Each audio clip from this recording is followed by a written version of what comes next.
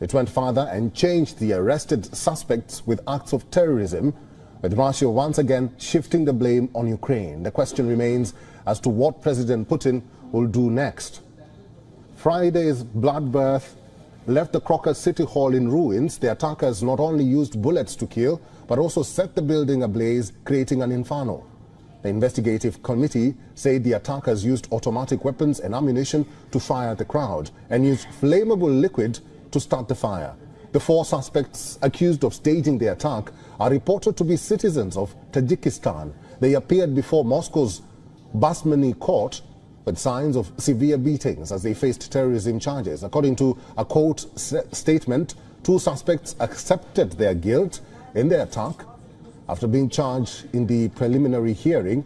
However, their condition raised questions about whether they were speaking freely. The court charged all four with committing a group terrorist attack resulting in the death of others. The offense carries a maximum sentence of life imprisonment. The court ordered the accused to be held in pre-trial custody until May 22nd. The Islamic State group has claimed it is or it was behind the mass shooting at the Crocus City Hall. It also released graphic images of the attackers on the rampage. U.S. officials said they have no reason to doubt that claim of responsibility. But in an address to the nation, the Russian president did not mention the Islamic State, but he made it a point to state that the attackers sought to escape towards Ukraine. He said information showed some people on the Ukrainian side had prepared to let them cross the border from Russia. Putin asserted that Russia will punish all those who stood behind them.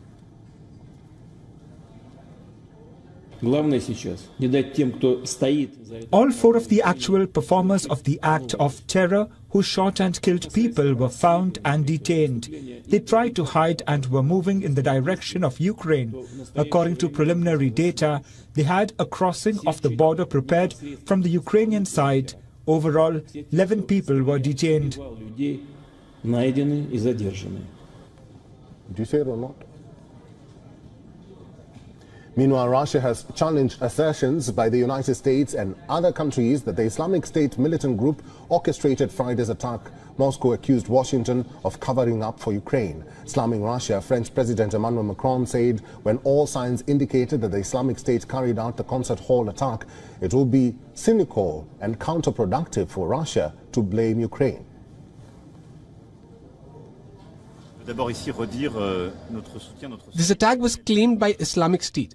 And according to the information available to our intelligence services, it was an entity in the Islamic State which instigated and executed this attack.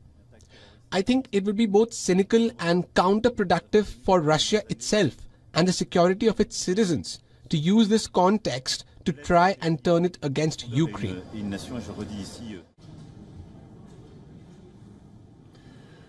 Meanwhile, even as it tries to blame Ukraine for the concert hall attack, Russia has stepped up its airstrikes targeting Ukraine's power facilities. National grid operator said consumers in Kharkiv city and the western region are still without power.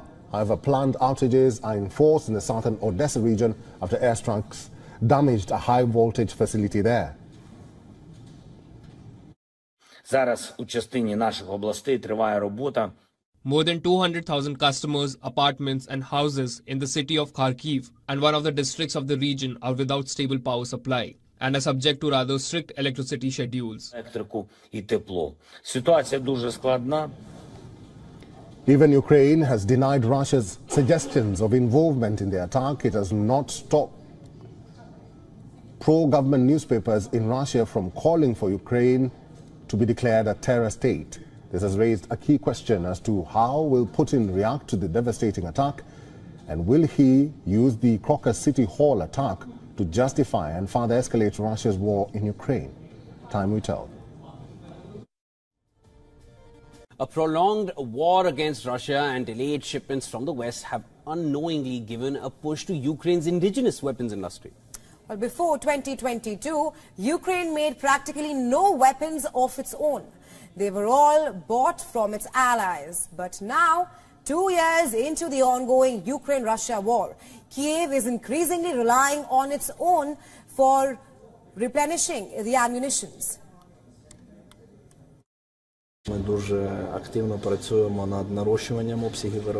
We are very actively working to increase production volumes. We communicate with the customers on a daily basis so we understand the impact that this equipment has on the course of the battle on the course of the war. Every day we understand the needs, what we need to do and how it affects our servicemen.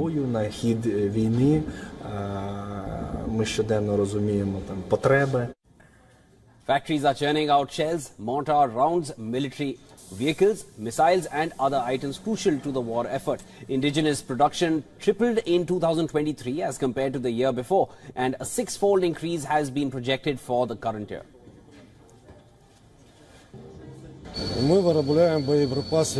We produce ammunition for 120, 82, and 60 mortars. We are also trying, or rather not trying, but setting up production of engines for drones and ammunition for the drones. The Ukrainian government has budgeted almost $1.5 billion to buy and manufacture weapons at home. For this financial year, the allocated figure is 20 times more than what was given before the war started. The effort has ramped up sharply over the past year as the US and Europe strained to deliver weapons and other crucial aid.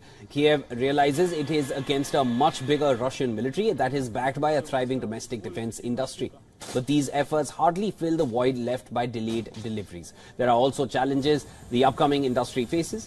Ukraine's defense sector has been constrained by a lack of money and manpower. Domestic weapons factories also face trouble catering to the constantly changing needs of battlefield commanders as well as their own vulnerability to long-range Russian missile strikes. Well, experts say that the country needs a more robust private sector which can help root out inefficiencies and enable factories to churn out weapons and ammunition even faster. Across the border, Russia continues to pump more money into its defense industry. Its growth has helped buffer its economy from the full brunt of Western sanctions. Recently, Russian Defense Minister Sergei Shoigu even boasted of huge increases in the manufacture of tanks, drones and ammunition. Ukrainian weapons industry fell apart swiftly after the fall of the Soviet Union. Just like the rest of the administration, the defense sector too war ridden with mismanagement and corruption.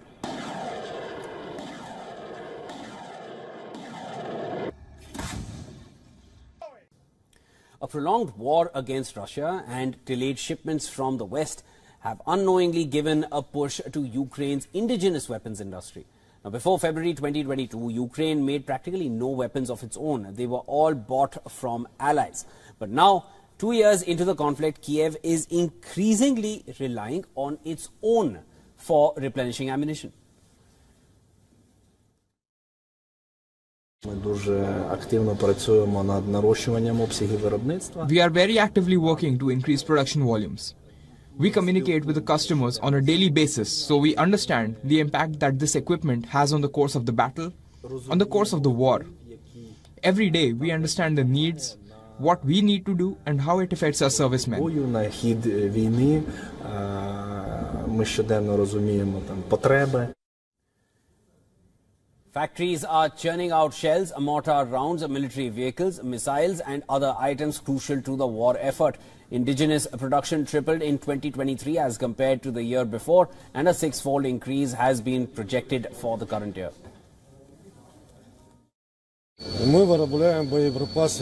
We produce ammunition for 120, 82, and 60 mortars.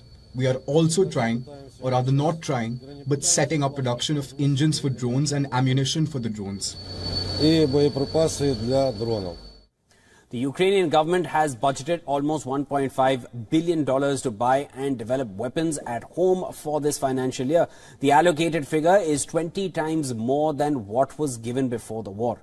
The effort has ramped up sharply over the past year as the US and Europe strained to deliver weapons and other crucial aid. Kiev realizes it is against a much bigger Russian military that is backed by a thriving domestic defense industry. But these efforts hardly fill the void left by delayed deliveries.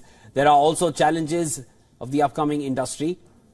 Ukraine's defense sector has been constrained by a lack of money and manpower. Domestic weapons factories also face trouble catering to the constantly changing needs of battlefield commanders as well as their own vulnerability to long-range Russian missile strikes. Experts say the country needs a more robust private sector which can help root out inefficiencies and enable factories to churn out weapons and ammunition even faster.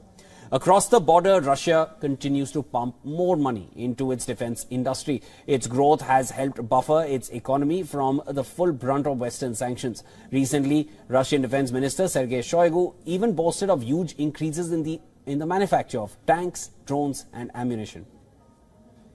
Ukrainian weapons industry fell apart swiftly after the fall of the Soviet Union. Just like the rest of the administration, the defense sector too was ridden with mismanagement and corruption.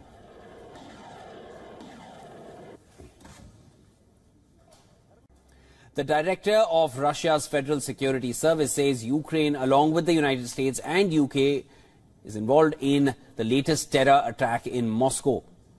According to the director of Russia's most powerful security agency, Alexander Bortnikov, the action was prepared by both the Islamist radicals and Western special services. Ukraine has repeatedly denied any link with the attack so far. UK has also dismissed the Russian accusations as lies. According to US National Security Council, Washington earlier this month shared intelligence with Russia about a planned attack in Moscow. The world was shocked when five gunmen carried out a terror attack in the heart of Russia. The terror attack in Moscow has been claimed by the Islamic State, but Russia seeks answers who were the perpetrators and organizers of this deadly attack and who gained from this deadly attack. Russian Foreign Minister Sergei Lavrov says that Russia doesn't need Western assistance in their investigation. Our next report has the complete story. Take a look.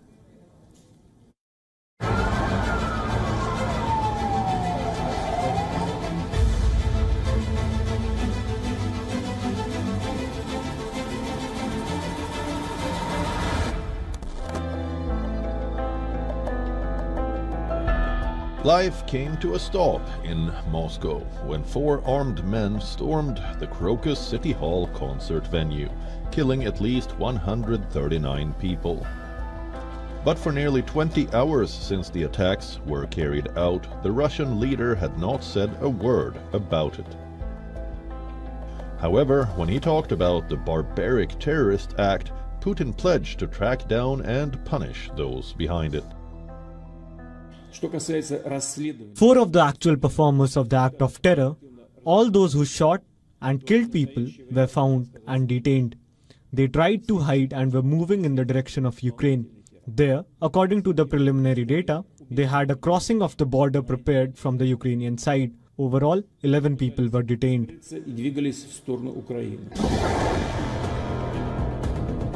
The four gunmen have been identified as citizens of Tajikistan. But Russia seeks answers. Who were the perpetrators?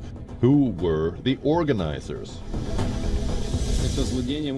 This atrocity may be only a link in a whole series of attempts by those who since 2014 have been fighting against our country with the hands of the neo-Nazi Kiev regime.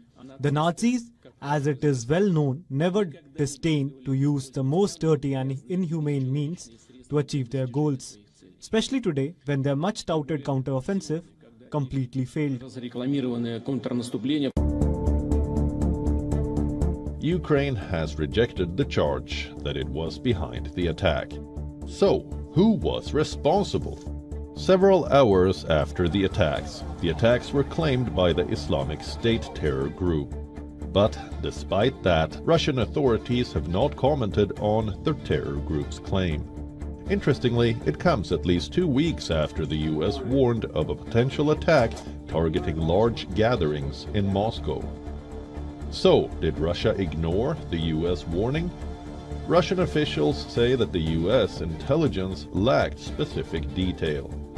Questions swirl over Russia's powerful security agencies how they failed to thwart the massacre despite public and private warnings by the US's intelligence apparatus. Kremlin says that a thorough probe is underway, as it seeks to unravel the mystery regarding who were the actual perpetrators and organizers of one of the most deadly terror attack on Russia. Viewer Report, WION, World is One. The world was shocked when four gunmen carried out a terror attack in the heart of Russia. The terror attack in Moscow has been claimed by the Islamic State, but Russia seeks answers. Who were the perpetrators and organizers of this deadly attack? Russian Foreign Minister Sergei Lavrov says that Russia doesn't need Western assistance in their investigation. Our next report has all the details.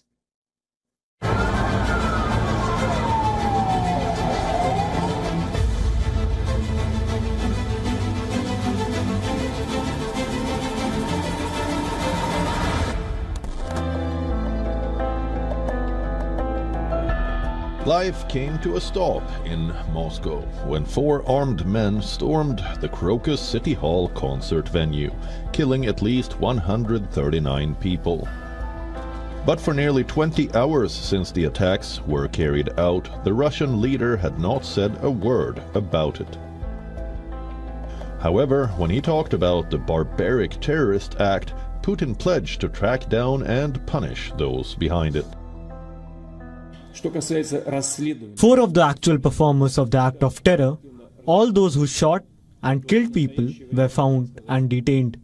They tried to hide and were moving in the direction of Ukraine. There, according to the preliminary data, they had a crossing of the border prepared from the Ukrainian side. Overall, 11 people were detained.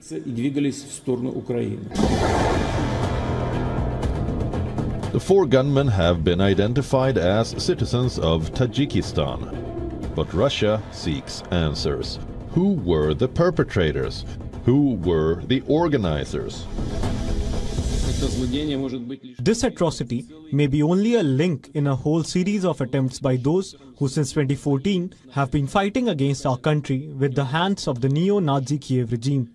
The Nazis, as it is well known, never disdain to use the most dirty and inhumane means to achieve their goals especially today when their much touted counteroffensive completely failed. Ukraine has rejected the charge that it was behind the attack.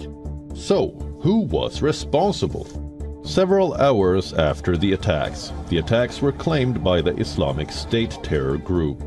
But despite that, Russian authorities have not commented on the terror group's claim. Interestingly, it comes at least two weeks after the US warned of a potential attack targeting large gatherings in Moscow. So, did Russia ignore the US warning? Russian officials say that the US intelligence lacked specific detail. Questions swirl over Russia's powerful security agencies how they failed to thwart the massacre despite public and private warnings by the US's intelligence apparatus. Kremlin says that a thorough probe is underway as it seeks to unravel the mystery regarding who were the actual perpetrators and organizers of one of the most deadly terror attack on Russia. Viewer Report, WION, World is One. In a devastating assault, Russia unleashed a barrage of drone attacks on Ukraine. Ukrainian authorities claimed the attack left 11 people injured and destroyed the power supply in Odessa. Now, the Odessa administration said the city is plunged into darkness after the Russian air attack damaged a high voltage facility. Ukraine's southern defense forces said waves of drones were launched from the Black Sea. Four air weapons were shot down over Odessa and neighboring Mykolaiv regions. Footage on social media shows firefighters battling flames engulfing buildings. Now, the assault started in the early hours with loud explosions echoing throughout the city. Now, this prompted residents to shelter in nearby subway stations. The administration said debris from a falling drone sparked a fire at the power facility that was promptly put out. Now, an underground gas storage site in eastern Ukraine was also attacked on Sunday. Ukraine's state-run energy, energy firm, however, said that the gas supplies to consumers have not been affected. Now, this attack comes after the Ukrainian forces hit two Russian warships and a communication center on the Crimean Peninsula on Sunday. The Ukrainian military has not specified the medium it chose to hit the targets. However, Moscow claimed it intercepted a major air attack and shot down over 10 missiles above the Crimean port. Четыре, три, два, точки пуска.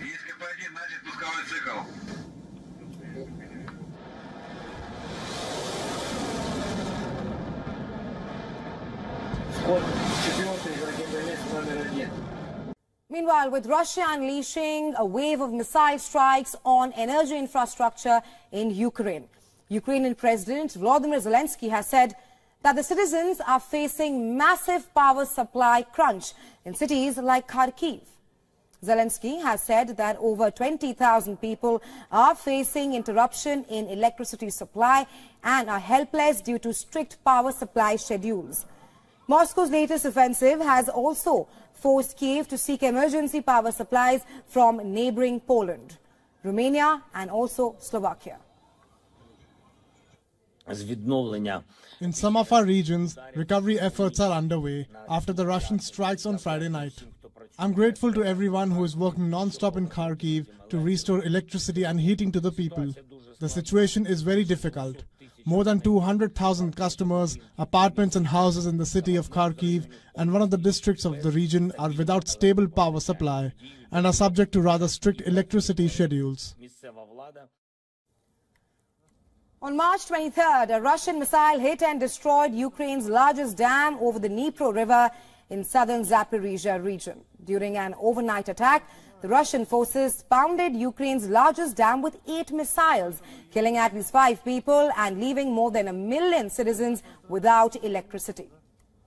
Russia's missile attack comes at a time when Ukrainian President Volodymyr Zelensky raked up the issue of lack of air defense systems, which are preventing Kiev from stopping Moscow's armed offensive. Zelensky reacted to strikes, saying that Ukraine's protection from air attacks depends on the political will of Kiev's allies in the West. Russia, on the other hand, called its actions revenge against Ukraine for its attacks during its presidential elections. While Moscow says that the air attacks on Ukraine's power facilities and infrastructure are legitimate strikes and they are aimed at weakening the Ukrainian armed forces in the ongoing war between Russia and Ukraine. A prolonged war against Russia and delayed shipments from the West have unknowingly given a push to Ukraine's indigenous weapons industry. Before February 2022, Ukraine made practically no weapons of its own. They were all bought from its allies. But now, two years into the conflict, Kiev is increasingly relying on its own for replenishing ammunition.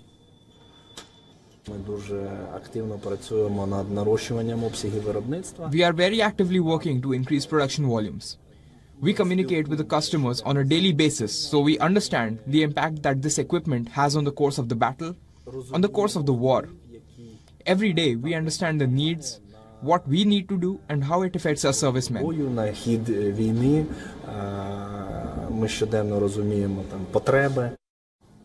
Factories are churning out shells, mortar rounds, military vehicles, missiles and other items crucial to the war effort. Indigenous production tripled in 2023 as compared to the year before and a six-fold increase has been projected for the current year.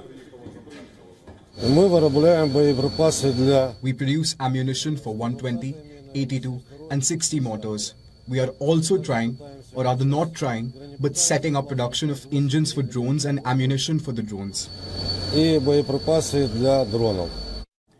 The Ukrainian government has budgeted almost $1.5 billion to buy and develop weapons at home for this financial year. The allocated figure is 20 times more than what was given before the war. The effort has ramped up sharply over the past year as the US and Europe strained to deliver weapons and other crucial aid. Kiev realizes it is against a much bigger Russian military that is backed by a thriving domestic defense industry. But these efforts hardly fill the void left by delayed deliveries. There are also challenges the upcoming industry faces. Ukraine's defense sector has been constrained by a lack of money and manpower. Domestic weapons factories also face trouble catering to the, the, constantly changing needs of battlefield commanders as well as their own vulnerability to long range Russian missile strikes. Experts say that the country needs a more robust private sector which can help root out in inefficiencies and enable factories to churn out weapons and ammunition even faster.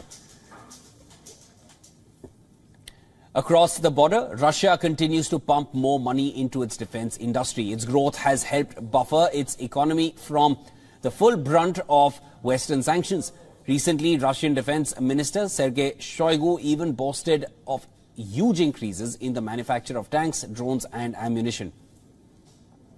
Ukrainian weapons industry fell apart swiftly after the fall of the Soviet Union, just like the rest of the administration. The defense sector too war-ridden with mismanagement and corruption.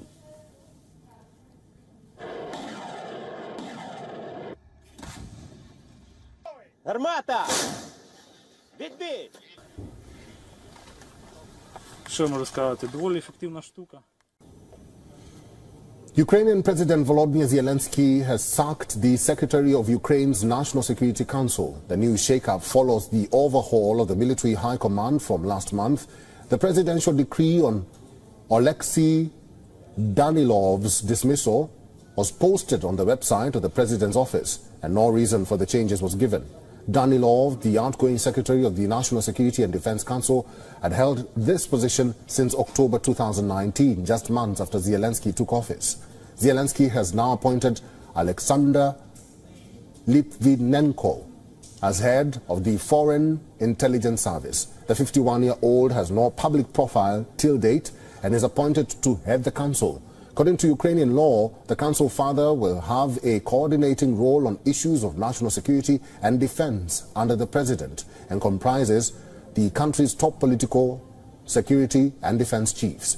However, this is not the first time President Zelensky has ordered a top official's dismissal. In August last year, Zelensky fired all regional military recruitment bosses amid reports of corruption. Then in September, the Ukraine cabinet dismissed all six deputy defense ministers and secretary of defense again over corruption charges. In the same month, Zelensky fired his defense minister, citing the need for new approaches as the war was then entering its 19th month. And then in November, two Ukrainian senior cyber defense officials were fired, or fired for alleged embezzlement in the government's cybersecurity agency. Recently, almost a month ago, the Ukrainian president even sacked the commander-in-chief of the country's armed forces. His dismissal followed speculation about a rift between him and the president. Ukraine is battling to keep up its war effort and hold the line against attacking Russian forces in the east. With its vital U.S. ally proving unable to deliver military assistance, analysts are raising questions about the depth and strength of Ukrainian fortifications and regards manpower levels as another challenge. All right, as Russia comes to terms with the Moscow concert hall attack that claimed the lives of 137 people and caused injuries to 182 people, it has questioned the Islamic State's claims of carrying out the attack. It went further and changed the arrested suspects with acts of terrorism, with Russia once again shifting the blame on Ukraine. The question remains as to what President Putin will do next.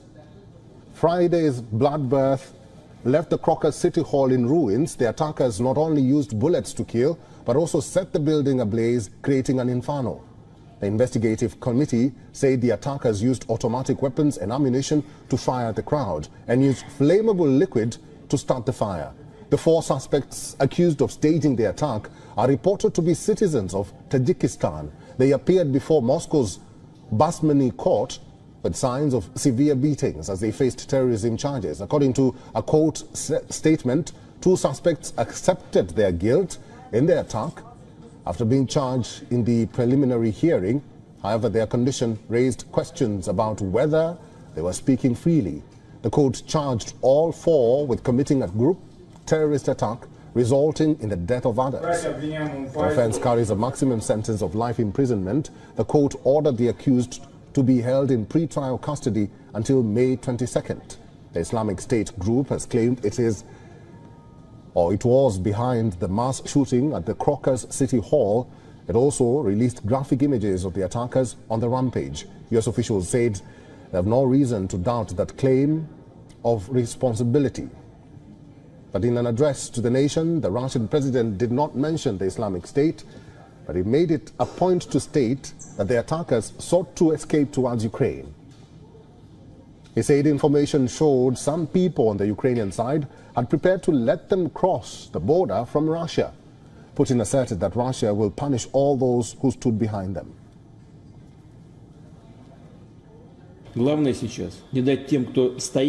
All four of the actual performers of the act of terror who shot and killed people were found and detained. They tried to hide and were moving in the direction of Ukraine. According to preliminary data, they had a crossing of the border prepared from the Ukrainian side.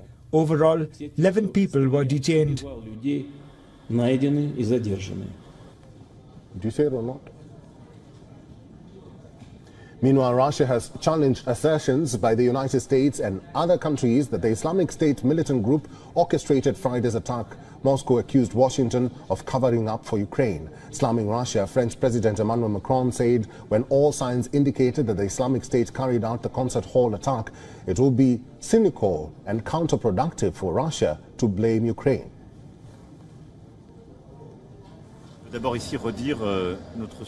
This attack was claimed by Islamic State, and according to the information available to our intelligence services, it was an entity in the Islamic State which instigated and executed this attack.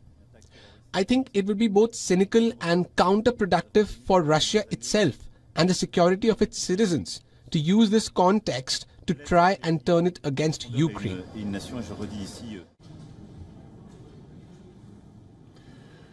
Meanwhile, even as it tries to blame Ukraine for the concert hall attack, Russia has stepped up its airstrikes targeting Ukraine's power facilities. National grid operator said consumers in Kharkiv city and the western region are still without power. However, planned outages are in force in the southern Odessa region after airstrikes damaged a high voltage facility there. Зараз у частині наших областей триває робота more than 200,000 customers, apartments, and houses in the city of Kharkiv and one of the districts of the region are without stable power supply and are subject to rather strict electricity schedules. Even Ukraine has denied Russia's suggestions of involvement in the attack. It has not stopped pro-government newspapers in Russia from calling for Ukraine to be declared a terror state. This has raised a key question as to how will Putin react to the devastating attack and will he use the Crocus City Hall attack to justify and further escalate Russia's war in Ukraine? Time will tell. A prolonged war against Russia and delayed shipments from the West have unknowingly given a push to Ukraine's indigenous weapons industry. Well, before 2022, Ukraine made practically no weapons of its own. They were all bought from its allies. But now, two years into the ongoing Ukraine-Russia war, Kiev is increasingly relying on its own for replenishing the ammunitions.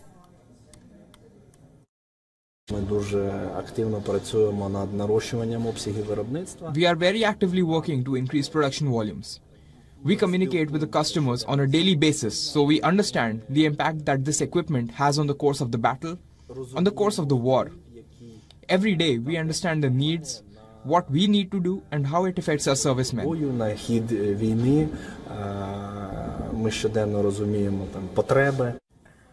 Factories are churning out shells, mortar rounds, military vehicles, missiles and other items crucial to the war effort. Indigenous production tripled in 2023 as compared to the year before and a six-fold increase has been projected for the current year.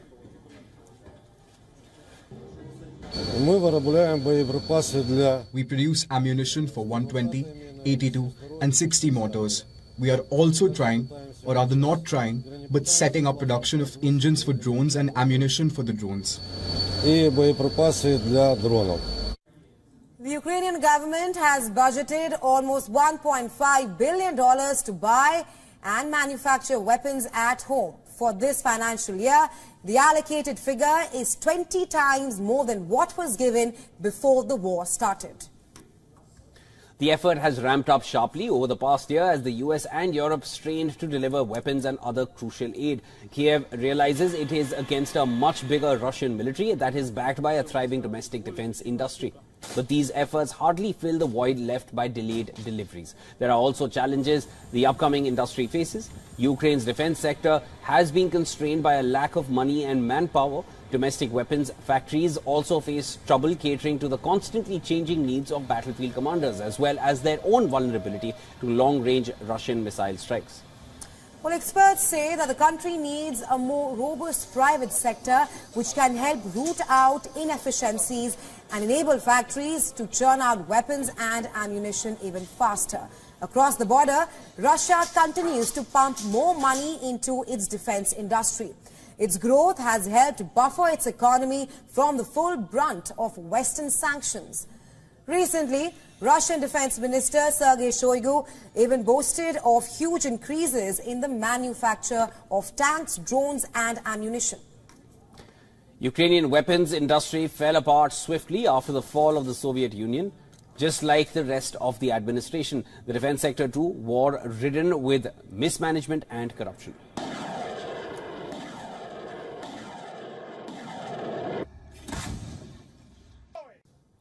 A prolonged war against Russia and delayed shipments from the West have unknowingly given a push to Ukraine's indigenous weapons industry. Now, before February 2022, Ukraine made practically no weapons of its own. They were all bought from allies. But now, two years into the conflict, Kiev is increasingly relying on its own for replenishing ammunition. We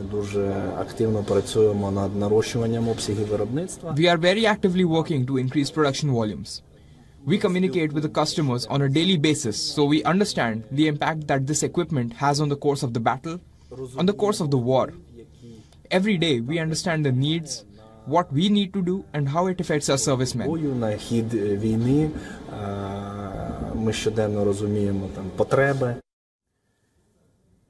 Factories are churning out shells, mortar rounds, military vehicles, missiles and other items crucial to the war effort. Indigenous production tripled in 2023 as compared to the year before and a six-fold increase has been projected for the current year.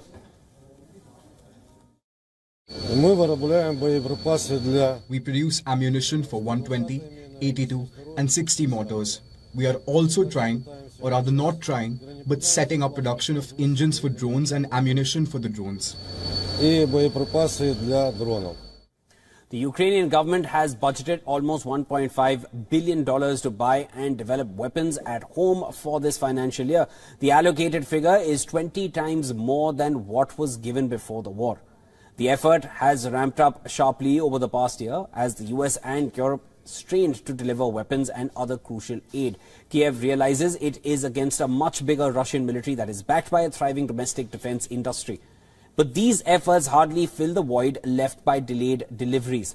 There are also challenges of the upcoming industry Ukraine's defense sector has been constrained by a lack of money and manpower. Domestic weapons factories also face trouble catering to the constantly changing needs of battlefield commanders as well as their own vulnerability to long-range Russian missile strikes. Experts say the country needs a more robust private sector which can help root out inefficiencies and enable factories to churn out weapons and ammunition even faster. Across the border, Russia continues to pump more money into its defense industry. Its growth has helped buffer its economy from the full brunt of Western sanctions. Recently, Russian Defense Minister Sergei Shoigu even boasted of huge increases in the, in the manufacture of tanks, drones and ammunition. Ukrainian weapons industry fell apart swiftly after the fall of the Soviet Union. Just like the rest of the administration, the defense sector too was ridden with mismanagement and corruption.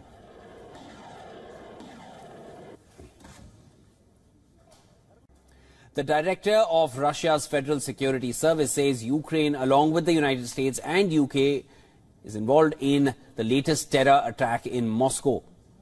According to the director of Russia's most powerful security agency, Alexander Bortnikov, the action was prepared by both the Islamist radicals and Western special services. Ukraine has repeatedly denied any link with the attack so far. UK has also dismissed the Russian accusations as lies. According to US National Security Council, Washington earlier this month shared intelligence with Russia about a planned attack in Moscow. The world was shocked when five gunmen carried out a terror attack in the heart of Russia.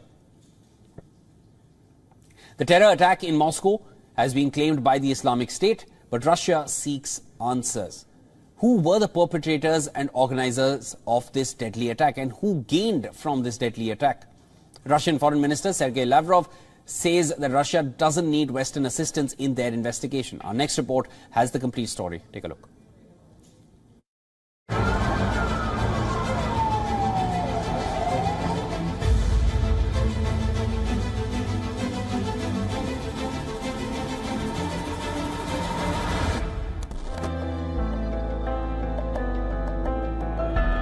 Life came to a stop in Moscow when four armed men stormed the Crocus City Hall concert venue, killing at least 139 people. But for nearly 20 hours since the attacks were carried out, the Russian leader had not said a word about it. However, when he talked about the barbaric terrorist act, Putin pledged to track down and punish those behind it. Four of the actual performers of the act of terror, all those who shot and killed people, were found and detained. They tried to hide and were moving in the direction of Ukraine. There, according to the preliminary data, they had a crossing of the border prepared from the Ukrainian side. Overall, 11 people were detained.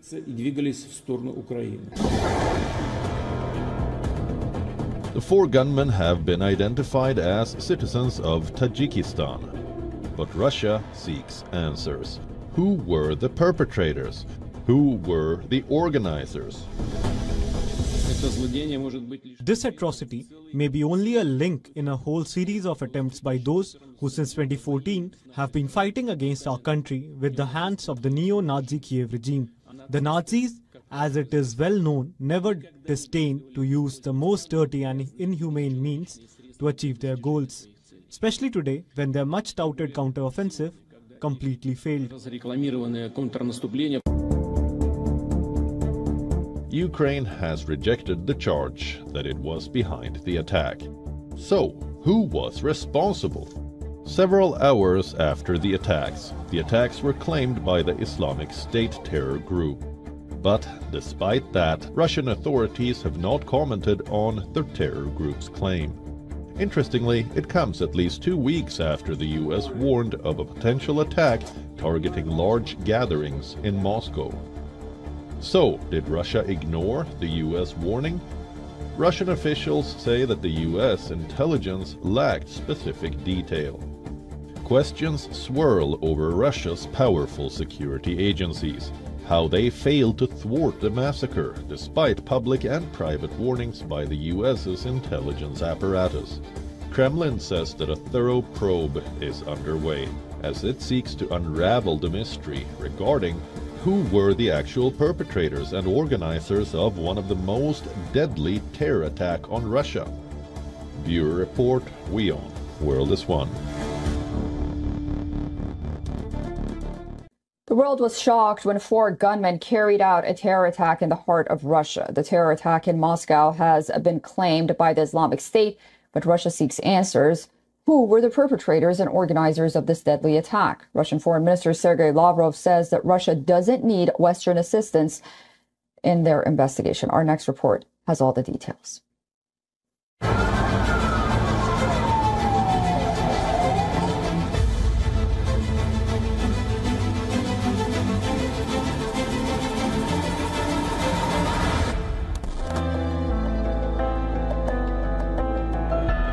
Life came to a stop in Moscow when four armed men stormed the Crocus City Hall concert venue, killing at least 139 people. But for nearly 20 hours since the attacks were carried out, the Russian leader had not said a word about it. However, when he talked about the barbaric terrorist act, Putin pledged to track down and punish those behind it. Four of the actual performers of the act of terror, all those who shot and killed people, were found and detained. They tried to hide and were moving in the direction of Ukraine. There, according to the preliminary data, they had a crossing of the border prepared from the Ukrainian side. Overall, 11 people were detained.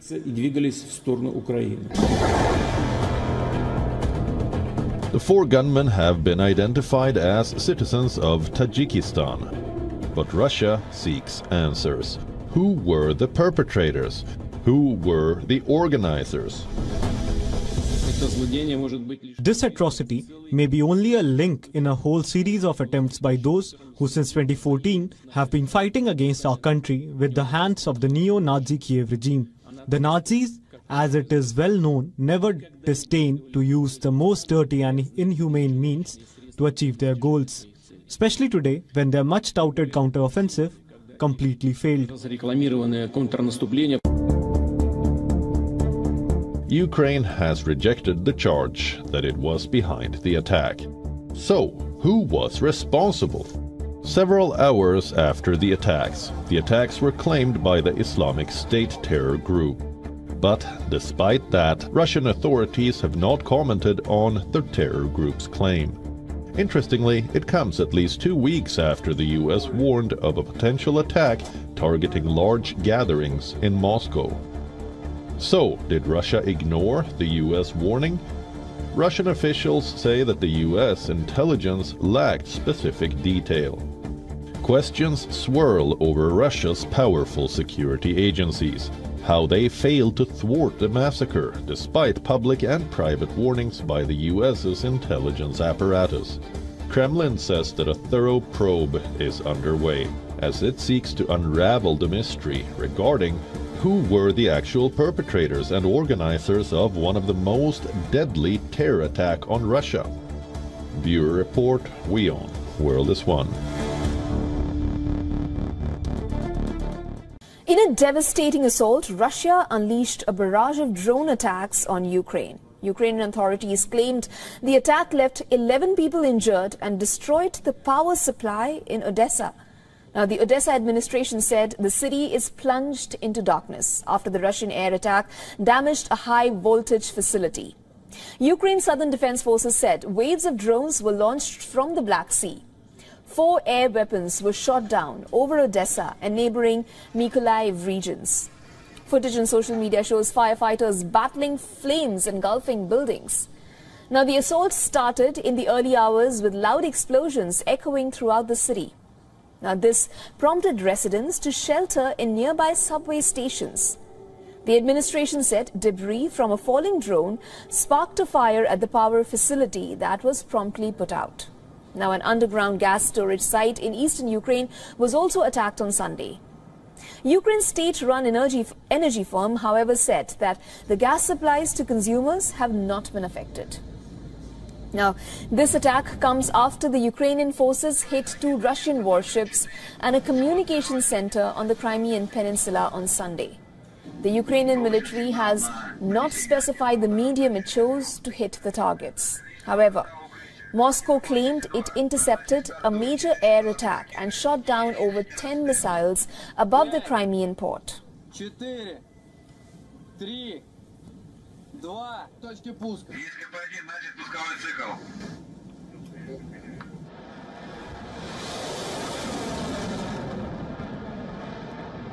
Вход четвертый ракетомет номер один. Meanwhile, with Russia unleashing a wave of missile strikes on energy infrastructure in Ukraine, Ukrainian President Volodymyr Zelensky has said that the citizens are facing massive power supply crunch in cities like Kharkiv. Zelensky has said that over 20,000 people are facing interruption in electricity supply and are helpless due to strict power supply schedules. Moscow's latest offensive has also forced Kiev to seek emergency power supplies from neighboring Poland, Romania and also Slovakia. In some of our regions, recovery efforts are underway after the Russian strikes on Friday night. I'm grateful to everyone who is working non-stop in Kharkiv to restore electricity and heating to the people. The situation is very difficult. More than 200,000 customers, apartments and houses in the city of Kharkiv and one of the districts of the region are without stable power supply and are subject to rather strict electricity schedules. On March 23rd, a Russian missile hit and destroyed Ukraine's largest dam over the Dnipro River in southern Zaporizhia region. During an overnight attack, the Russian forces pounded Ukraine's largest dam with eight missiles, killing at least five people and leaving more than a million citizens without electricity. Russia's missile attack comes at a time when Ukrainian President Volodymyr Zelensky raked up the issue of lack of air defense systems, which are preventing Kiev from stopping Moscow's armed offensive. Zelensky reacted to strikes, saying that Ukraine's protection from air attacks depends on the political will of Kiev's allies in the West. Russia, on the other hand, called its actions revenge against Ukraine for its attacks during its presidential elections. While Moscow says that the air attacks on Ukraine's power facilities and infrastructure are legitimate strikes and they are aimed at weakening the Ukrainian armed forces in the ongoing war between Russia and Ukraine. A prolonged war against Russia and delayed shipments from the West have unknowingly given a push to Ukraine's indigenous weapons industry. Before February 2022, Ukraine made practically no weapons of its own. They were all bought from its allies. But now, two years into the conflict, Kiev is increasingly relying on its own for replenishing ammunition.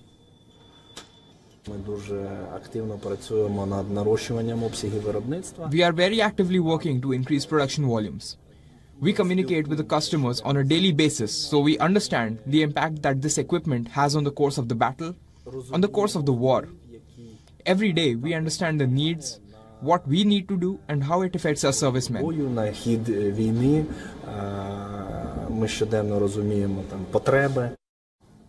Factories are churning out shells, mortar rounds, military vehicles, missiles and other items crucial to the war effort. Indigenous production tripled in 2023 as compared to the year before and a six-fold increase has been projected for the current year. We produce ammunition for 120, 82 and 60 mortars. We are also trying, or rather not trying, but setting up production of engines for drones and ammunition for the drones.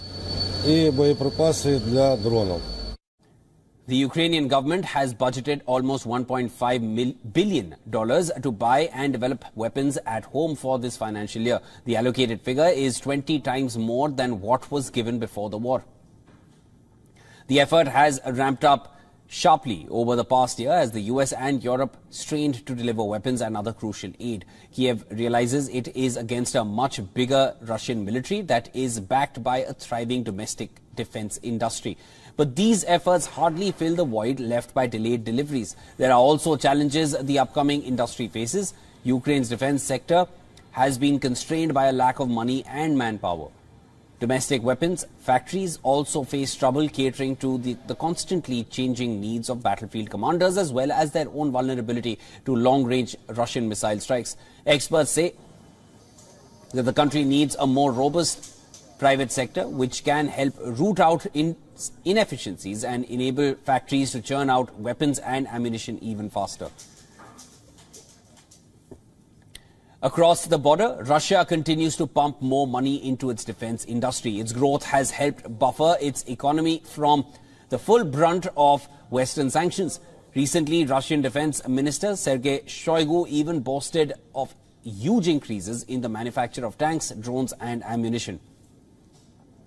Ukrainian weapons industry fell apart swiftly after the fall of the Soviet Union, just like the rest of the administration. The defense sector, too war-ridden, with mismanagement and corruption.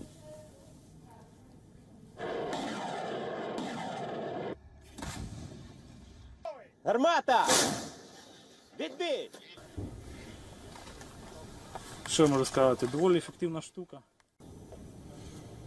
Ukrainian President Volodymyr Zelensky has sacked the Secretary of Ukraine's National Security Council. The new shakeup follows the overhaul of the military high command from last month. The presidential decree on Oleksiy Danilov's dismissal was posted on the website of the president's office and no reason for the changes was given. Danilov, the outgoing secretary of the National Security and Defense Council, had held this position since October 2019, just months after Zelensky took office. Zelensky has now appointed Alexander Litvinenko as head of the Foreign Intelligence Service. The 51-year-old has no public profile till date and is appointed to head the council. According to Ukrainian law, the council father will have a coordinating role on issues of national security and defense under the president and comprises the country's top political, security and defense chiefs. However, this is not the first time President Zelensky has ordered a top official's dismissal.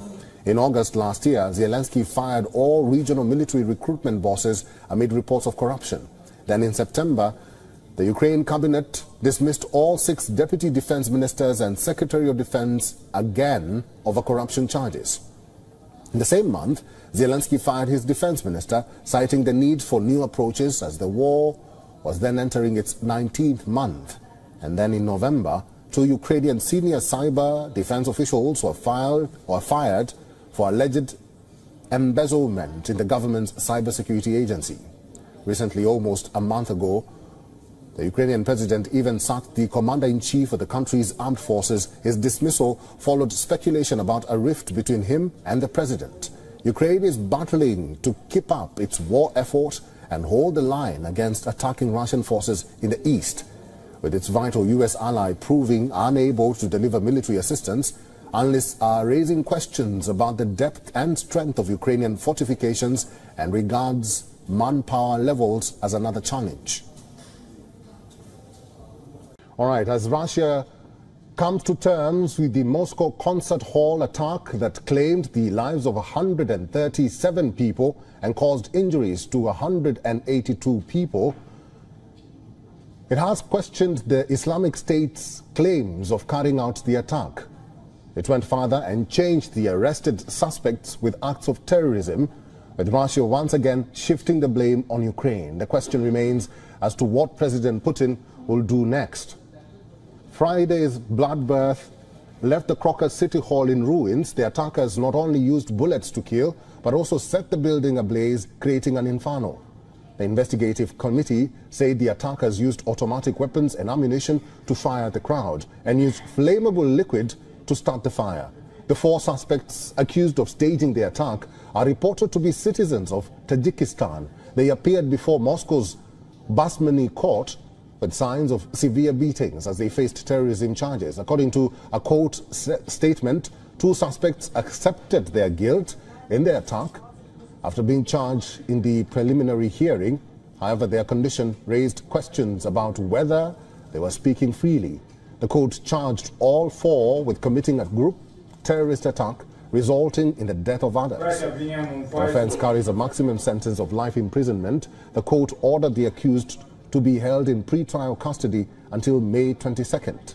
The Islamic State group has claimed it is or it was behind the mass shooting at the Crocus City Hall. It also released graphic images of the attackers on the rampage. U.S. officials said they have no reason to doubt that claim of responsibility. But in an address to the nation, the Russian president did not mention the Islamic State but he made it a point to state that the attackers sought to escape towards Ukraine. He said information showed some people on the Ukrainian side had prepared to let them cross the border from Russia. Putin asserted that Russia will punish all those who stood behind them.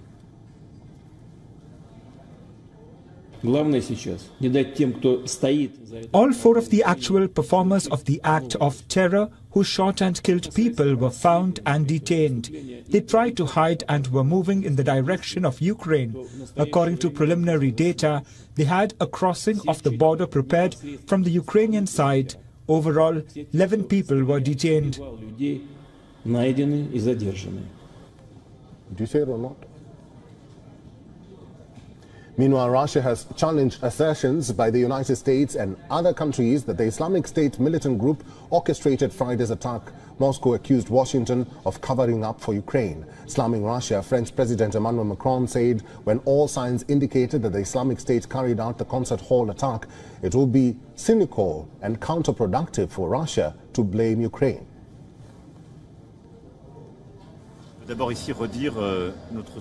This attack was claimed by Islamic State, and according to the information available to our intelligence services, it was an entity in the Islamic State which instigated and executed this attack. I think it would be both cynical and counterproductive for Russia itself and the security of its citizens to use this context to try and turn it against Ukraine.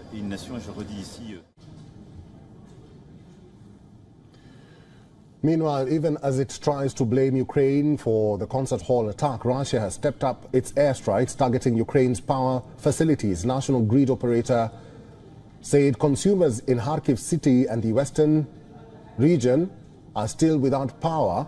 However, planned outages are in force in the southern Odessa region after airstrikes damaged a high voltage facility there. Зараз у частині наших областей триває робота more than 200,000 customers, apartments, and houses in the city of Kharkiv and one of the districts of the region are without stable power supply and are subject to rather strict electricity schedules. Even Ukraine has denied Russia's suggestions of involvement in the attack. It has not stopped pro government newspapers in Russia from calling for Ukraine to be declared a terror state. This has raised a key question as to how will Putin react to the devastating attack and will he use the Crocus City Hall attack to justify and further escalate Russia's war in Ukraine? Time will tell. A prolonged war against Russia and delayed shipments from the West have unknowingly given a push to Ukraine's indigenous weapons industry. Well, before 2022, Ukraine made practically no weapons of its own. They were all bought from its allies. But now, two years into the ongoing Ukraine-Russia war, Kiev is increasingly relying on its own for replenishing the ammunitions.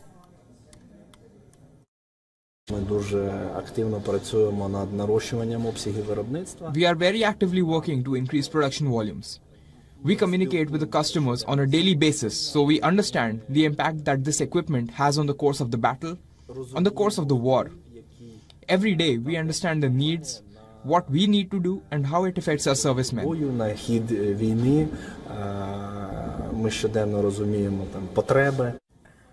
Factories are churning out shells, mortar rounds, military vehicles, missiles and other items crucial to the war effort. Indigenous production tripled in 2023 as compared to the year before and a six-fold increase has been projected for the current year.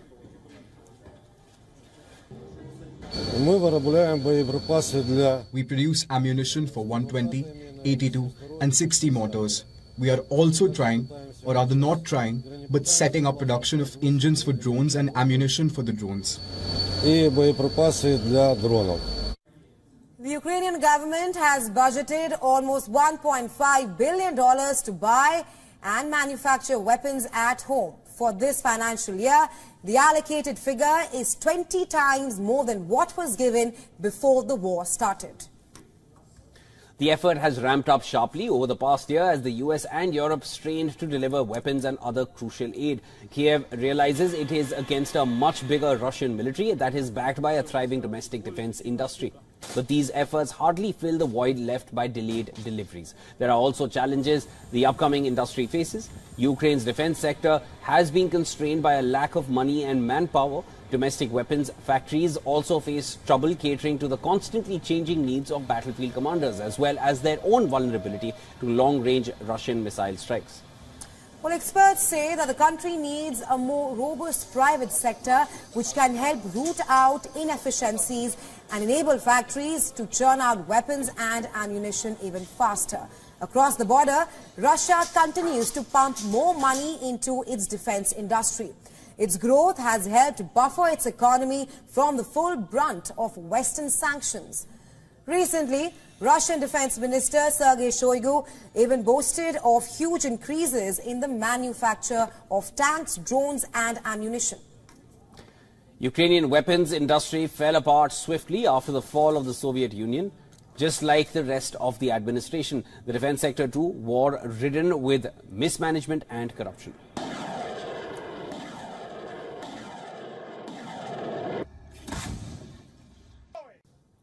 A prolonged war against Russia and delayed shipments from the West have unknowingly given a push to Ukraine's indigenous weapons industry. Now, before February 2022, Ukraine made practically no weapons of its own. They were all bought from allies. But now, two years into the conflict, Kiev is increasingly relying on its own for replenishing ammunition. We are very actively working to increase production volumes. We communicate with the customers on a daily basis, so we understand the impact that this equipment has on the course of the battle, on the course of the war. Every day, we understand the needs, what we need to do, and how it affects our servicemen.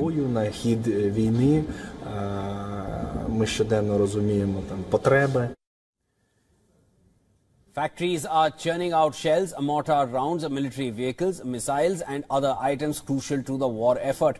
Indigenous production tripled in 2023 as compared to the year before, and a six fold increase has been projected for the current year.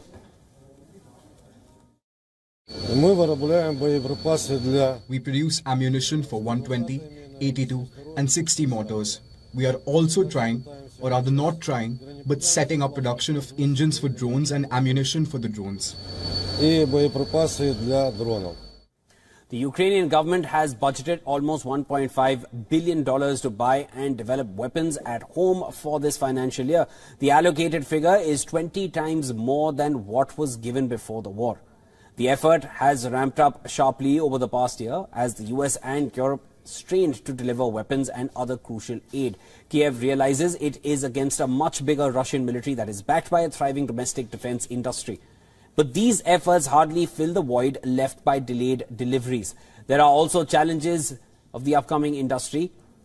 Ukraine's defense sector has been constrained by a lack of money and manpower. Domestic weapons factories also face trouble catering to the constantly changing needs of battlefield commanders as well as their own vulnerability to long-range Russian missile strikes. Experts say the country needs a more robust private sector which can help root out inefficiencies and enable factories to churn out weapons and ammunition even faster. Across the border, Russia continues to pump more money into its defense industry. Its growth has helped buffer its economy from the full brunt of Western sanctions. Recently, Russian Defense Minister Sergei Shoigu even boasted of huge increases in the, in the manufacture of tanks, drones and ammunition. Ukrainian weapons industry fell apart swiftly after the fall of the Soviet Union. Just like the rest of the administration, the defense sector too was ridden with mismanagement and corruption.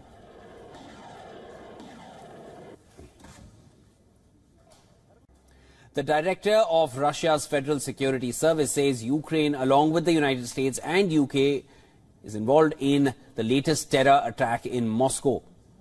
According to the director of Russia's most powerful security agency, Alexander Bortnikov, the action was prepared by both the Islamist radicals and Western special services. Ukraine has repeatedly denied any link with the attack so far. UK has also dismissed the Russian accusations as lies. According to US National Security Council, Washington earlier this month shared intelligence with Russia about a planned attack in Moscow. The world was shocked when five gunmen carried out a terror attack in the heart of Russia. The terror attack in Moscow has been claimed by the Islamic State, but Russia seeks answers. Who were the perpetrators and organizers of this deadly attack and who gained from this deadly attack? Russian Foreign Minister Sergei Lavrov says that Russia doesn't need Western assistance in their investigation. Our next report has the complete story. Take a look.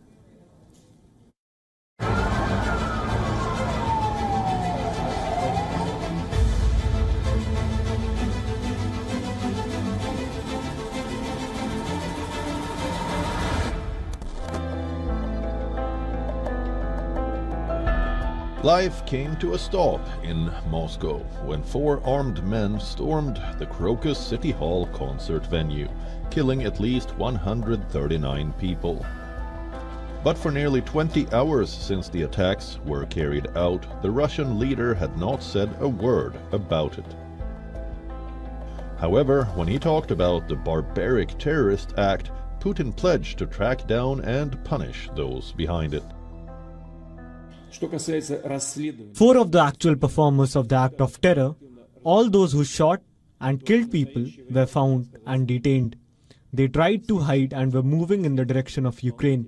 There, according to the preliminary data, they had a crossing of the border prepared from the Ukrainian side. Overall, 11 people were detained.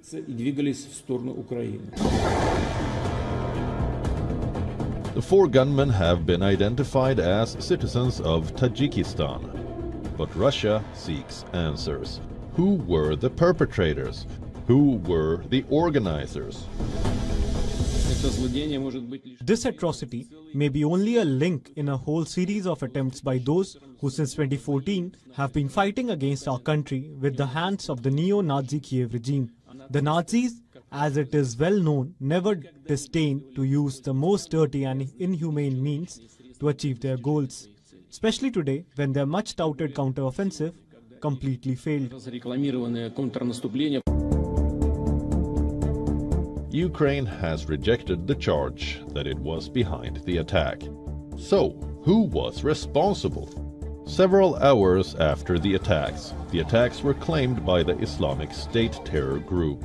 But despite that, Russian authorities have not commented on the terror group's claim. Interestingly, it comes at least two weeks after the US warned of a potential attack targeting large gatherings in Moscow. So, did Russia ignore the US warning? Russian officials say that the US intelligence lacked specific detail. Questions swirl over Russia's powerful security agencies how they failed to thwart the massacre despite public and private warnings by the US's intelligence apparatus. Kremlin says that a thorough probe is underway as it seeks to unravel the mystery regarding who were the actual perpetrators and organizers of one of the most deadly terror attack on Russia. Viewer Report, WION, World is One. The world was shocked when four gunmen carried out a terror attack in the heart of Russia. The terror attack in Moscow has been claimed by the Islamic State, but Russia seeks answers. Who were the perpetrators and organizers of this deadly attack? Russian Foreign Minister Sergei Lavrov says that Russia doesn't need Western assistance in their investigation. Our next report has all the details.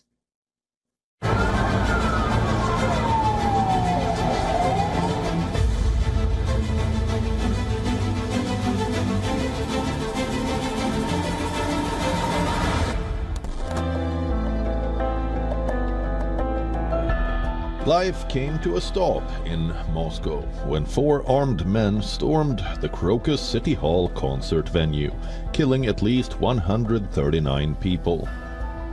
But for nearly 20 hours since the attacks were carried out, the Russian leader had not said a word about it. However, when he talked about the barbaric terrorist act, Putin pledged to track down and punish those behind it. Four of the actual performers of the act of terror, all those who shot and killed people, were found and detained. They tried to hide and were moving in the direction of Ukraine. There, according to the preliminary data, they had a crossing of the border prepared from the Ukrainian side. Overall, 11 people were detained.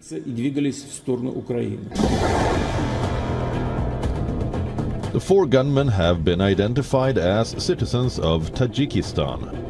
But Russia seeks answers. Who were the perpetrators? Who were the organizers? This atrocity may be only a link in a whole series of attempts by those who since 2014 have been fighting against our country with the hands of the neo-Nazi Kiev regime.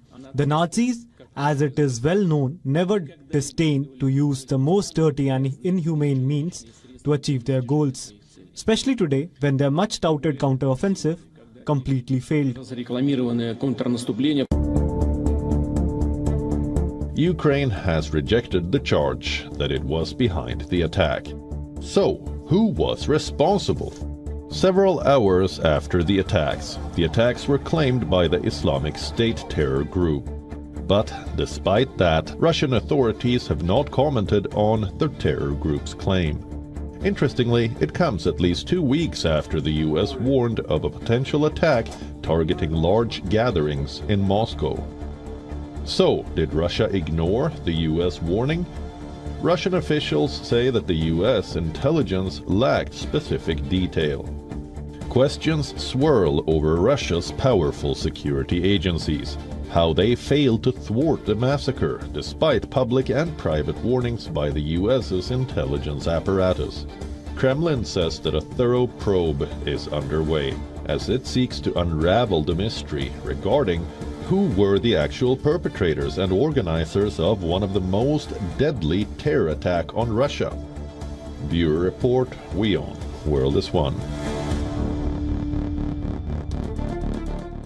In a devastating assault, Russia unleashed a barrage of drone attacks on Ukraine. Ukrainian authorities claimed the attack left 11 people injured and destroyed the power supply in Odessa. Now, the Odessa administration said the city is plunged into darkness after the Russian air attack damaged a high voltage facility. Ukraine's southern defense forces said waves of drones were launched from the Black Sea. Four air weapons were shot down over Odessa and neighboring Mykolaiv regions. Footage on social media shows firefighters battling flames engulfing buildings. Now, the assault started in the early hours with loud explosions echoing throughout the city. Now, this prompted residents to shelter in nearby subway stations. The administration said debris from a falling drone sparked a fire at the power facility that was promptly put out. Now, an underground gas storage site in eastern Ukraine was also attacked on Sunday. Ukraine's state-run energy, energy firm, however, said that the gas supplies to consumers have not been affected. Now, this attack comes after the Ukrainian forces hit two Russian warships and a communication center on the Crimean Peninsula on Sunday. The Ukrainian military has not specified the medium it chose to hit the targets. However, Moscow claimed it intercepted a major air attack and shot down over 10 missiles above the Crimean port. Четыре, три, два, точки пуска. Пусковой цикл.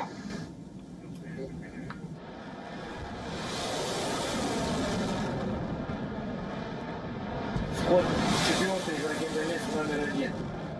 Meanwhile, with Russia unleashing a wave of missile strikes on energy infrastructure in Ukraine, Ukrainian President Volodymyr Zelensky has said that the citizens are facing massive power supply crunch in cities like Kharkiv.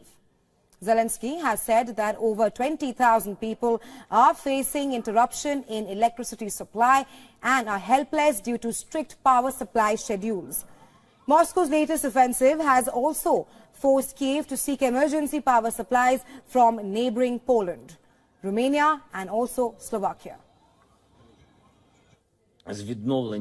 In some of our regions, recovery efforts are underway after the Russian strikes on Friday night. I'm grateful to everyone who is working non-stop in Kharkiv to restore electricity and heating to the people. The situation is very difficult more than 200,000 customers, apartments and houses in the city of Kharkiv and one of the districts of the region are without stable power supply and are subject to rather strict electricity schedules. On March 23rd, a Russian missile hit and destroyed Ukraine's largest dam over the Dnipro River in southern Zaporizhia region. During an overnight attack, the Russian forces pounded Ukraine's largest dam with eight missiles, killing at least five people and leaving more than a million citizens without electricity. Russia's missile attack comes at a time when Ukrainian President Volodymyr Zelensky raked up the issue of lack of air defense systems, which are preventing Kiev from stopping Moscow's armed offensive. Zelensky reacted to strikes, saying that Ukraine's protection from air attacks depends on the political will of Kiev's allies in the West. Russia, on the other hand, called its actions revenge against Ukraine for its attacks during its presidential elections. while Moscow says that the air attacks on Ukraine's power facilities and infrastructure are legitimate strikes and they are aimed at weakening the Ukrainian armed forces in the ongoing war between Russia and Ukraine. A prolonged war against Russia and delayed shipments from the West have unknowingly given a push to Ukraine's indigenous weapons industry. Before February 2022, Ukraine made practically no weapons of its own. They were all bought from its allies. But now, two years into the conflict, Kiev is increasingly relying on its own for replenishing ammunition.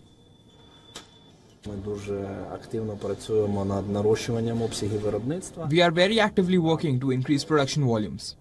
We communicate with the customers on a daily basis so we understand the impact that this equipment has on the course of the battle, on the course of the war. Every day we understand the needs, what we need to do and how it affects our servicemen.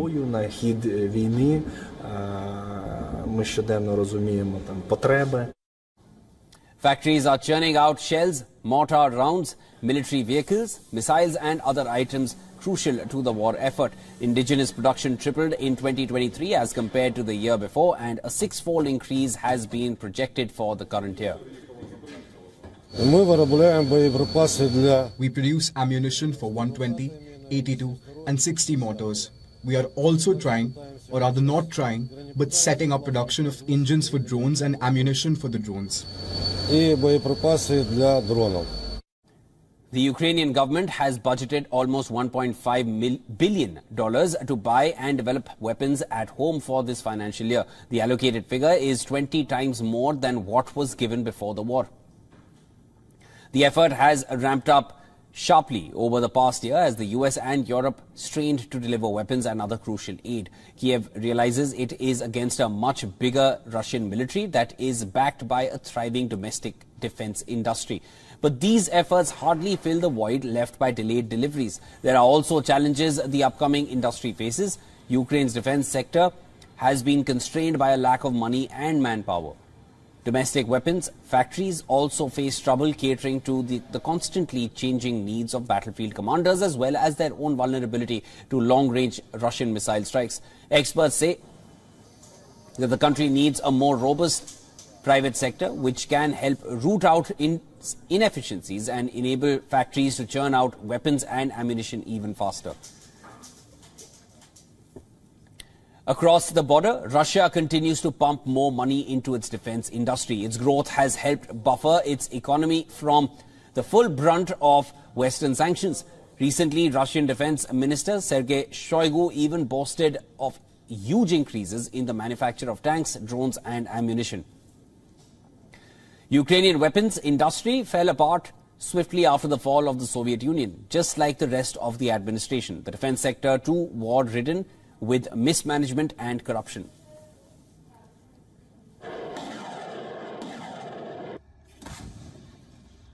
Гармата! Відбій! Що можу сказати? Доволі ефективна штука.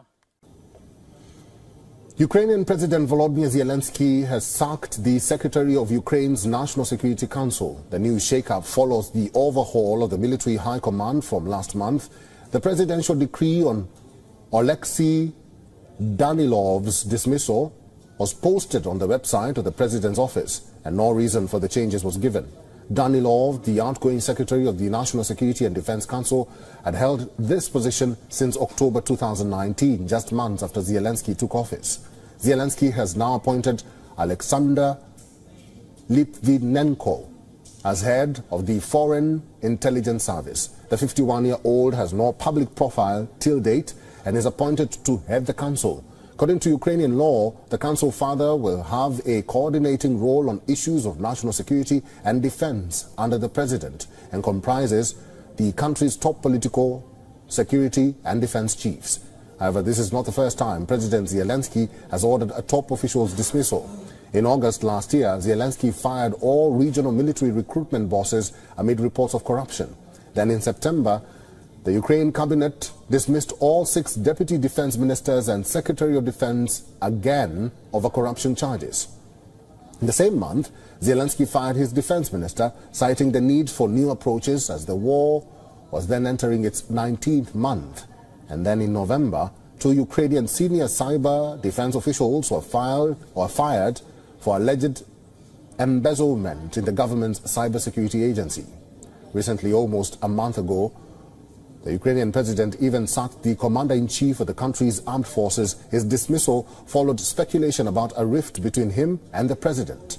Ukraine is battling to keep up its war effort and hold the line against attacking Russian forces in the east.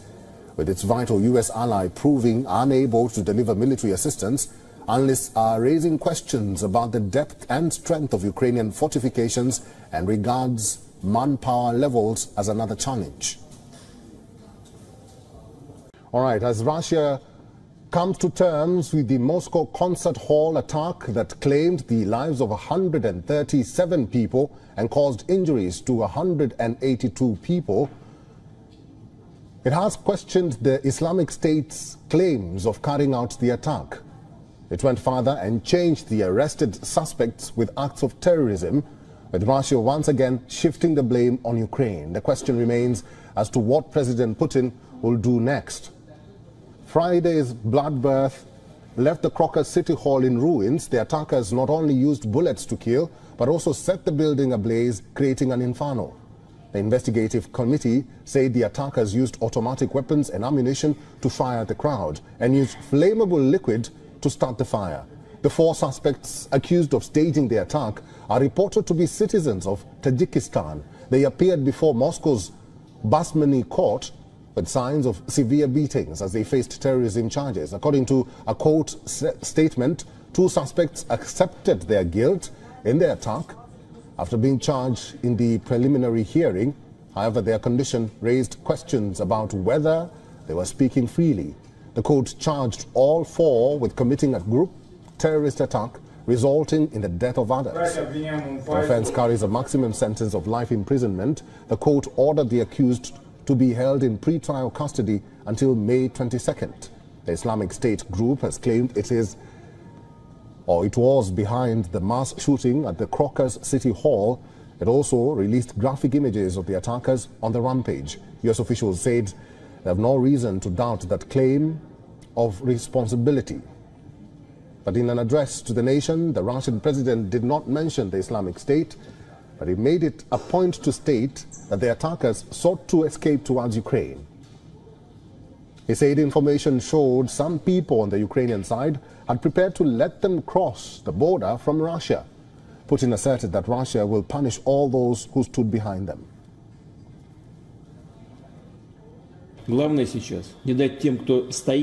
All four of the actual performers of the act of terror who shot and killed people were found and detained. They tried to hide and were moving in the direction of Ukraine. According to preliminary data, they had a crossing of the border prepared from the Ukrainian side. Overall, 11 people were detained. Did you say it or not? Meanwhile, Russia has challenged assertions by the United States and other countries that the Islamic State militant group orchestrated Friday's attack. Moscow accused Washington of covering up for Ukraine. Slamming Russia, French President Emmanuel Macron said when all signs indicated that the Islamic State carried out the concert hall attack, it would be cynical and counterproductive for Russia to blame Ukraine.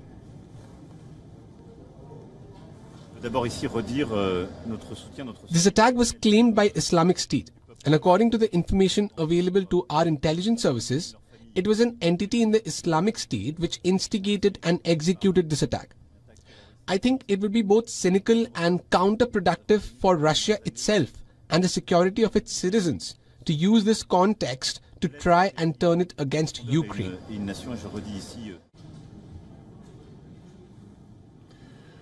Meanwhile, even as it tries to blame Ukraine for the concert hall attack, Russia has stepped up its airstrikes targeting Ukraine's power facilities. National grid operator said consumers in Kharkiv city and the western region are still without power. However, planned outages are in force in the southern Odessa region after airstrikes damaged a high voltage facility there. Зараз у частині наших областей триває робота more than 200,000 customers, apartments, and houses in the city of Kharkiv and one of the districts of the region are without stable power supply and are subject to rather strict electricity schedules. Even Ukraine has denied Russia's suggestions of involvement in the attack. It has not stopped pro-government newspapers in Russia from calling for Ukraine to be declared a terror state. This has raised a key question as to how will Putin react to the devastating attack and will he use the Crocus City Hall attack to justify and further escalate Russia's war in Ukraine? Time will tell. A prolonged war against Russia and delayed shipments from the West have unknowingly given a push to Ukraine's indigenous weapons industry. Well, before 2022, Ukraine made practically no weapons of its own. They were all bought from its allies. But now, two years into the ongoing Ukraine-Russia war, Kiev is increasingly relying on its own for replenishing the ammunitions.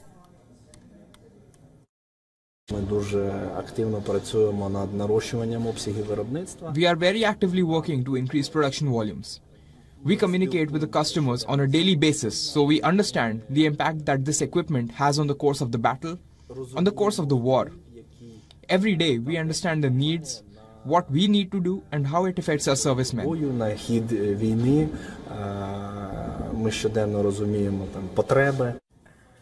Factories are churning out shells, mortar rounds, military vehicles, missiles and other items crucial to the war effort. Indigenous production tripled in 2023 as compared to the year before and a six-fold increase has been projected for the current year.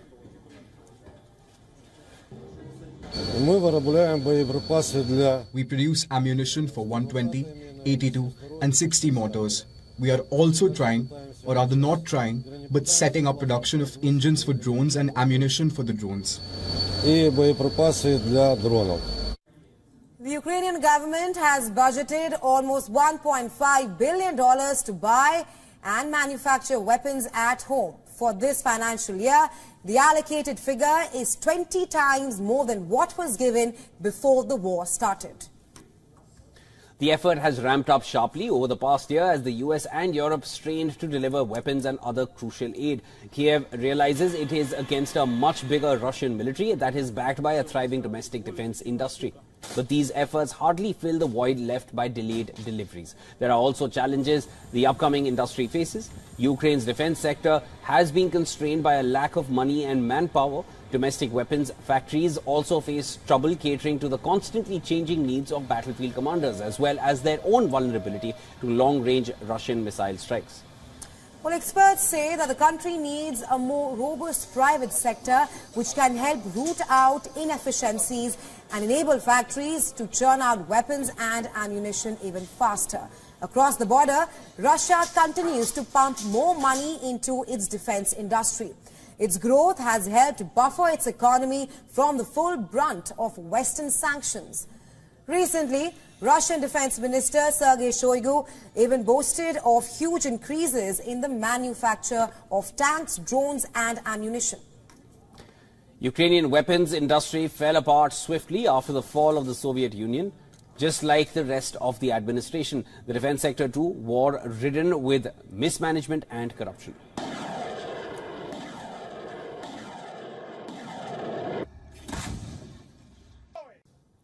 A prolonged war against Russia and delayed shipments from the West have unknowingly given a push to Ukraine's indigenous weapons industry. Now, before February 2022, Ukraine made practically no weapons of its own. They were all bought from allies. But now, two years into the conflict, Kiev is increasingly relying on its own for replenishing ammunition.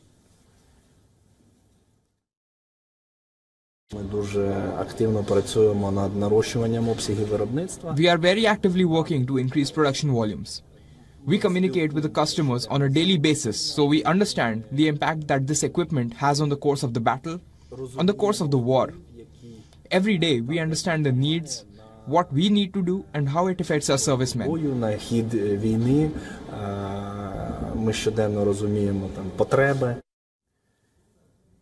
Factories are churning out shells, mortar rounds, military vehicles, missiles, and other items crucial to the war effort.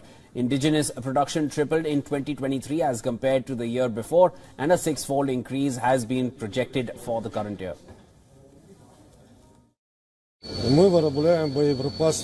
We produce ammunition for 120, 82, and 60 mortars. We are also trying, or rather not trying, but setting up production of engines for drones and ammunition for the drones. The Ukrainian government has budgeted almost $1.5 billion to buy and develop weapons at home for this financial year. The allocated figure is 20 times more than what was given before the war. The effort has ramped up sharply over the past year as the US and Europe strained to deliver weapons and other crucial aid. Kiev realizes it is against a much bigger Russian military that is backed by a thriving domestic defense industry. But these efforts hardly fill the void left by delayed deliveries. There are also challenges of the upcoming industry.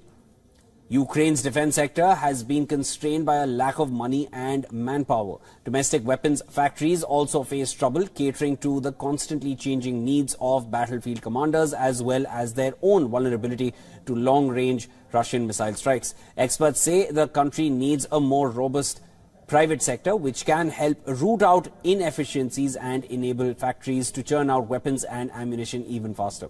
Across the border, Russia continues to pump more money into its defense industry. Its growth has helped buffer its economy from the full brunt of Western sanctions. Recently, Russian Defense Minister Sergei Shoigu even boasted of huge increases in the, in the manufacture of tanks, drones and ammunition. Ukrainian weapons industry fell apart swiftly after the fall of the Soviet Union. Just like the rest of the administration, the defense sector too was ridden with mismanagement and corruption.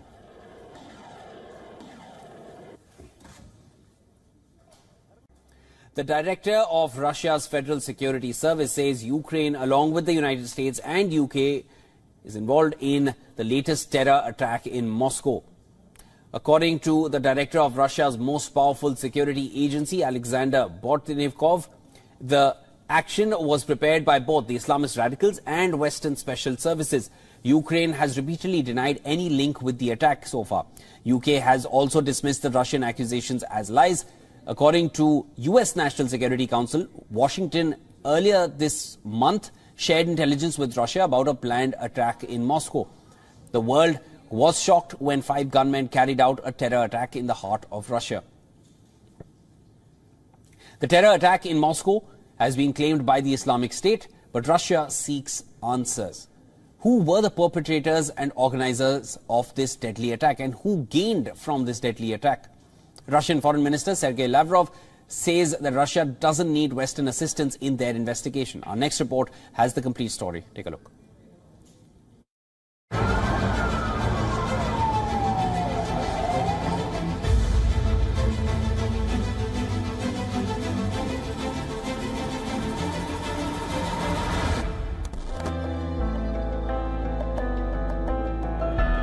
Life came to a stop in Moscow when four armed men stormed the Crocus City Hall concert venue, killing at least 139 people. But for nearly 20 hours since the attacks were carried out, the Russian leader had not said a word about it. However, when he talked about the barbaric terrorist act, Putin pledged to track down and punish those behind it.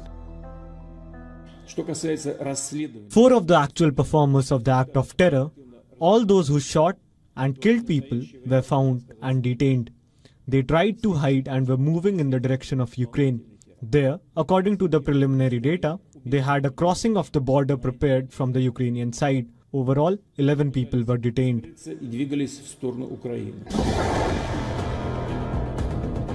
The four gunmen have been identified as citizens of Tajikistan. But Russia seeks answers. Who were the perpetrators? Who were the organizers?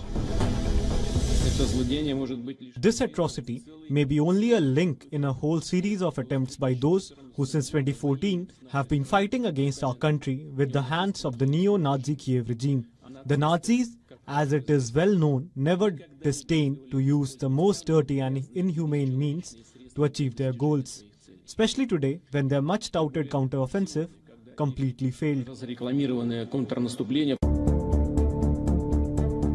Ukraine has rejected the charge that it was behind the attack. So, who was responsible? Several hours after the attacks, the attacks were claimed by the Islamic State terror group. But despite that, Russian authorities have not commented on the terror group's claim. Interestingly, it comes at least two weeks after the US warned of a potential attack targeting large gatherings in Moscow. So, did Russia ignore the US warning? Russian officials say that the US intelligence lacked specific detail. Questions swirl over Russia's powerful security agencies, how they failed to thwart the massacre despite public and private warnings by the US's intelligence apparatus. Kremlin says that a thorough probe is underway as it seeks to unravel the mystery regarding who were the actual perpetrators and organizers of one of the most deadly terror attack on Russia. Viewer Report, WION, World is One. The world was shocked when four gunmen carried out a terror attack in the heart of Russia. The terror attack in Moscow has been claimed by the Islamic State, but Russia seeks answers. Who were the perpetrators and organizers of this deadly attack? Russian Foreign Minister Sergei Lavrov says that Russia doesn't need Western assistance in their investigation. Our next report has all the details.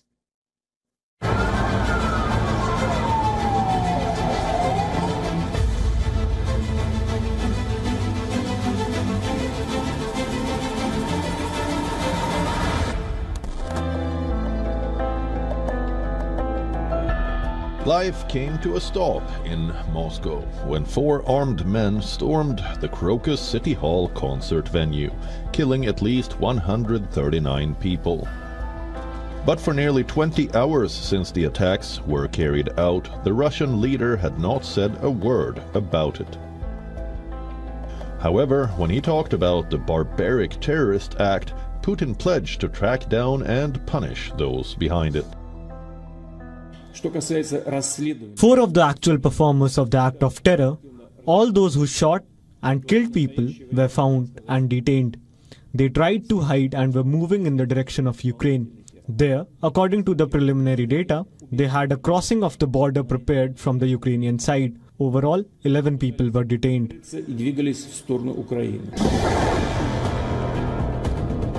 The four gunmen have been identified as citizens of Tajikistan. But Russia seeks answers. Who were the perpetrators? Who were the organizers? This atrocity may be only a link in a whole series of attempts by those who since 2014 have been fighting against our country with the hands of the neo-Nazi Kiev regime. The Nazis, as it is well known, never disdain to use the most dirty and inhumane means to achieve their goals especially today when their much touted counteroffensive completely failed. Ukraine has rejected the charge that it was behind the attack. So, who was responsible? Several hours after the attacks, the attacks were claimed by the Islamic State terror group. But despite that, Russian authorities have not commented on the terror group's claim. Interestingly, it comes at least two weeks after the US warned of a potential attack targeting large gatherings in Moscow. So, did Russia ignore the US warning? Russian officials say that the US intelligence lacked specific detail. Questions swirl over Russia's powerful security agencies, how they failed to thwart the massacre despite public and private warnings by the US's intelligence apparatus. Kremlin says that a thorough probe is underway as it seeks to unravel the mystery regarding who were the actual perpetrators and organizers of one of the most deadly terror attack on Russia. Viewer Report, WION, World is One. In a devastating assault, Russia unleashed a barrage of drone attacks on Ukraine. Ukrainian authorities claimed the attack left 11 people injured and destroyed the power supply in Odessa.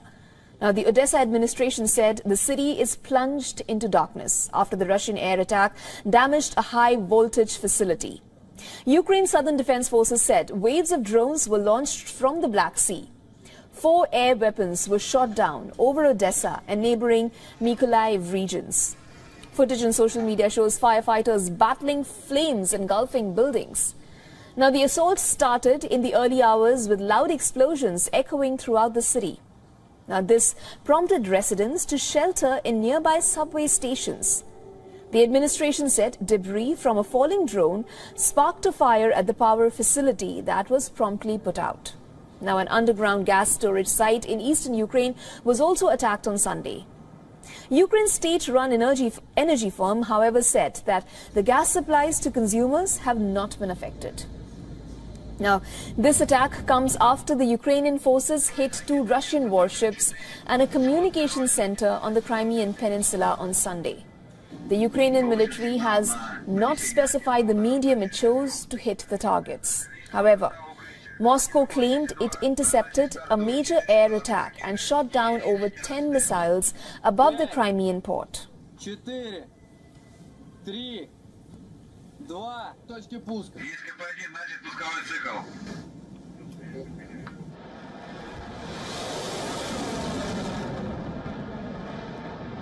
Вход четвертый, ракетомет номер один. Meanwhile, with Russia unleashing a wave of missile strikes on energy infrastructure in Ukraine, Ukrainian President Volodymyr Zelensky has said that the citizens are facing massive power supply crunch in cities like Kharkiv. Zelensky has said that over 20,000 people are facing interruption in electricity supply and are helpless due to strict power supply schedules.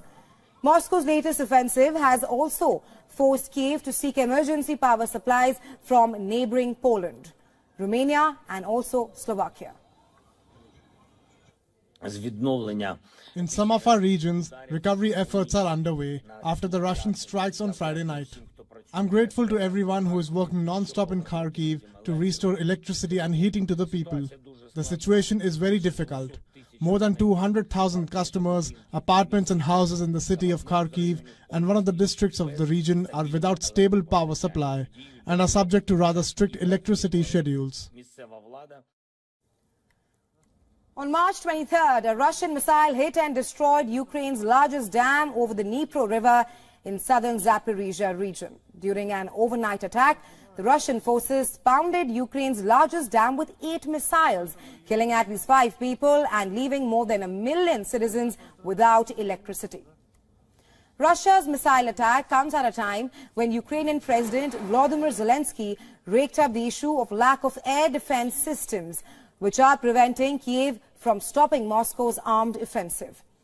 Zelensky reacted to strikes, saying that Ukraine's protection from air attacks depends on the political will of Kiev's allies in the West.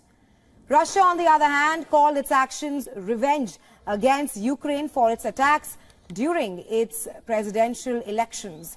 While Moscow says that the air attacks on Ukraine's power facilities and infrastructure are legitimate strikes and they are aimed at weakening the Ukrainian armed forces in the ongoing war between Russia and Ukraine.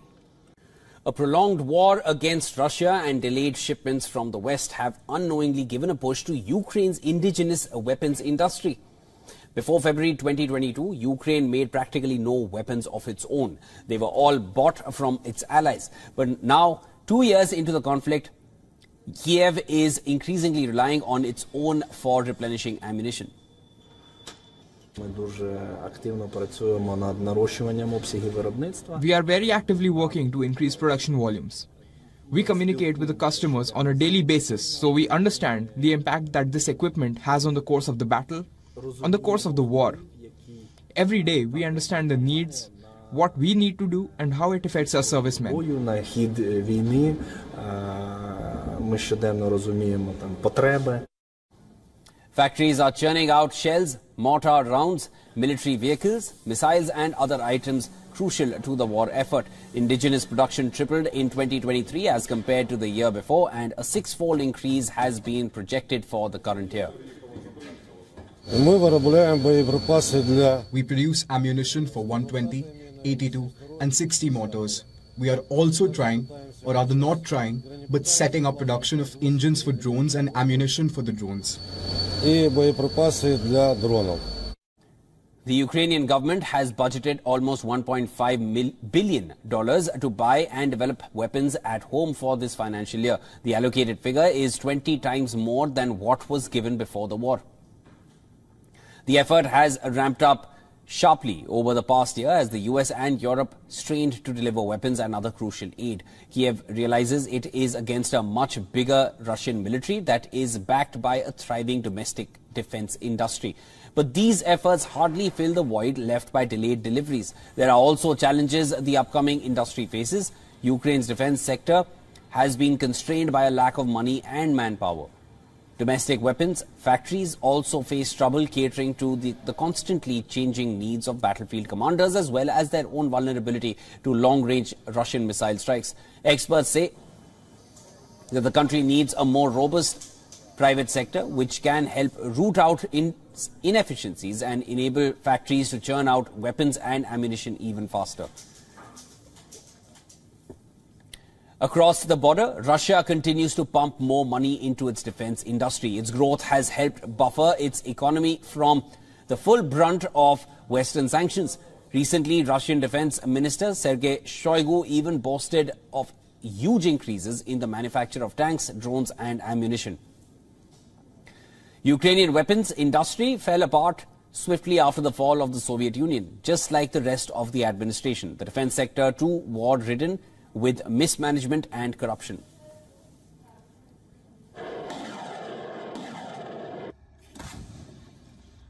Гармата! Відбій! Що можу сказати? Доволі ефективна штука. Ukrainian President Volodymyr Zelensky has sacked the Secretary of Ukraine's National Security Council. The new shakeup follows the overhaul of the military high command from last month. The presidential decree on Alexei Danilov's dismissal was posted on the website of the president's office and no reason for the changes was given. Danilov, the outgoing secretary of the National Security and Defense Council, had held this position since October 2019, just months after Zelensky took office. Zelensky has now appointed Alexander Litvinenko as head of the Foreign Intelligence Service. The 51-year-old has no public profile till date and is appointed to head the council. According to Ukrainian law, the council father will have a coordinating role on issues of national security and defense under the president and comprises the country's top political, security and defense chiefs. However, this is not the first time President Zelensky has ordered a top official's dismissal. In August last year, Zelensky fired all regional military recruitment bosses amid reports of corruption. Then in September, the Ukraine cabinet dismissed all six deputy defense ministers and secretary of defense again over corruption charges. In the same month, Zelensky fired his defense minister, citing the need for new approaches as the war was then entering its 19th month. And then in November, two Ukrainian senior cyber defense officials were fired, or fired for alleged embezzlement in the government's cybersecurity agency. Recently, almost a month ago, the Ukrainian president even sacked the commander-in-chief of the country's armed forces. His dismissal followed speculation about a rift between him and the president. Ukraine is battling to keep up its war effort and hold the line against attacking Russian forces in the east. With its vital U.S. ally proving unable to deliver military assistance, analysts are raising questions about the depth and strength of Ukrainian fortifications and regards manpower levels as another challenge. All right, as Russia comes to terms with the Moscow concert hall attack that claimed the lives of 137 people and caused injuries to 182 people, it has questioned the Islamic State's claims of carrying out the attack. It went further and changed the arrested suspects with acts of terrorism, with Russia once again shifting the blame on Ukraine. The question remains as to what President Putin will do next. Friday's bloodbath left the Crocus City Hall in ruins. The attackers not only used bullets to kill, but also set the building ablaze, creating an inferno. The investigative committee said the attackers used automatic weapons and ammunition to fire at the crowd and used flammable liquid to start the fire.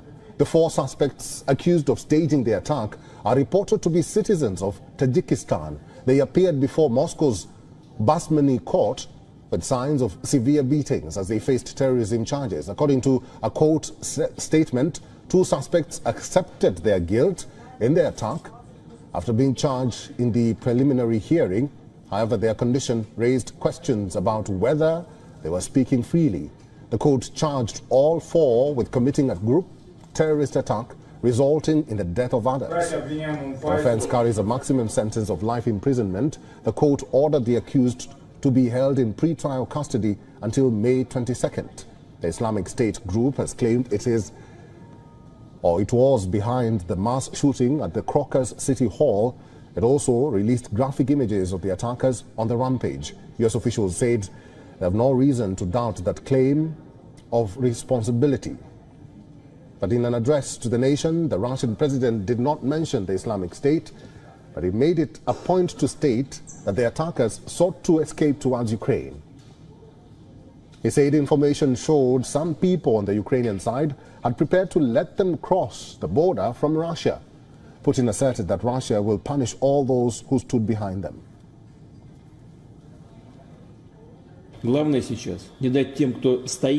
All four of the actual performers of the act of terror who shot and killed people were found and detained. They tried to hide and were moving in the direction of Ukraine. According to preliminary data, they had a crossing of the border prepared from the Ukrainian side. Overall, 11 people were detained. Did you say it or not? Meanwhile, Russia has challenged assertions by the United States and other countries that the Islamic State militant group orchestrated Friday's attack. Moscow accused Washington of covering up for Ukraine. Slamming Russia, French President Emmanuel Macron said when all signs indicated that the Islamic State carried out the concert hall attack, it would be cynical and counterproductive for Russia to blame Ukraine.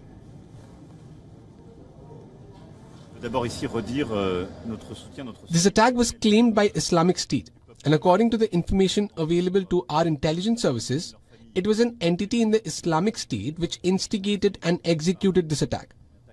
I think it would be both cynical and counterproductive for Russia itself and the security of its citizens to use this context to try and turn it against Ukraine.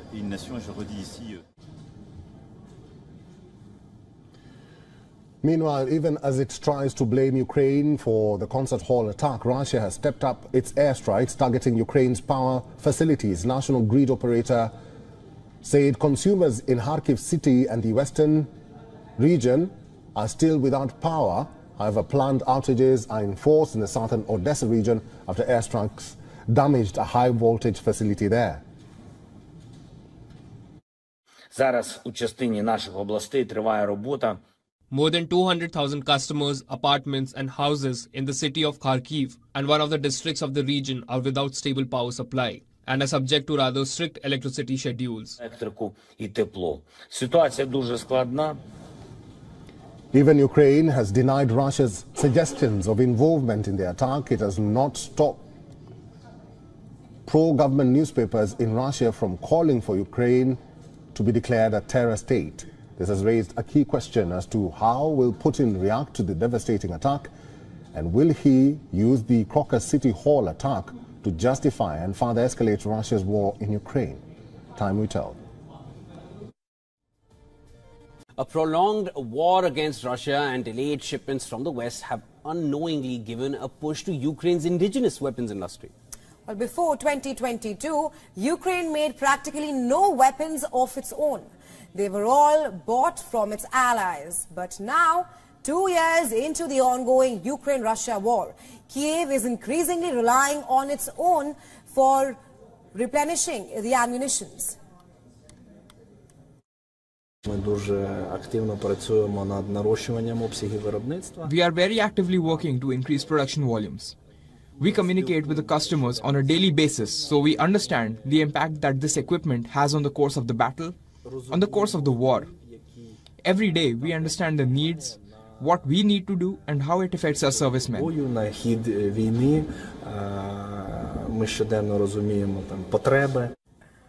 Factories are churning out shells, mortar rounds, military vehicles, missiles and other items crucial to the war effort. Indigenous production tripled in 2023 as compared to the year before and a six-fold increase has been projected for the current year.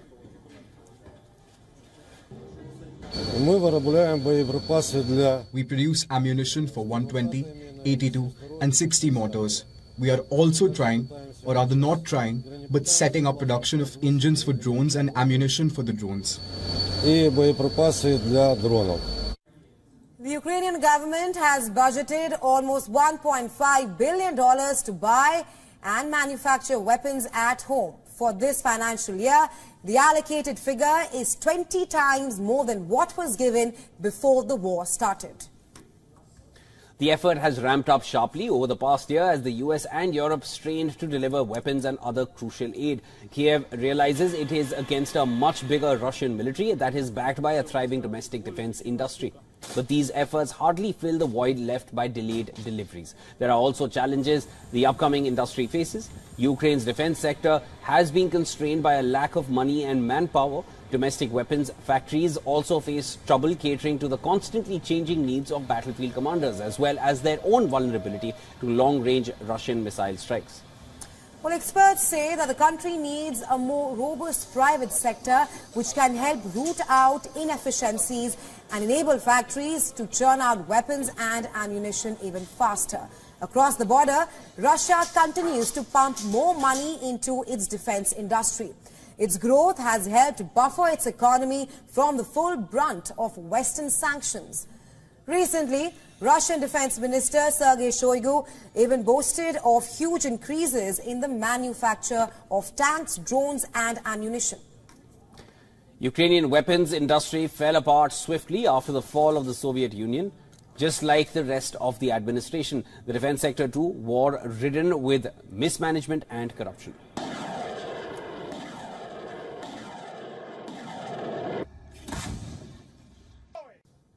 A prolonged war against Russia and delayed shipments from the West have unknowingly given a push to Ukraine's indigenous weapons industry. Now, before February 2022, Ukraine made practically no weapons of its own. They were all bought from allies. But now, two years into the conflict, Kiev is increasingly relying on its own for replenishing ammunition.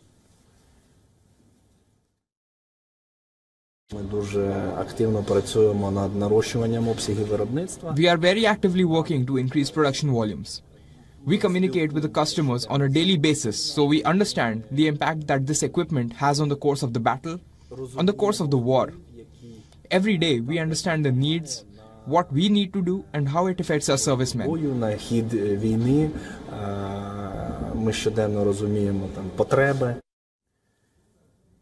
Factories are churning out shells, mortar rounds, military vehicles, missiles, and other items crucial to the war effort.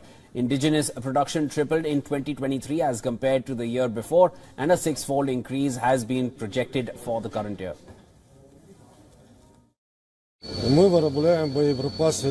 We produce ammunition for 120, 82, and 60 mortars. We are also trying, or rather not trying, but setting up production of engines for drones and ammunition for the drones. The Ukrainian government has budgeted almost $1.5 billion to buy and develop weapons at home for this financial year. The allocated figure is 20 times more than what was given before the war.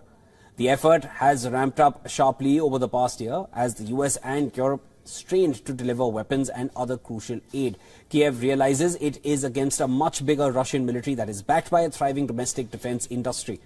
But these efforts hardly fill the void left by delayed deliveries. There are also challenges of the upcoming industry.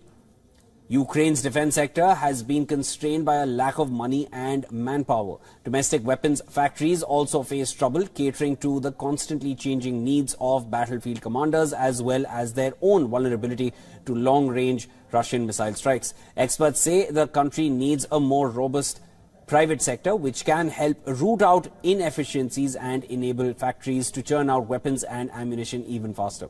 Across the border, Russia continues to pump more money into its defense industry. Its growth has helped buffer its economy from the full brunt of Western sanctions. Recently, Russian Defense Minister Sergei Shoigu even boasted of huge increases in the, in the manufacture of tanks, drones and ammunition. Ukrainian weapons industry fell apart swiftly after the fall of the Soviet Union. Just like the rest of the administration, the defense sector too was ridden with mismanagement and corruption.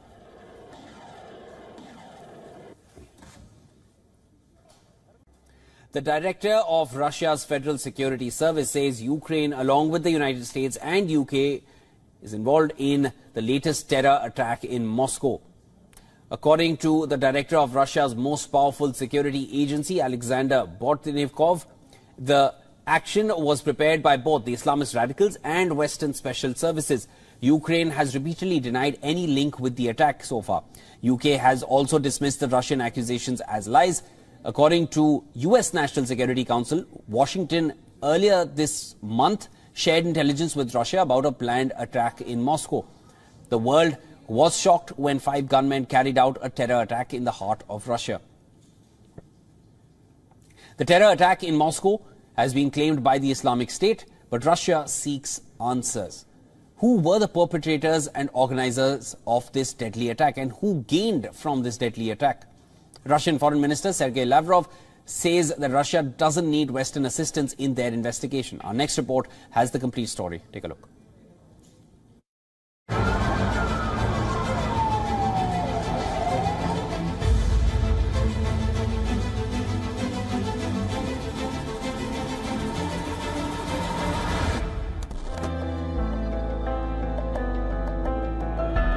Life came to a stop in Moscow when four armed men stormed the Crocus City Hall concert venue, killing at least 139 people. But for nearly 20 hours since the attacks were carried out, the Russian leader had not said a word about it. However, when he talked about the barbaric terrorist act, Putin pledged to track down and punish those behind it. Four of the actual performers of the act of terror, all those who shot and killed people, were found and detained. They tried to hide and were moving in the direction of Ukraine. There, according to the preliminary data, they had a crossing of the border prepared from the Ukrainian side. Overall, 11 people were detained.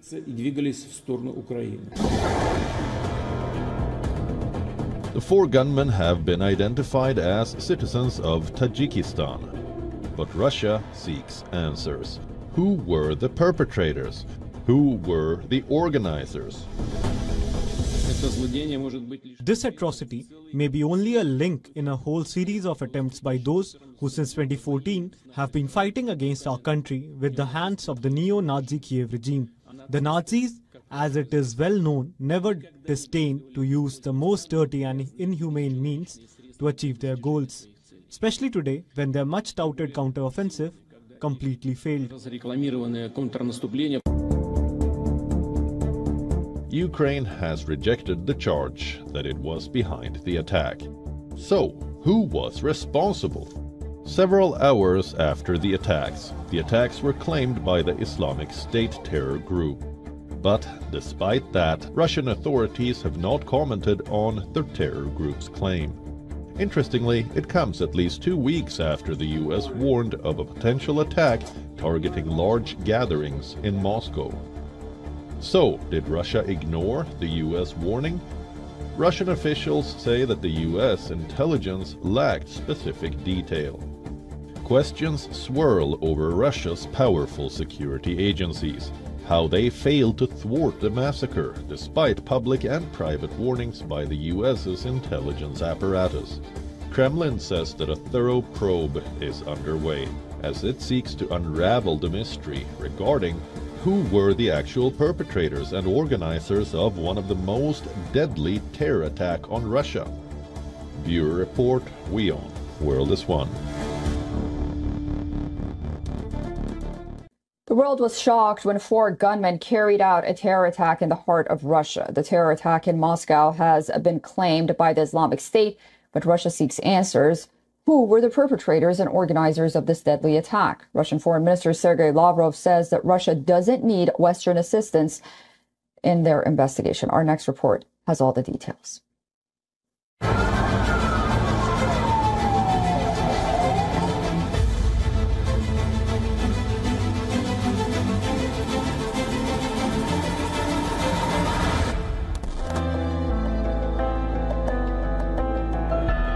Life came to a stop in Moscow when four armed men stormed the Crocus City Hall concert venue, killing at least 139 people. But for nearly 20 hours since the attacks were carried out, the Russian leader had not said a word about it. However, when he talked about the barbaric terrorist act, Putin pledged to track down and punish those behind it. Four of the actual performers of the act of terror, all those who shot and killed people, were found and detained. They tried to hide and were moving in the direction of Ukraine. There, according to the preliminary data, they had a crossing of the border prepared from the Ukrainian side. Overall, 11 people were detained.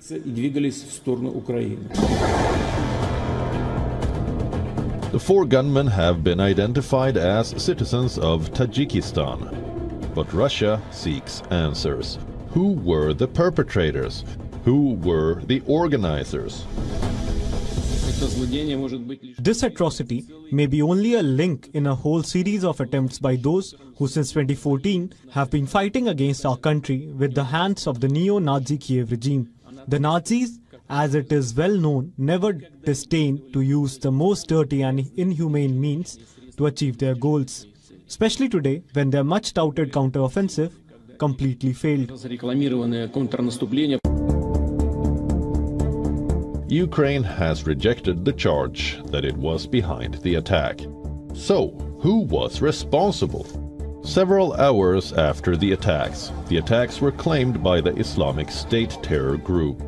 But despite that, Russian authorities have not commented on the terror group's claim. Interestingly, it comes at least two weeks after the US warned of a potential attack targeting large gatherings in Moscow. So, did Russia ignore the US warning? Russian officials say that the US intelligence lacked specific detail. Questions swirl over Russia's powerful security agencies how they failed to thwart the massacre despite public and private warnings by the US's intelligence apparatus. Kremlin says that a thorough probe is underway as it seeks to unravel the mystery regarding who were the actual perpetrators and organizers of one of the most deadly terror attack on Russia. Viewer Report, WION, World is One. In a devastating assault, Russia unleashed a barrage of drone attacks on Ukraine. Ukrainian authorities claimed the attack left 11 people injured and destroyed the power supply in Odessa. Now, the Odessa administration said the city is plunged into darkness after the Russian air attack damaged a high voltage facility. Ukraine's southern defense forces said waves of drones were launched from the Black Sea. Four air weapons were shot down over Odessa and neighboring Mykolaiv regions. Footage on social media shows firefighters battling flames engulfing buildings. Now, the assault started in the early hours with loud explosions echoing throughout the city. Now, this prompted residents to shelter in nearby subway stations. The administration said debris from a falling drone sparked a fire at the power facility that was promptly put out. Now, an underground gas storage site in eastern Ukraine was also attacked on Sunday. Ukraine's state-run energy, energy firm, however, said that the gas supplies to consumers have not been affected. Now, this attack comes after the Ukrainian forces hit two Russian warships and a communication center on the Crimean Peninsula on Sunday. The Ukrainian military has not specified the medium it chose to hit the targets. However, Moscow claimed it intercepted a major air attack and shot down over 10 missiles above the Crimean port. Четыре, три, два, точки пуска. Пусковой цикл.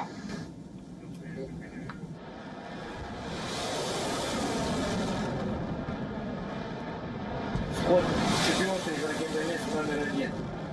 Meanwhile, with Russia unleashing a wave of missile strikes on energy infrastructure in Ukraine, Ukrainian President Volodymyr Zelensky has said that the citizens are facing massive power supply crunch in cities like Kharkiv.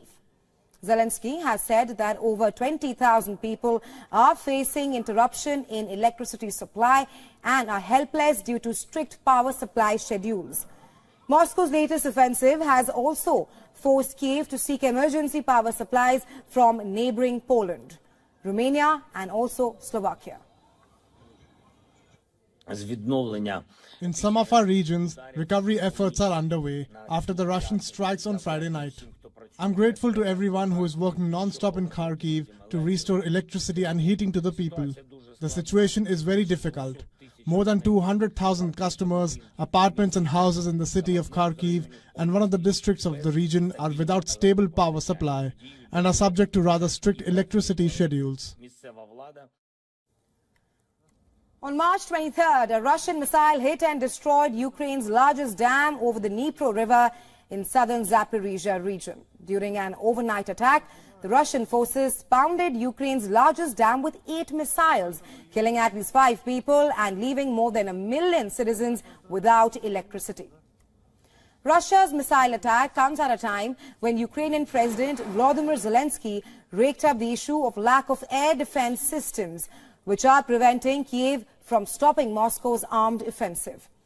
Zelensky reacted to strikes, saying that Ukraine's protection from air attacks depends on the political will of Kiev's allies in the West. Russia, on the other hand, called its actions revenge against Ukraine for its attacks during its presidential elections. While Moscow says that the air attacks on Ukraine's power facilities and infrastructure are legitimate strikes and they are aimed at weakening the Ukrainian armed forces in the ongoing war between Russia and Ukraine.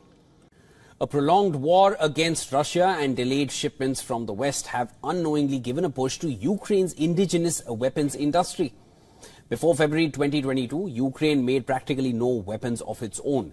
They were all bought from its allies. But now, two years into the conflict, Kiev is increasingly relying on its own for replenishing ammunition. Ми дуже активно працюємо над нарощуванням обсягів виробництва. We are very actively working to increase production volumes. We communicate with the customers on a daily basis so we understand the impact that this equipment has on the course of the battle, on the course of the war. Every day we understand the needs, what we need to do, and how it affects our servicemen. Бою на хід війни е, ми щоденно розуміємо там потреби. Factories are churning out shells, mortar rounds, military vehicles, missiles and other items crucial to the war effort. Indigenous production tripled in 2023 as compared to the year before and a six-fold increase has been projected for the current year. We produce ammunition for 120, 82 and 60 mortars. We are also trying or rather not trying, but setting up production of engines for drones and ammunition for the drones. The Ukrainian government has budgeted almost $1.5 billion to buy and develop weapons at home for this financial year. The allocated figure is 20 times more than what was given before the war. The effort has ramped up sharply over the past year as the US and Europe strained to deliver weapons and other crucial aid. Kiev realizes it is against a much bigger Russian military that is backed by a thriving domestic defense industry. But these efforts hardly fill the void left by delayed deliveries. There are also challenges the upcoming industry faces. Ukraine's defense sector has been constrained by a lack of money and manpower. Domestic weapons factories also face trouble catering to the, the, constantly changing needs of battlefield commanders as well as their own vulnerability to long-range Russian missile strikes. Experts say that the country needs a more robust private sector which can help root out in inefficiencies and enable factories to churn out weapons and ammunition even faster.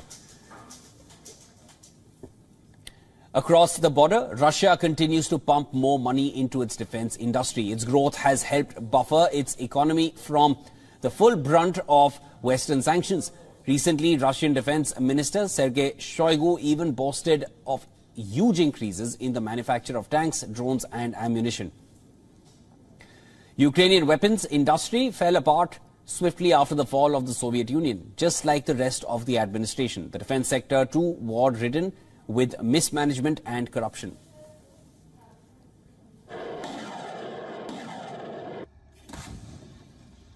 Армата!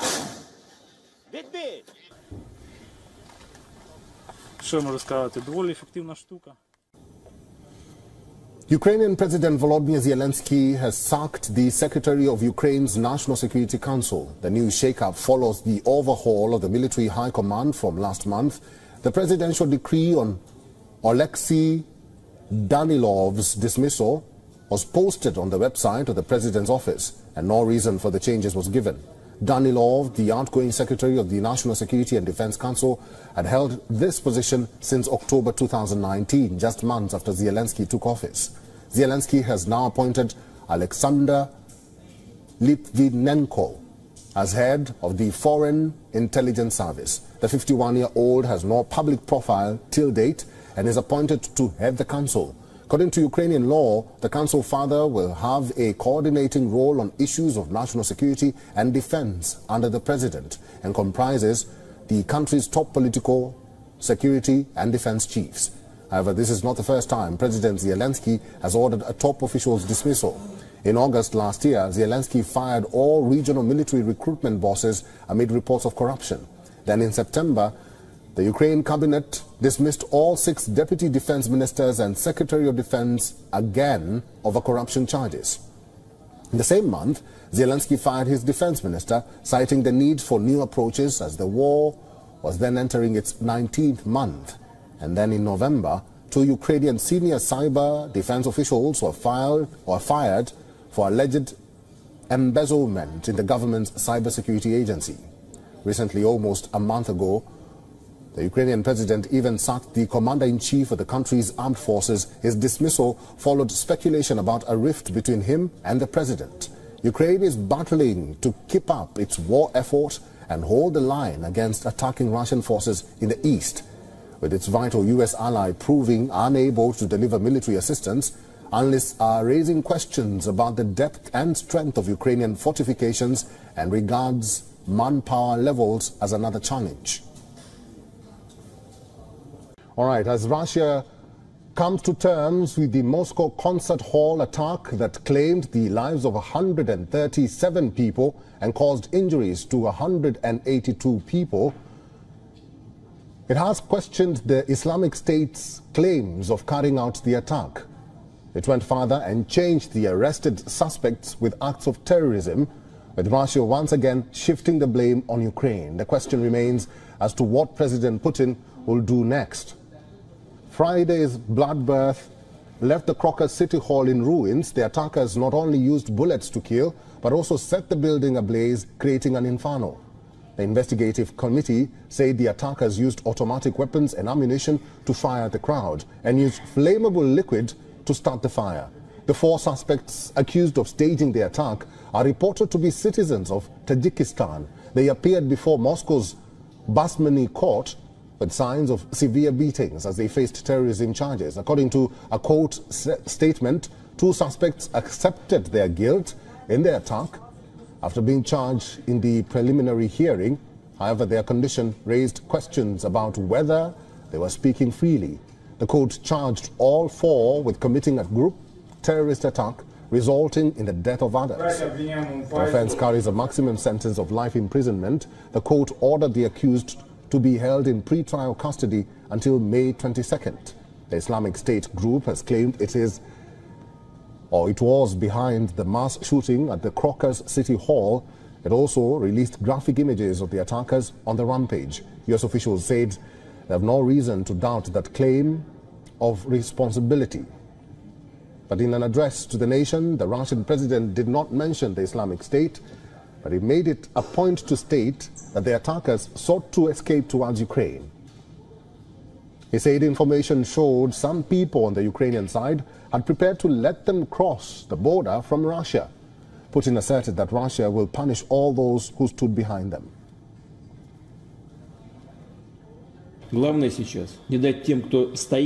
All four of the actual performers of the act of terror who shot and killed people were found and detained. They tried to hide and were moving in the direction of Ukraine. According to preliminary data, they had a crossing of the border prepared from the Ukrainian side. Overall, 11 people were detained. Did you say it or not? Meanwhile, Russia has challenged assertions by the United States and other countries that the Islamic State militant group orchestrated Friday's attack. Moscow accused Washington of covering up for Ukraine. Slamming Russia, French President Emmanuel Macron said when all signs indicated that the Islamic State carried out the concert hall attack, it would be cynical and counterproductive for Russia to blame Ukraine.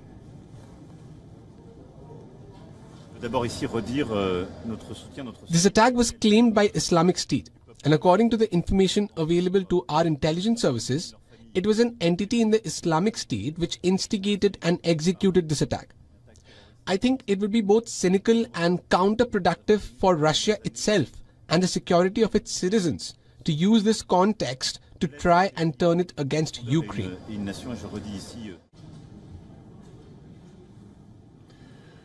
Meanwhile, even as it tries to blame Ukraine for the concert hall attack, Russia has stepped up its airstrikes targeting Ukraine's power facilities. National grid operator said consumers in Kharkiv city and the western region are still without power. However, planned outages are in force in the southern Odessa region after airstrikes damaged a high voltage facility there. Зараз у частині наших областей триває робота more than 200,000 customers, apartments, and houses in the city of Kharkiv and one of the districts of the region are without stable power supply and are subject to rather strict electricity schedules.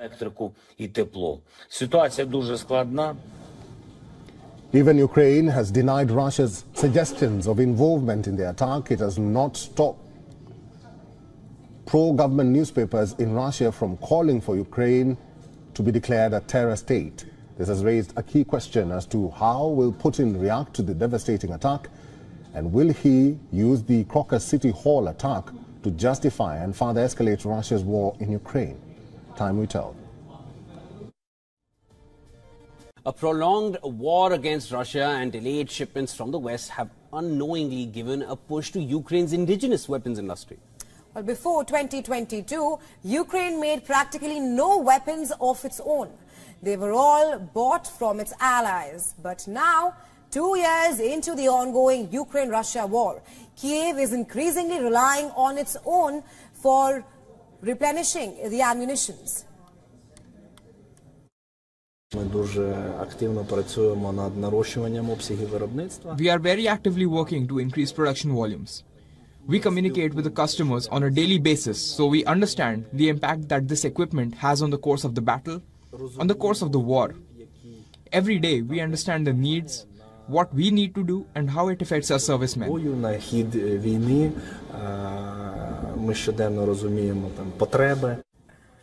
Factories are churning out shells, mortar rounds, military vehicles, missiles and other items crucial to the war effort. Indigenous production tripled in 2023 as compared to the year before and a six-fold increase has been projected for the current year.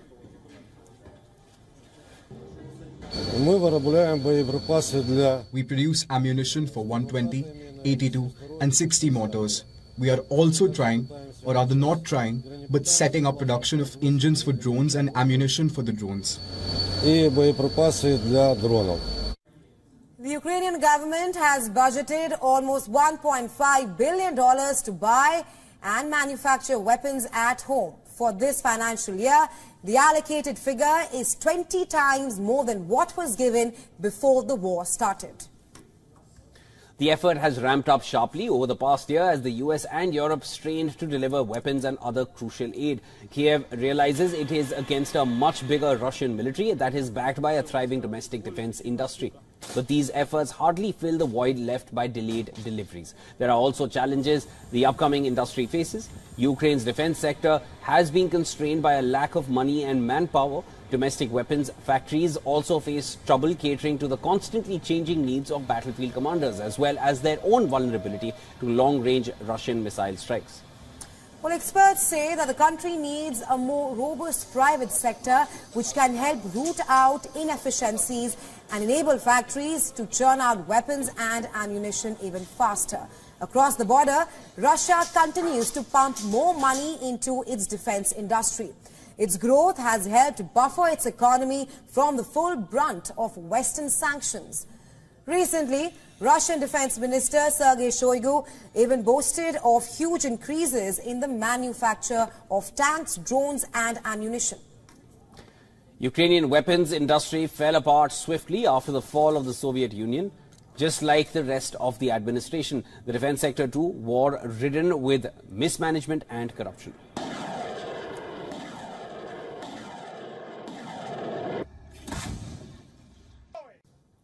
A prolonged war against Russia and delayed shipments from the West have unknowingly given a push to Ukraine's indigenous weapons industry. Now, before February 2022, Ukraine made practically no weapons of its own. They were all bought from allies. But now, two years into the conflict, Kiev is increasingly relying on its own for replenishing ammunition.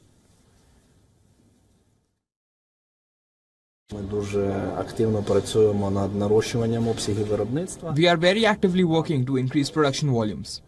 We communicate with the customers on a daily basis, so we understand the impact that this equipment has on the course of the battle, on the course of the war.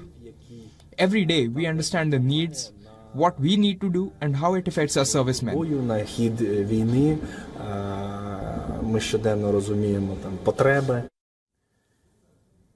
Factories are churning out shells, mortar rounds, military vehicles, missiles, and other items crucial to the war effort. Indigenous production tripled in 2023 as compared to the year before and a six-fold increase has been projected for the current year.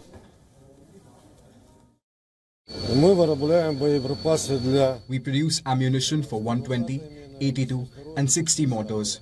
We are also trying or rather not trying, but setting up production of engines for drones and ammunition for the drones. The Ukrainian government has budgeted almost $1.5 billion to buy and develop weapons at home for this financial year. The allocated figure is 20 times more than what was given before the war. The effort has ramped up sharply over the past year as the US and Europe strained to deliver weapons and other crucial aid. Kiev realizes it is against a much bigger Russian military that is backed by a thriving domestic defense industry. But these efforts hardly fill the void left by delayed deliveries. There are also challenges of the upcoming industry. Ukraine's defense sector has been constrained by a lack of money and manpower. Domestic weapons factories also face trouble catering to the constantly changing needs of battlefield commanders as well as their own vulnerability to long-range Russian missile strikes. Experts say the country needs a more robust private sector which can help root out inefficiencies and enable factories to churn out weapons and ammunition even faster. Across the border, Russia continues to pump more money into its defense industry. Its growth has helped buffer its economy from the full brunt of Western sanctions. Recently, Russian Defense Minister Sergei Shoigu even boasted of huge increases in the, in the manufacture of tanks, drones and ammunition. Ukrainian weapons industry fell apart swiftly after the fall of the Soviet Union. Just like the rest of the administration, the defense sector too was ridden with mismanagement and corruption.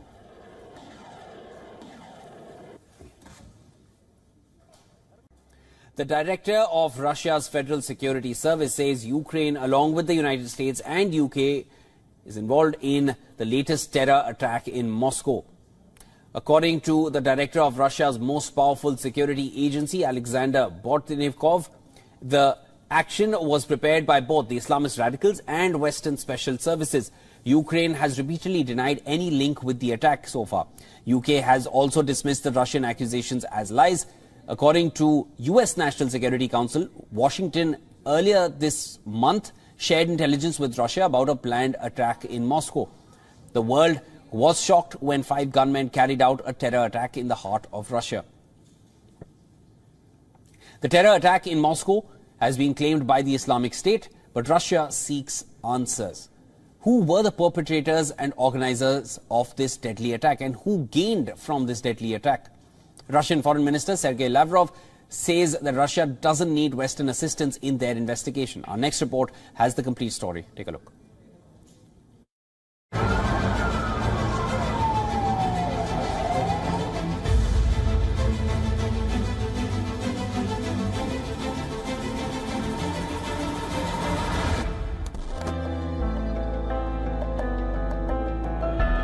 Life came to a stop in Moscow when four armed men stormed the Crocus City Hall concert venue, killing at least 139 people. But for nearly 20 hours since the attacks were carried out, the Russian leader had not said a word about it. However, when he talked about the barbaric terrorist act, Putin pledged to track down and punish those behind it. Four of the actual performers of the act of terror, all those who shot and killed people, were found and detained. They tried to hide and were moving in the direction of Ukraine. There, according to the preliminary data, they had a crossing of the border prepared from the Ukrainian side. Overall, 11 people were detained.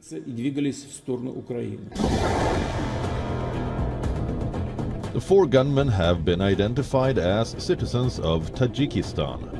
But Russia seeks answers. Who were the perpetrators? Who were the organizers? This atrocity may be only a link in a whole series of attempts by those who since 2014 have been fighting against our country with the hands of the neo-Nazi Kiev regime. The Nazis, as it is well known, never disdained to use the most dirty and inhumane means to achieve their goals especially today when their much touted counteroffensive completely failed. Ukraine has rejected the charge that it was behind the attack. So, who was responsible? Several hours after the attacks, the attacks were claimed by the Islamic State terror group. But despite that, Russian authorities have not commented on the terror group's claim. Interestingly, it comes at least two weeks after the US warned of a potential attack targeting large gatherings in Moscow. So, did Russia ignore the US warning? Russian officials say that the US intelligence lacked specific detail. Questions swirl over Russia's powerful security agencies how they failed to thwart the massacre despite public and private warnings by the US's intelligence apparatus. Kremlin says that a thorough probe is underway as it seeks to unravel the mystery regarding who were the actual perpetrators and organizers of one of the most deadly terror attack on Russia. Viewer Report, WION, World is One.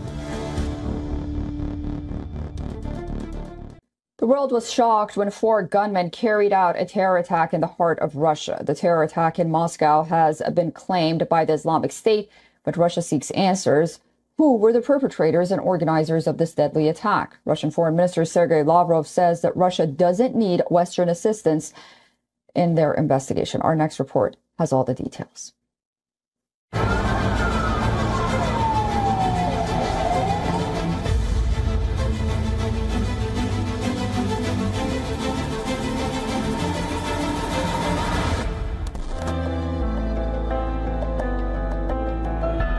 Life came to a stop in Moscow when four armed men stormed the Crocus City Hall concert venue, killing at least 139 people. But for nearly 20 hours since the attacks were carried out, the Russian leader had not said a word about it. However, when he talked about the barbaric terrorist act, Putin pledged to track down and punish those behind it. Four of the actual performers of the act of terror, all those who shot and killed people, were found and detained. They tried to hide and were moving in the direction of Ukraine. There, according to the preliminary data, they had a crossing of the border prepared from the Ukrainian side. Overall, 11 people were detained.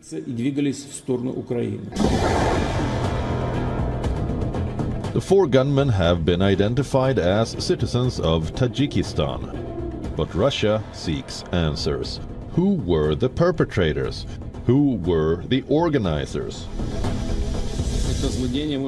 This atrocity may be only a link in a whole series of attempts by those who since 2014 have been fighting against our country with the hands of the neo-Nazi Kiev regime. The Nazis, as it is well known, never disdained to use the most dirty and inhumane means to achieve their goals. Especially today, when their much touted counteroffensive completely failed. Ukraine has rejected the charge that it was behind the attack. So, who was responsible? Several hours after the attacks, the attacks were claimed by the Islamic State terror group. But despite that, Russian authorities have not commented on the terror group's claim. Interestingly, it comes at least two weeks after the US warned of a potential attack targeting large gatherings in Moscow. So, did Russia ignore the US warning? Russian officials say that the US intelligence lacked specific detail. Questions swirl over Russia's powerful security agencies, how they failed to thwart the massacre despite public and private warnings by the US's intelligence apparatus. Kremlin says that a thorough probe is underway as it seeks to unravel the mystery regarding who were the actual perpetrators and organizers of one of the most deadly terror attack on Russia. Viewer Report, WION, World is One. In a devastating assault, Russia unleashed a barrage of drone attacks on Ukraine. Ukrainian authorities claimed the attack left 11 people injured and destroyed the power supply in Odessa. Now, the Odessa administration said the city is plunged into darkness after the Russian air attack damaged a high voltage facility. Ukraine's southern defense forces said waves of drones were launched from the Black Sea. Four air weapons were shot down over Odessa and neighboring Mykolaiv regions. Footage on social media shows firefighters battling flames engulfing buildings. Now, the assault started in the early hours with loud explosions echoing throughout the city. Now, this prompted residents to shelter in nearby subway stations. The administration said debris from a falling drone sparked a fire at the power facility that was promptly put out. Now, an underground gas storage site in eastern Ukraine was also attacked on Sunday. Ukraine's state-run energy, energy firm, however, said that the gas supplies to consumers have not been affected. Now, this attack comes after the Ukrainian forces hit two Russian warships and a communication center on the Crimean Peninsula on Sunday. The Ukrainian military has not specified the medium it chose to hit the targets. However, Moscow claimed it intercepted a major air attack and shot down over 10 missiles above the Crimean port. Четыре, три, два, точки пуска. Если по один, значит пусковой цикл.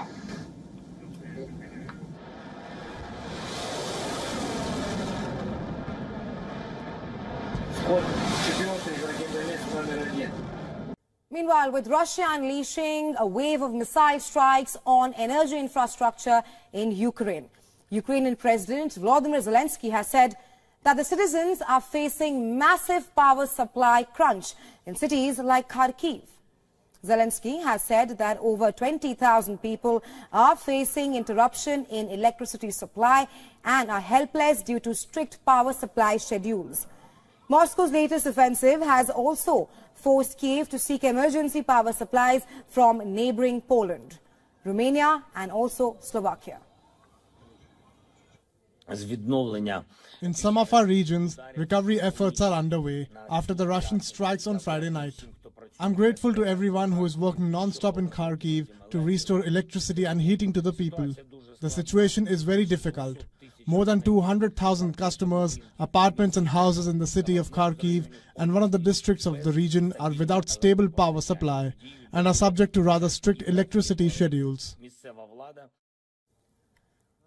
On March 23rd, a Russian missile hit and destroyed Ukraine's largest dam over the Dnipro River in southern Zaporizhia region. During an overnight attack, Russian forces pounded Ukraine's largest dam with eight missiles, killing at least five people and leaving more than a million citizens without electricity.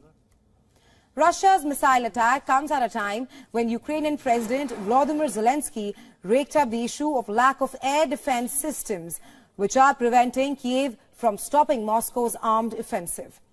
Zelensky reacted to strikes, saying that Ukraine's protection from air attacks depends on the political will of Kiev's allies in the West.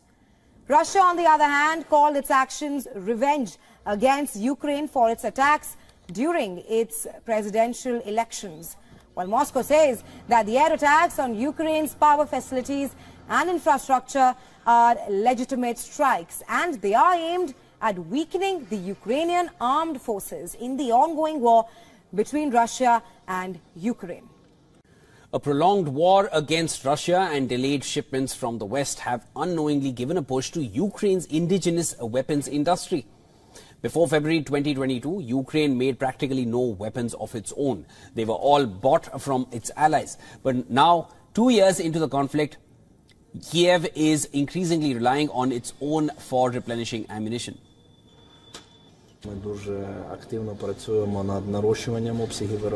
We are very actively working to increase production volumes. We communicate with the customers on a daily basis so we understand the impact that this equipment has on the course of the battle, on the course of the war. Every day we understand the needs, what we need to do and how it affects our servicemen.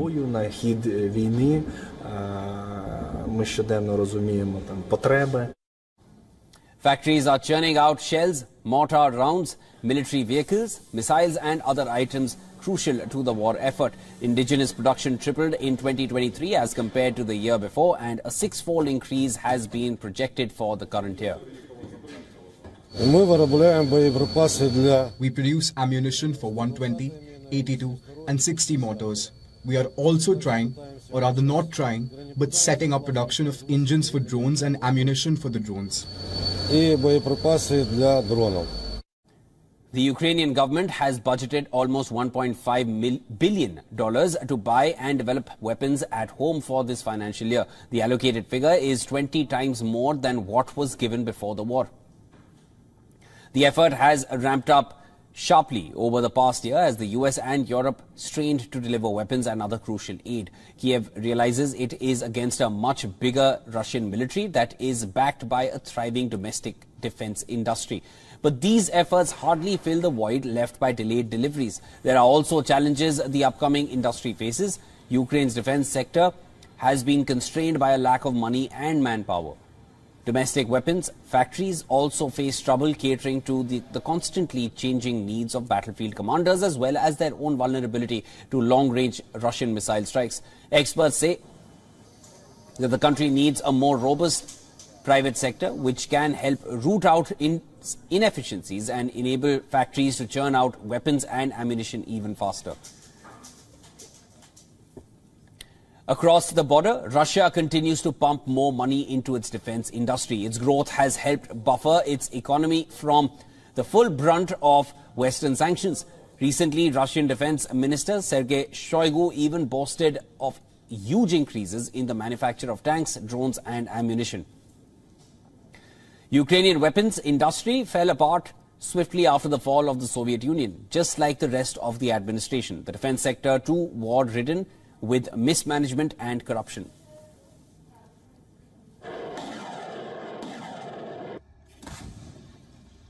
Armata! Відбій! Що можу сказати? Доволі ефективна штука. Ukrainian President Volodymyr Zelensky has sacked the Secretary of Ukraine's National Security Council. The new shakeup follows the overhaul of the military high command from last month.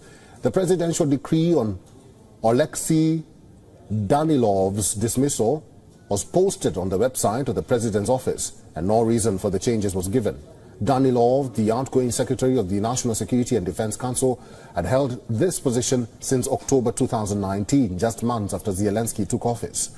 Zelensky has now appointed Alexander Litvinenko as head of the Foreign Intelligence Service. The 51-year-old has no public profile till date and is appointed to head the council. According to Ukrainian law, the council father will have a coordinating role on issues of national security and defense under the president and comprises the country's top political, security and defense chiefs. However, this is not the first time President Zelensky has ordered a top official's dismissal. In August last year, Zelensky fired all regional military recruitment bosses amid reports of corruption. Then in September, the Ukraine cabinet dismissed all six deputy defense ministers and secretary of defense again over corruption charges. In the same month, Zelensky fired his defense minister, citing the need for new approaches as the war was then entering its 19th month. And then in November, two Ukrainian senior cyber defense officials were fired, fired for alleged embezzlement in the government's cybersecurity agency. Recently, almost a month ago, the Ukrainian president even sacked the commander-in-chief of the country's armed forces. His dismissal followed speculation about a rift between him and the president. Ukraine is battling to keep up its war effort and hold the line against attacking Russian forces in the east. With its vital U.S. ally proving unable to deliver military assistance, analysts are raising questions about the depth and strength of Ukrainian fortifications and regards manpower levels as another challenge. All right, as Russia comes to terms with the Moscow concert hall attack that claimed the lives of 137 people and caused injuries to 182 people, it has questioned the Islamic State's claims of carrying out the attack. It went further and changed the arrested suspects with acts of terrorism, with Russia once again shifting the blame on Ukraine. The question remains as to what President Putin will do next. Friday's bloodbath left the Crocus City Hall in ruins. The attackers not only used bullets to kill, but also set the building ablaze, creating an inferno. The investigative committee said the attackers used automatic weapons and ammunition to fire at the crowd and used flammable liquid to start the fire. The four suspects accused of staging the attack are reported to be citizens of Tajikistan. They appeared before Moscow's Basmanny court with signs of severe beatings as they faced terrorism charges. According to a court statement, two suspects accepted their guilt in the attack after being charged in the preliminary hearing. However, their condition raised questions about whether they were speaking freely. The court charged all four with committing a group terrorist attack resulting in the death of others. The offense carries a maximum sentence of life imprisonment. The court ordered the accused to be held in pre-trial custody until May 22nd. The Islamic State group has claimed it is or it was behind the mass shooting at the Crocus City Hall. It also released graphic images of the attackers on the rampage. U.S. officials said they have no reason to doubt that claim of responsibility. But in an address to the nation, the Russian president did not mention the Islamic State but he made it a point to state that the attackers sought to escape towards Ukraine. He said information showed some people on the Ukrainian side had prepared to let them cross the border from Russia. Putin asserted that Russia will punish all those who stood behind them.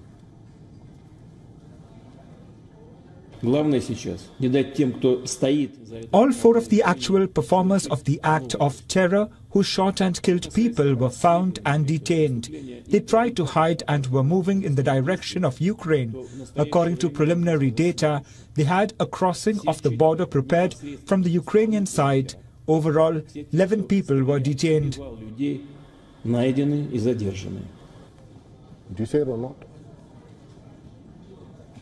Meanwhile, Russia has challenged assertions by the United States and other countries that the Islamic State militant group orchestrated Friday's attack. Moscow accused Washington of covering up for Ukraine. Slamming Russia, French President Emmanuel Macron said when all signs indicated that the Islamic State carried out the concert hall attack, it would be cynical and counterproductive for Russia to blame Ukraine. This attack was claimed by Islamic State, and according to the information available to our intelligence services, it was an entity in the Islamic State which instigated and executed this attack.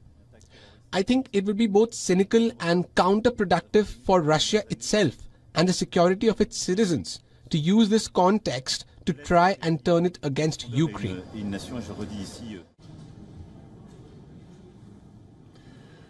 Meanwhile, even as it tries to blame Ukraine for the concert hall attack, Russia has stepped up its airstrikes targeting Ukraine's power facilities. National grid operator said consumers in Kharkiv city and the western region are still without power. However, planned outages are in force in the southern Odessa region after airstrikes damaged a high voltage facility there. Зараз у частині наших областей триває робота more than 200,000 customers, apartments, and houses in the city of Kharkiv and one of the districts of the region are without stable power supply and are subject to rather strict electricity schedules. Even Ukraine has denied Russia's suggestions of involvement in the attack. It has not stopped pro-government newspapers in Russia from calling for Ukraine to be declared a terror state. This has raised a key question as to how will Putin react to the devastating attack and will he use the Crocus City Hall attack to justify and further escalate Russia's war in Ukraine? Time will tell. A prolonged war against Russia and delayed shipments from the West have unknowingly given a push to Ukraine's indigenous weapons industry. Well, before 2022, Ukraine made practically no weapons of its own. They were all bought from its allies. But now, two years into the ongoing Ukraine-Russia war, Kiev is increasingly relying on its own for replenishing the ammunitions. We are very actively working to increase production volumes. We communicate with the customers on a daily basis so we understand the impact that this equipment has on the course of the battle on the course of the war. Every day we understand the needs, what we need to do, and how it affects our servicemen.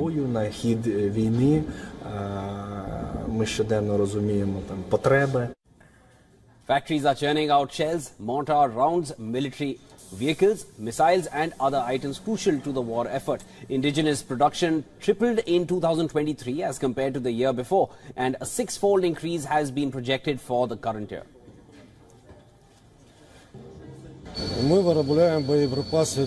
We produce ammunition for 120, 82 and 60 mortars. We are also trying, or rather not trying, but setting up production of engines for drones and ammunition for the drones. The Ukrainian government has budgeted almost $1.5 billion to buy and manufacture weapons at home. For this financial year, the allocated figure is 20 times more than what was given before the war started. The effort has ramped up sharply over the past year as the US and Europe strained to deliver weapons and other crucial aid. Kiev realizes it is against a much bigger Russian military that is backed by a thriving domestic defense industry.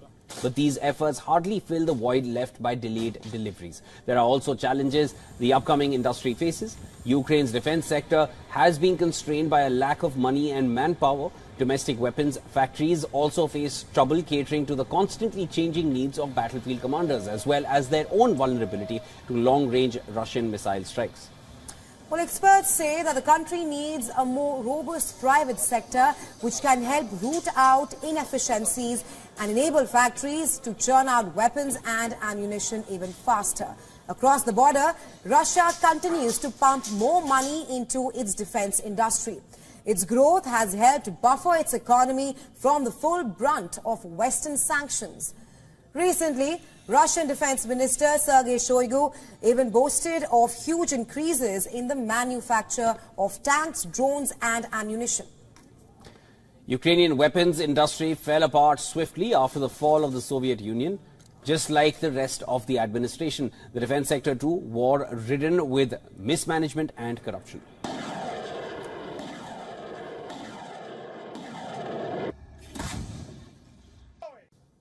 A prolonged war against Russia and delayed shipments from the West have unknowingly given a push to Ukraine's indigenous weapons industry. Now, before February 2022, Ukraine made practically no weapons of its own. They were all bought from allies. But now, two years into the conflict, Kiev is increasingly relying on its own for replenishing ammunition.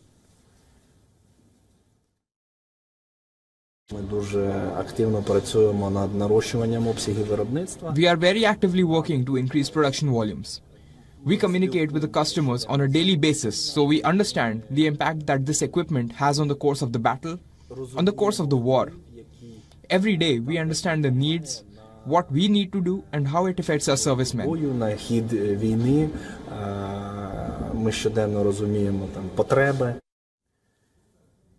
Factories are churning out shells, mortar rounds, military vehicles, missiles and other items crucial to the war effort. Indigenous production tripled in 2023 as compared to the year before, and a six fold increase has been projected for the current year.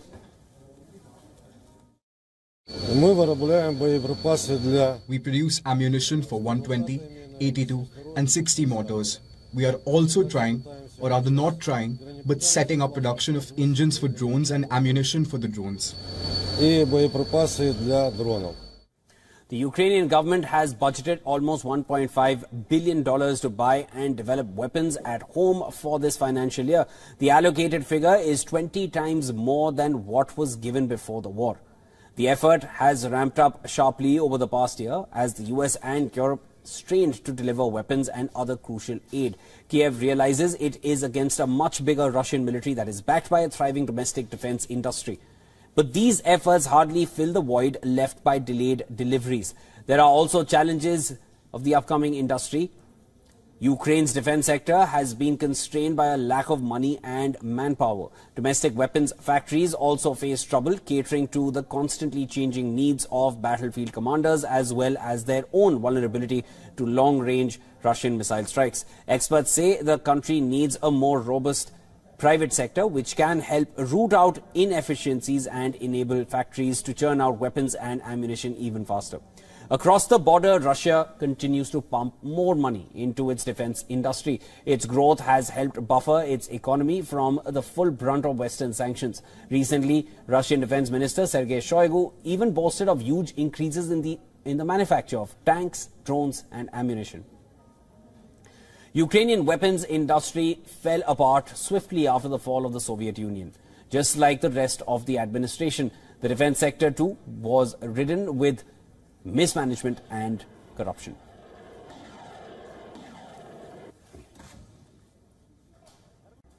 The director of Russia's Federal Security Service says Ukraine, along with the United States and UK, is involved in the latest terror attack in Moscow. According to the director of Russia's most powerful security agency, Alexander Bortnikov, the action was prepared by both the Islamist radicals and Western special services. Ukraine has repeatedly denied any link with the attack so far. UK has also dismissed the Russian accusations as lies. According to US National Security Council, Washington earlier this month shared intelligence with Russia about a planned attack in Moscow. The world was shocked when five gunmen carried out a terror attack in the heart of Russia.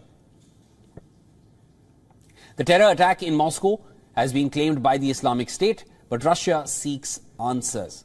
Who were the perpetrators and organizers of this deadly attack and who gained from this deadly attack? Russian Foreign Minister Sergei Lavrov says that Russia doesn't need Western assistance in their investigation. Our next report has the complete story. Take a look.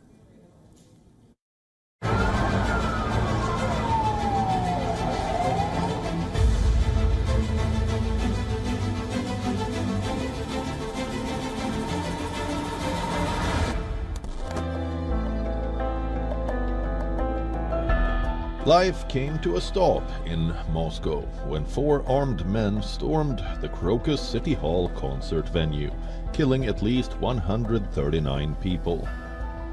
But for nearly 20 hours since the attacks were carried out, the Russian leader had not said a word about it.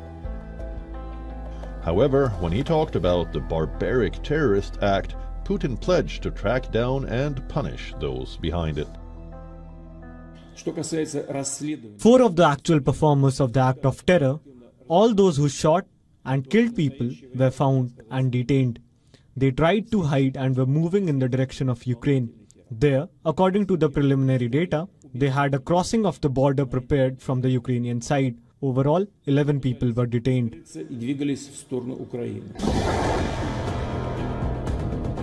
The four gunmen have been identified as citizens of Tajikistan. But Russia seeks answers.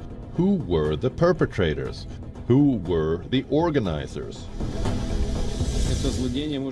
This atrocity may be only a link in a whole series of attempts by those who since 2014 have been fighting against our country with the hands of the neo-Nazi Kiev regime.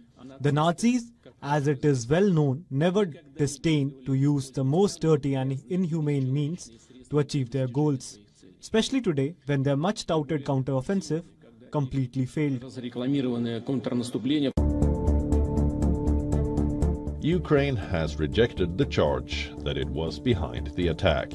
So, who was responsible?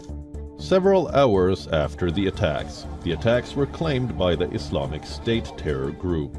But despite that, Russian authorities have not commented on the terror group's claim. Interestingly, it comes at least two weeks after the US warned of a potential attack targeting large gatherings in Moscow. So, did Russia ignore the US warning? Russian officials say that the US intelligence lacked specific detail. Questions swirl over Russia's powerful security agencies, how they failed to thwart the massacre despite public and private warnings by the US's intelligence apparatus. Kremlin says that a thorough probe is underway as it seeks to unravel the mystery regarding who were the actual perpetrators and organizers of one of the most deadly terror attack on Russia. Bureau Report, WION, World is One.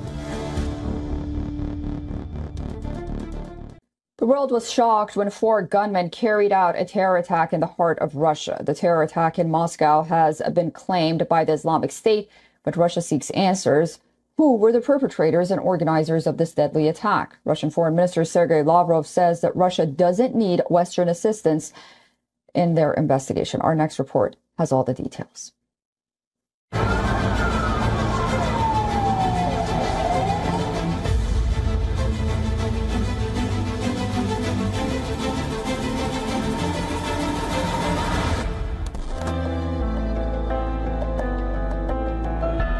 Life came to a stop in Moscow when four armed men stormed the Crocus City Hall concert venue, killing at least 139 people.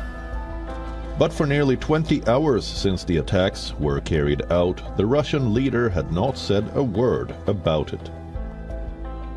However, when he talked about the barbaric terrorist act, Putin pledged to track down and punish those behind it. Four of the actual performers of the act of terror, all those who shot and killed people, were found and detained. They tried to hide and were moving in the direction of Ukraine. There, according to the preliminary data, they had a crossing of the border prepared from the Ukrainian side. Overall, 11 people were detained.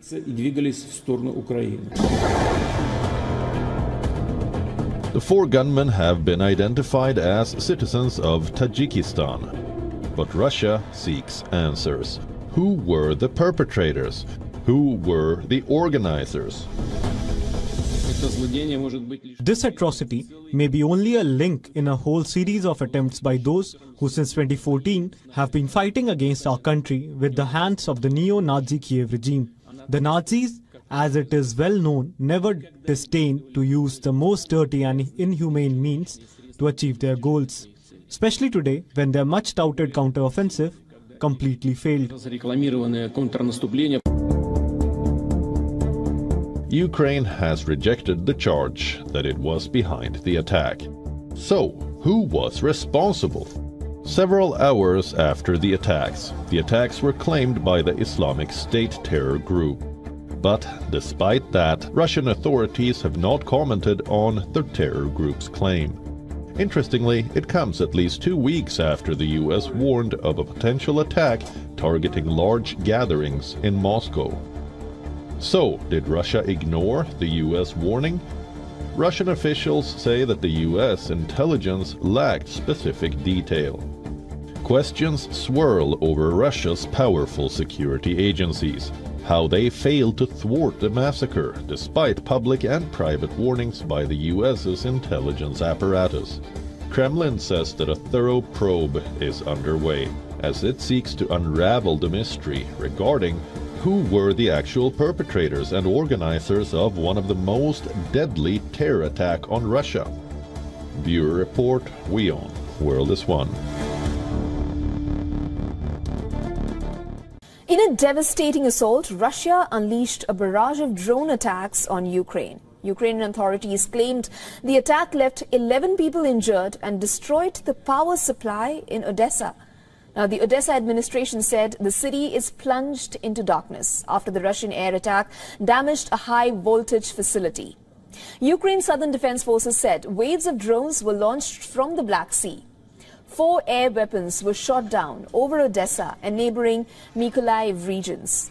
Footage on social media shows firefighters battling flames engulfing buildings. Now, the assault started in the early hours with loud explosions echoing throughout the city. Now, this prompted residents to shelter in nearby subway stations. The administration said debris from a falling drone sparked a fire at the power facility that was promptly put out. Now, an underground gas storage site in eastern Ukraine was also attacked on Sunday. Ukraine's state-run energy, energy firm, however, said that the gas supplies to consumers have not been affected. Now, this attack comes after the Ukrainian forces hit two Russian warships and a communication center on the Crimean Peninsula on Sunday. The Ukrainian military has not specified the medium it chose to hit the targets. However, Moscow claimed it intercepted a major air attack and shot down over 10 missiles above the Crimean port. Четыре, три, два, точки пуска.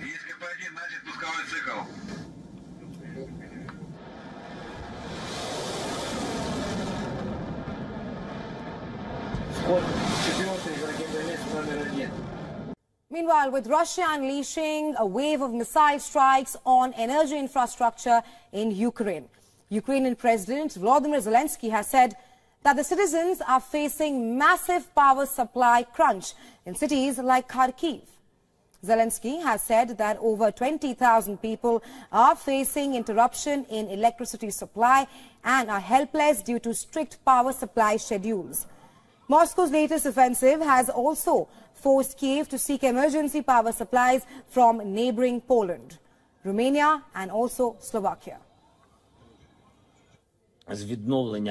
In some of our regions, recovery efforts are underway after the Russian strikes on Friday night. I'm grateful to everyone who is working non-stop in Kharkiv to restore electricity and heating to the people. The situation is very difficult. More than 200,000 customers, apartments and houses in the city of Kharkiv and one of the districts of the region are without stable power supply and are subject to rather strict electricity schedules. On March 23rd, a Russian missile hit and destroyed Ukraine's largest dam over the Dnipro River in southern Zaporizhia region. During an overnight attack, the Russian forces pounded Ukraine's largest dam with eight missiles, killing at least five people and leaving more than a million citizens without electricity. Russia's missile attack comes at a time when Ukrainian President Volodymyr Zelensky raked up the issue of lack of air defense systems, which are preventing Kiev from stopping Moscow's armed offensive. Zelensky reacted to strikes, saying that Ukraine's protection from air attacks depends on the political will of Kiev's allies in the West. Russia, on the other hand, called its actions revenge against Ukraine for its attacks during its presidential elections. while Moscow says that the air attacks on Ukraine's power facilities and infrastructure are legitimate strikes and they are aimed at weakening the Ukrainian armed forces in the ongoing war between Russia and Ukraine. A prolonged war against Russia and delayed shipments from the West have unknowingly given a push to Ukraine's indigenous weapons industry. Before February 2022, Ukraine made practically no weapons of its own. They were all bought from its allies. But now, two years into the conflict, Kiev is increasingly relying on its own for replenishing ammunition.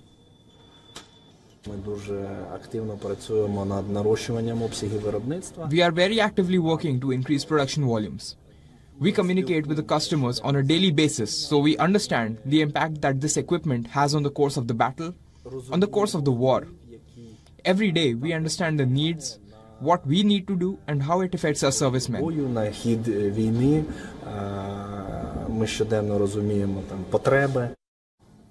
Factories are churning out shells, mortar rounds, military vehicles, missiles and other items crucial to the war effort. Indigenous production tripled in 2023 as compared to the year before and a six-fold increase has been projected for the current year.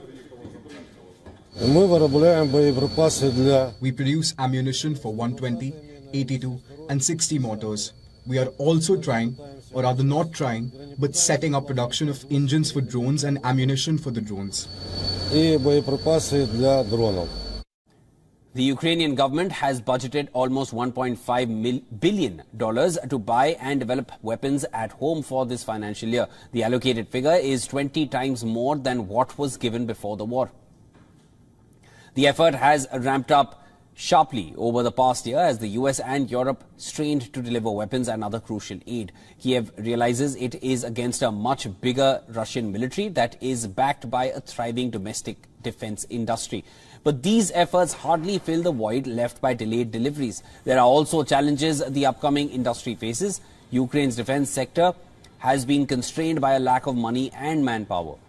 Domestic weapons factories also face trouble catering to the, the, constantly changing needs of battlefield commanders as well as their own vulnerability to long-range Russian missile strikes. Experts say that the country needs a more robust private sector which can help root out in inefficiencies and enable factories to churn out weapons and ammunition even faster. Across the border, Russia continues to pump more money into its defense industry. Its growth has helped buffer its economy from the full brunt of Western sanctions. Recently, Russian Defense Minister Sergei Shoigu even boasted of huge increases in the manufacture of tanks, drones and ammunition. Ukrainian weapons industry fell apart swiftly after the fall of the Soviet Union, just like the rest of the administration. The defense sector, too war-ridden, with mismanagement and corruption.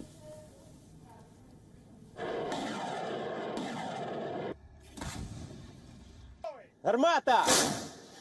Відбій! Що можу сказати? Доволі ефективна штука. Ukrainian President Volodymyr Zelensky has sacked the Secretary of Ukraine's National Security Council. The new shakeup follows the overhaul of the military high command from last month. The presidential decree on Alexei Danilov's dismissal was posted on the website of the president's office and no reason for the changes was given. Danilov, the outgoing secretary of the National Security and Defense Council, had held this position since October 2019, just months after Zelensky took office. Zelensky has now appointed Alexander Litvinenko as head of the Foreign Intelligence Service. The 51-year-old has no public profile till date and is appointed to head the council. According to Ukrainian law, the council father will have a coordinating role on issues of national security and defense under the president and comprises the country's top political, security and defense chiefs. However, this is not the first time President Zelensky has ordered a top official's dismissal. In August last year, Zelensky fired all regional military recruitment bosses amid reports of corruption. Then in September, the Ukraine cabinet dismissed all six deputy defense ministers and secretary of defense again over corruption charges. In the same month, Zelensky fired his defense minister, citing the need for new approaches as the war was then entering its 19th month And then in November, two Ukrainian senior cyber defense officials were fired or fired for alleged embezzlement in the government's cybersecurity agency. Recently, almost a month ago, the Ukrainian president even sacked the commander-in-chief of the country's armed forces. His dismissal followed speculation about a rift between him and the president. Ukraine is battling to keep up its war effort and hold the line against attacking Russian forces in the east. With its vital U.S. ally proving unable to deliver military assistance, analysts are raising questions about the depth and strength of Ukrainian fortifications and regards manpower levels as another challenge. All right, as Russia comes to terms with the Moscow concert hall attack that claimed the lives of 137 people and caused injuries to 182 people, it has questioned the Islamic State's claims of carrying out the attack. It went further and changed the arrested suspects with acts of terrorism, with Russia once again shifting the blame on Ukraine. The question remains as to what President Putin will do next. Friday's bloodbath left the Crocus City Hall in ruins. The attackers not only used bullets to kill, but also set the building ablaze, creating an inferno. The investigative committee said the attackers used automatic weapons and ammunition to fire at the crowd and used flammable liquid to start the fire. The four suspects accused of staging the attack are reported to be citizens of Tajikistan. They appeared before Moscow's Basmanny court with signs of severe beatings as they faced terrorism charges. According to a court statement, two suspects accepted their guilt in the attack after being charged in the preliminary hearing. However, their condition raised questions about whether they were speaking freely. The court charged all four with committing a group terrorist attack resulting in the death of others. The offense carries a maximum sentence of life imprisonment. The court ordered the accused to be held in pre-trial custody until May 22nd. The Islamic State group has claimed it is or it was behind the mass shooting at the Crocus City Hall. It also released graphic images of the attackers on the rampage. U.S. officials said they have no reason to doubt that claim of responsibility. But in an address to the nation, the Russian president did not mention the Islamic State but he made it a point to state that the attackers sought to escape towards Ukraine. He said information showed some people on the Ukrainian side had prepared to let them cross the border from Russia. Putin asserted that Russia will punish all those who stood behind them.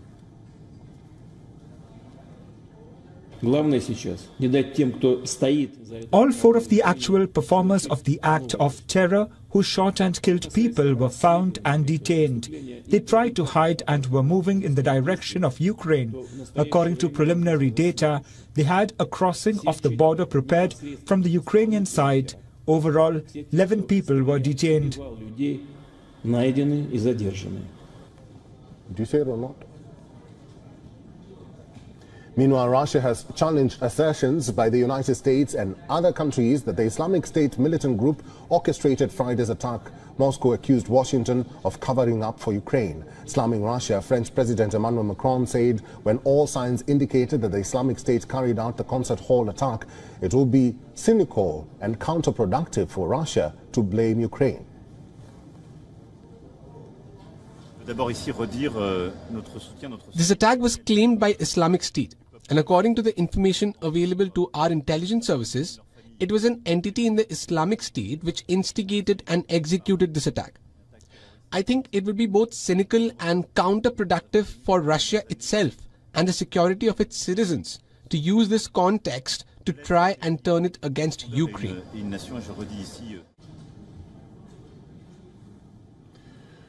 Meanwhile, even as it tries to blame Ukraine for the concert hall attack, Russia has stepped up its airstrikes targeting Ukraine's power facilities. National grid operator said consumers in Kharkiv city and the western region are still without power. However, planned outages are in force in the southern Odessa region after airstrikes damaged a high voltage facility there. Зараз у частині наших областей триває робота more than 200,000 customers, apartments, and houses in the city of Kharkiv and one of the districts of the region are without stable power supply and are subject to rather strict electricity schedules. Even Ukraine has denied Russia's suggestions of involvement in the attack. It has not stopped pro-government newspapers in Russia from calling for Ukraine to be declared a terror state. This has raised a key question as to how will Putin react to the devastating attack and will he use the Crocus City Hall attack to justify and further escalate Russia's war in Ukraine? Time will tell. A prolonged war against Russia and delayed shipments from the West have unknowingly given a push to Ukraine's indigenous weapons industry. Well, before 2022, Ukraine made practically no weapons of its own. They were all bought from its allies. But now, two years into the ongoing Ukraine-Russia war, Kiev is increasingly relying on its own for replenishing the ammunitions.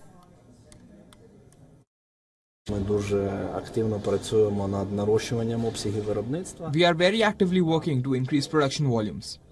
We communicate with the customers on a daily basis so we understand the impact that this equipment has on the course of the battle on the course of the war. Every day we understand the needs, what we need to do and how it affects our servicemen.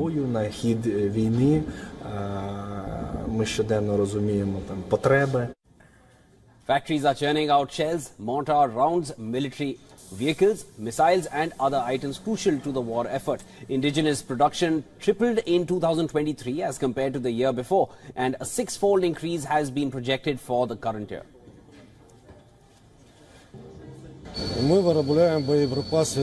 We produce ammunition for 120, 82 and 60 mortars. We are also trying, or rather not trying, but setting up production of engines for drones and ammunition for the drones. The Ukrainian government has budgeted almost $1.5 billion to buy and manufacture weapons at home. For this financial year, the allocated figure is 20 times more than what was given before the war started. The effort has ramped up sharply over the past year as the US and Europe strained to deliver weapons and other crucial aid. Kiev realizes it is against a much bigger Russian military that is backed by a thriving domestic defense industry. But these efforts hardly fill the void left by delayed deliveries. There are also challenges the upcoming industry faces. Ukraine's defense sector has been constrained by a lack of money and manpower. Domestic weapons factories also face trouble catering to the constantly changing needs of battlefield commanders as well as their own vulnerability to long-range Russian missile strikes. Well, experts say that the country needs a more robust private sector which can help root out inefficiencies and enable factories to churn out weapons and ammunition even faster. Across the border, Russia continues to pump more money into its defense industry. Its growth has helped buffer its economy from the full brunt of Western sanctions. Recently, Russian Defense Minister Sergei Shoigu even boasted of huge increases in the manufacture of tanks, drones and ammunition. Ukrainian weapons industry fell apart swiftly after the fall of the Soviet Union. Just like the rest of the administration, the defense sector too war ridden with mismanagement and corruption.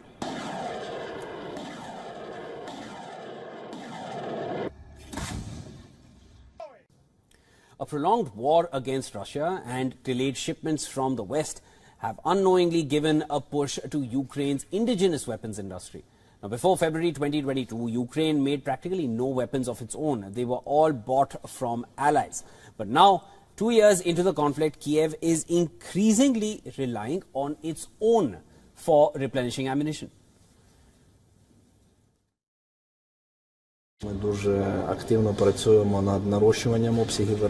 We are very actively working to increase production volumes.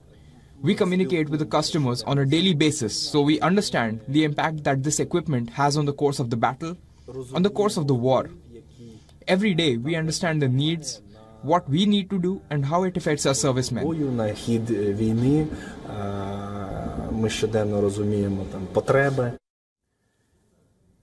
Factories are churning out shells, mortar rounds, military vehicles, missiles, and other items crucial to the war effort.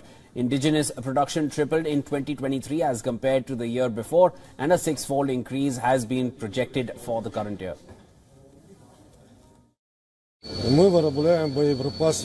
We produce ammunition for 120, 82, and 60 mortars. We are also trying, or rather not trying, but setting up production of engines for drones and ammunition for the drones. The Ukrainian government has budgeted almost $1.5 billion to buy and develop weapons at home for this financial year. The allocated figure is 20 times more than what was given before the war.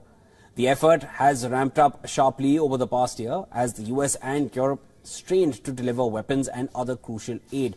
Kiev realizes it is against a much bigger Russian military that is backed by a thriving domestic defense industry. But these efforts hardly fill the void left by delayed deliveries. There are also challenges of the upcoming industry. Ukraine's defense sector has been constrained by a lack of money and manpower. Domestic weapons factories also face trouble catering to the constantly changing needs of battlefield commanders as well as their own vulnerability to long-range Russian missile strikes. Experts say the country needs a more robust private sector which can help root out inefficiencies and enable factories to churn out weapons and ammunition even faster.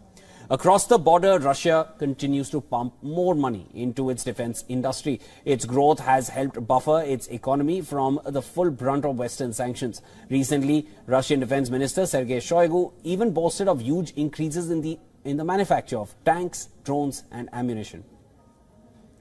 Ukrainian weapons industry fell apart swiftly after the fall of the Soviet Union. Just like the rest of the administration, the defense sector too was ridden with mismanagement and corruption.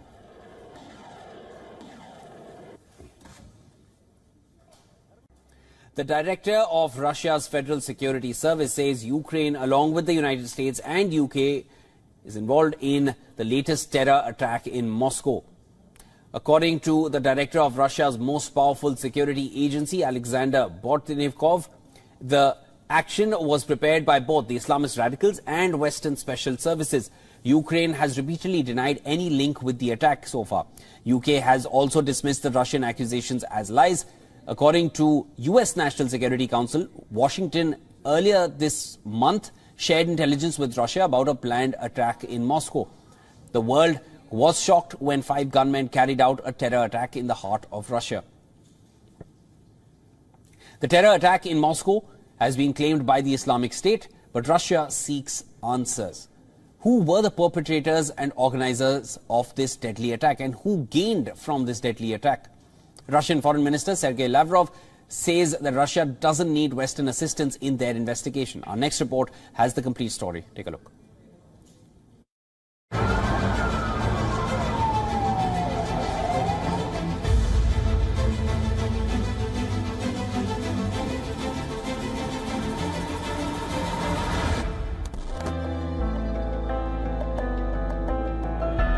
Life came to a stop in Moscow when four armed men stormed the Crocus City Hall concert venue, killing at least 139 people.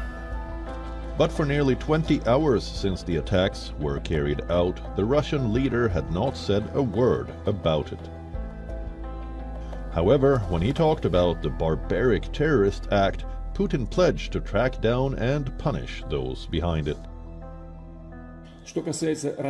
Four of the actual performers of the act of terror, all those who shot and killed people, were found and detained. They tried to hide and were moving in the direction of Ukraine.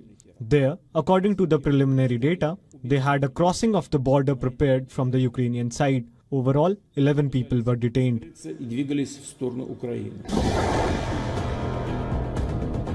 The four gunmen have been identified as citizens of Tajikistan. But Russia seeks answers. Who were the perpetrators? Who were the organizers? This atrocity may be only a link in a whole series of attempts by those who since 2014 have been fighting against our country with the hands of the neo-Nazi Kiev regime. The Nazis, as it is well known, never disdain to use the most dirty and inhumane means to achieve their goals. Especially today, when their much touted counteroffensive completely failed. Ukraine has rejected the charge that it was behind the attack. So, who was responsible? Several hours after the attacks, the attacks were claimed by the Islamic State terror group. But despite that, Russian authorities have not commented on the terror group's claim. Interestingly, it comes at least two weeks after the US warned of a potential attack targeting large gatherings in Moscow.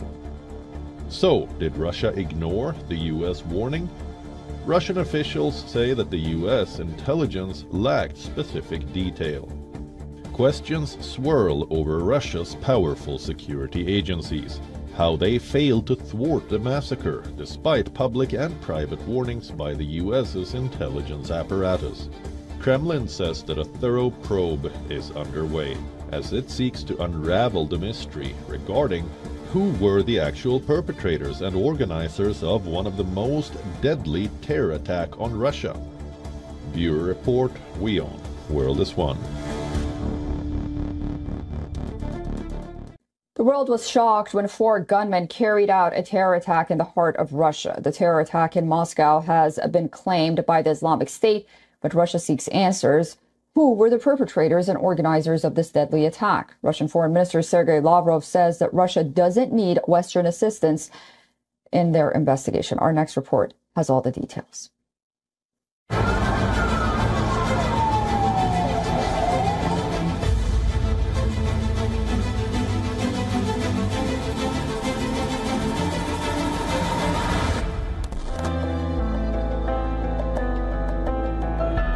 Life came to a stop in Moscow when four armed men stormed the Crocus City Hall concert venue, killing at least 139 people.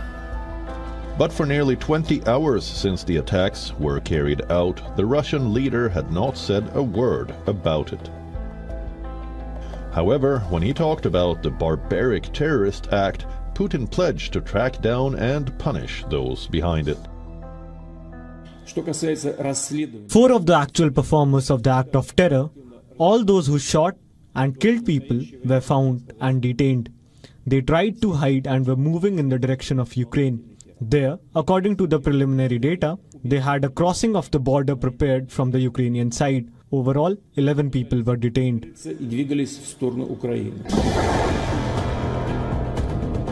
The four gunmen have been identified as citizens of Tajikistan. But Russia seeks answers. Who were the perpetrators? Who were the organizers? This atrocity may be only a link in a whole series of attempts by those who since 2014 have been fighting against our country with the hands of the neo-Nazi Kiev regime. The Nazis, as it is well known, never disdained to use the most dirty and inhumane means to achieve their goals especially today when their much touted counteroffensive completely failed. Ukraine has rejected the charge that it was behind the attack. So, who was responsible? Several hours after the attacks, the attacks were claimed by the Islamic State terror group. But despite that, Russian authorities have not commented on the terror group's claim. Interestingly, it comes at least two weeks after the US warned of a potential attack targeting large gatherings in Moscow. So, did Russia ignore the US warning? Russian officials say that the US intelligence lacked specific detail. Questions swirl over Russia's powerful security agencies, how they failed to thwart the massacre despite public and private warnings by the US's intelligence apparatus. Kremlin says that a thorough probe is underway as it seeks to unravel the mystery regarding who were the actual perpetrators and organizers of one of the most deadly terror attack on Russia. Bureau Report, WION, World is One. In a devastating assault, Russia unleashed a barrage of drone attacks on Ukraine. Ukrainian authorities claimed the attack left 11 people injured and destroyed the power supply in Odessa. Now, the Odessa administration said the city is plunged into darkness after the Russian air attack damaged a high voltage facility. Ukraine's southern defense forces said waves of drones were launched from the Black Sea. Four air weapons were shot down over Odessa and neighboring Mykolaiv regions. Footage on social media shows firefighters battling flames engulfing buildings. Now, the assault started in the early hours with loud explosions echoing throughout the city. Now, this prompted residents to shelter in nearby subway stations. The administration said debris from a falling drone sparked a fire at the power facility that was promptly put out. Now, an underground gas storage site in eastern Ukraine was also attacked on Sunday. Ukraine's state-run energy, energy firm, however, said that the gas supplies to consumers have not been affected. Now, this attack comes after the Ukrainian forces hit two Russian warships and a communication center on the Crimean Peninsula on Sunday. The Ukrainian military has not specified the medium it chose to hit the targets. However, Moscow claimed it intercepted a major air attack and shot down over 10 missiles above the Crimean port. Четыре, три, два, точки пуска. Пусковой цикл.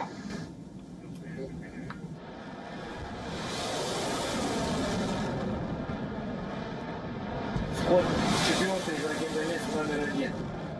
Meanwhile, with Russia unleashing a wave of missile strikes on energy infrastructure in Ukraine, Ukrainian President Volodymyr Zelensky has said that the citizens are facing massive power supply crunch in cities like Kharkiv. Zelensky has said that over 20,000 people are facing interruption in electricity supply and are helpless due to strict power supply schedules. Moscow's latest offensive has also forced Kiev to seek emergency power supplies from neighboring Poland, Romania and also Slovakia. In some of our regions, recovery efforts are underway after the Russian strikes on Friday night. I'm grateful to everyone who is working non-stop in Kharkiv to restore electricity and heating to the people. The situation is very difficult more than 200,000 customers, apartments and houses in the city of Kharkiv and one of the districts of the region are without stable power supply and are subject to rather strict electricity schedules. On March 23rd, a Russian missile hit and destroyed Ukraine's largest dam over the Dnipro River in southern Zaporizhia region. During an overnight attack, the Russian forces pounded Ukraine's largest dam with eight missiles, killing at least five people and leaving more than a million citizens without electricity. Russia's missile attack comes at a time when Ukrainian President Volodymyr Zelensky raked up the issue of lack of air defense systems, which are preventing Kiev from stopping Moscow's armed offensive. Zelensky reacted to strikes, saying that Ukraine's protection from air attacks depends on the political will of Kiev's allies in the West. Russia, on the other hand, called its actions revenge against Ukraine for its attacks during its presidential elections. While Moscow says that the air attacks on Ukraine's power facilities and infrastructure are legitimate strikes and they are aimed at weakening the Ukrainian armed forces in the ongoing war between Russia and Ukraine. A prolonged war against Russia and delayed shipments from the West have unknowingly given a push to Ukraine's indigenous weapons industry. Before February 2022, Ukraine made practically no weapons of its own. They were all bought from its allies. But now, two years into the conflict, Kiev is increasingly relying on its own for replenishing ammunition. Ми дуже активно працюємо над нарощуванням обсягів виробництва. We are very actively working to increase production volumes. We communicate with the customers on a daily basis so we understand the impact that this equipment has on the course of the battle, on the course of the war. Every day we understand the needs, what we need to do, and how it affects our servicemen. Бою на хід війни е, ми щоденно розуміємо там потреби. Factories are churning out shells, mortar rounds, military vehicles, missiles and other items crucial to the war effort. Indigenous production tripled in 2023 as compared to the year before and a six-fold increase has been projected for the current year. We produce ammunition for 120, 82 and 60 mortars. We are also trying or rather not trying, but setting up production of engines for drones and ammunition for the drones. The Ukrainian government has budgeted almost $1.5 billion to buy and develop weapons at home for this financial year. The allocated figure is 20 times more than what was given before the war. The effort has ramped up sharply over the past year as the US and Europe strained to deliver weapons and other crucial aid. Kiev realizes it is against a much bigger Russian military that is backed by a thriving domestic defense industry. But these efforts hardly fill the void left by delayed deliveries. There are also challenges the upcoming industry faces. Ukraine's defense sector has been constrained by a lack of money and manpower.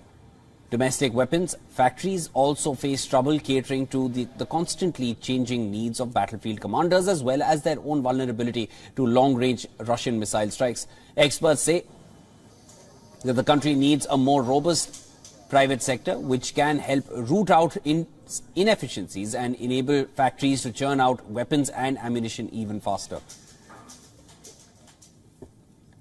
Across the border, Russia continues to pump more money into its defense industry. Its growth has helped buffer its economy from the full brunt of Western sanctions.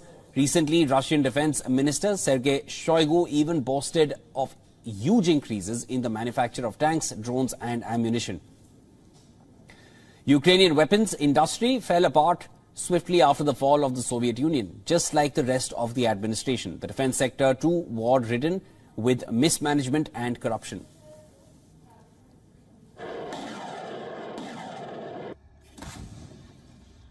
Гармата! Відбій! Що я можу сказати? Доволі ефективна штука. Ukrainian President Volodymyr Zelensky has sacked the Secretary of Ukraine's National Security Council. The new shakeup follows the overhaul of the military high command from last month. The presidential decree on Alexei Danilov's dismissal was posted on the website of the president's office, and no reason for the changes was given. Danilov, the outgoing secretary of the National Security and Defense Council, had held this position since October 2019, just months after Zelensky took office. Zelensky has now appointed Alexander Litvinenko as head of the Foreign Intelligence Service. The 51-year-old has no public profile till date and is appointed to head the council. According to Ukrainian law, the council father will have a coordinating role on issues of national security and defense under the president and comprises the country's top political, security and defense chiefs. However, this is not the first time President Zelensky has ordered a top official's dismissal. In August last year, Zelensky fired all regional military recruitment bosses amid reports of corruption. Then in September, the Ukraine cabinet dismissed all six deputy defense ministers and secretary of defense again over corruption charges. In the same month, Zelensky fired his defense minister, citing the need for new approaches as the war was then entering its 19th month. And then in November, two Ukrainian senior cyber defense officials were fired or fired for alleged embezzlement in the government's cybersecurity agency. Recently, almost a month ago, the Ukrainian president even sacked the commander-in-chief of the country's armed forces. His dismissal followed speculation about a rift between him and the president. Ukraine is battling to keep up its war effort and hold the line against attacking Russian forces in the east. With its vital U.S. ally proving unable to deliver military assistance, analysts are raising questions about the depth and strength of Ukrainian fortifications and regards manpower levels as another challenge.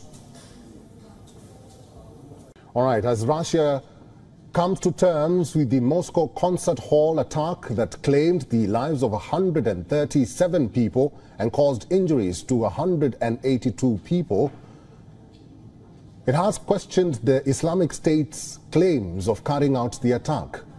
It went further and changed the arrested suspects with acts of terrorism, with Russia once again shifting the blame on Ukraine. The question remains as to what President Putin will do next.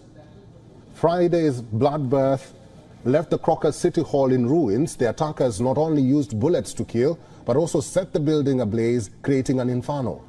The investigative committee said the attackers used automatic weapons and ammunition to fire at the crowd and used flammable liquid to start the fire. The four suspects accused of staging the attack are reported to be citizens of Tajikistan. They appeared before Moscow's Basmanny court with signs of severe beatings as they faced terrorism charges. According to a court statement, two suspects accepted their guilt in the attack after being charged in the preliminary hearing. However, their condition raised questions about whether they were speaking freely. The court charged all four with committing a group terrorist attack resulting in the death of others. The offense carries a maximum sentence of life imprisonment. The court ordered the accused to be held in pre-trial custody until May 22nd. The Islamic State group has claimed it is or it was behind the mass shooting at the Crocus City Hall.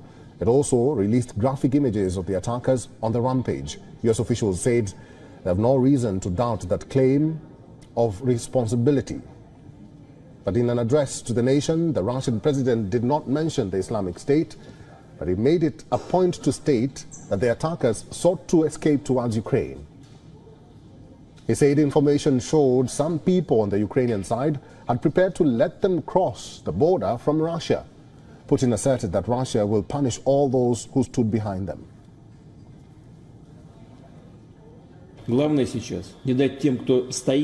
All four of the actual performers of the act of terror who shot and killed people were found and detained. They tried to hide and were moving in the direction of Ukraine. According to preliminary data, they had a crossing of the border prepared from the Ukrainian side. Overall, 11 people were detained. Did you say it or not? Meanwhile, Russia has challenged assertions by the United States and other countries that the Islamic State militant group orchestrated Friday's attack. Moscow accused Washington of covering up for Ukraine. Slamming Russia, French President Emmanuel Macron said when all signs indicated that the Islamic State carried out the concert hall attack, it would be cynical and counterproductive for Russia to blame Ukraine. This attack was claimed by Islamic State. And according to the information available to our intelligence services, it was an entity in the Islamic State which instigated and executed this attack. I think it would be both cynical and counterproductive for Russia itself and the security of its citizens to use this context to try and turn it against Ukraine.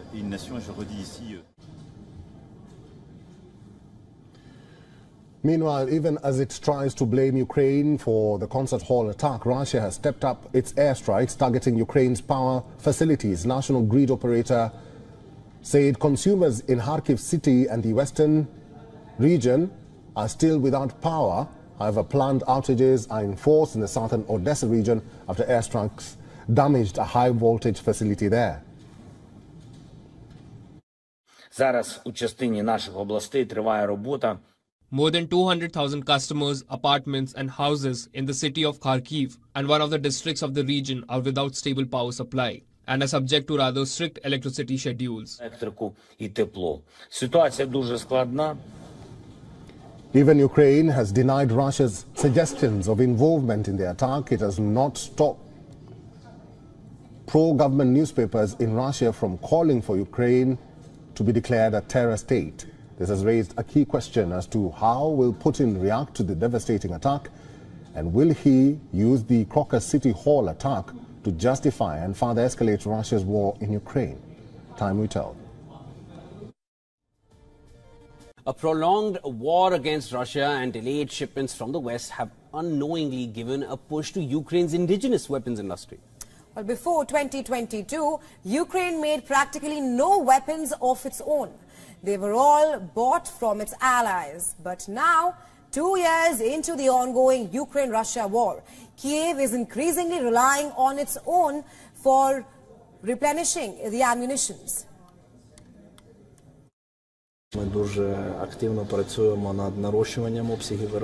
We are very actively working to increase production volumes. We communicate with the customers on a daily basis so we understand the impact that this equipment has on the course of the battle on the course of the war. Every day we understand the needs, what we need to do and how it affects our servicemen.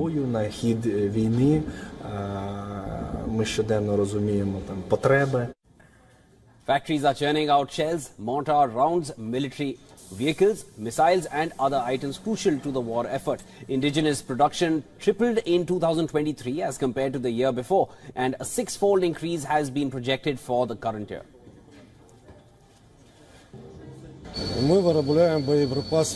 We produce ammunition for 120, 82 and 60 mortars. We are also trying, or rather not trying, but setting up production of engines for drones and ammunition for the drones. The Ukrainian government has budgeted almost $1.5 billion to buy and manufacture weapons at home. For this financial year, the allocated figure is 20 times more than what was given before the war started. The effort has ramped up sharply over the past year as the US and Europe strained to deliver weapons and other crucial aid. Kiev realizes it is against a much bigger Russian military that is backed by a thriving domestic defense industry.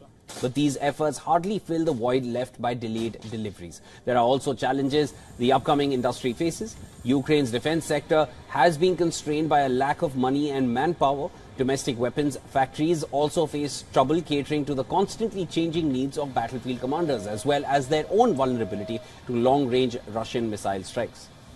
Well, experts say that the country needs a more robust private sector which can help root out inefficiencies and enable factories to churn out weapons and ammunition even faster. Across the border, Russia continues to pump more money into its defense industry. Its growth has helped buffer its economy from the full brunt of Western sanctions. Recently, Russian Defense Minister Sergei Shoigu even boasted of huge increases in the manufacture of tanks, drones and ammunition. Ukrainian weapons industry fell apart swiftly after the fall of the Soviet Union. Just like the rest of the administration, the defense sector too war ridden with mismanagement and corruption.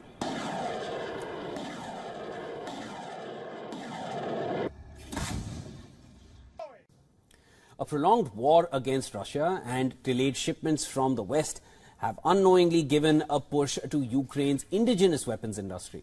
Now, before February 2022, Ukraine made practically no weapons of its own. They were all bought from allies.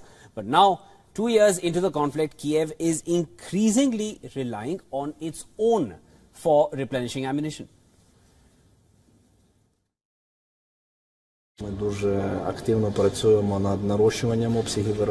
We are very actively working to increase production volumes.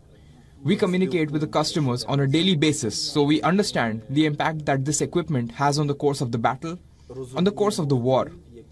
Every day, we understand the needs, what we need to do, and how it affects our servicemen.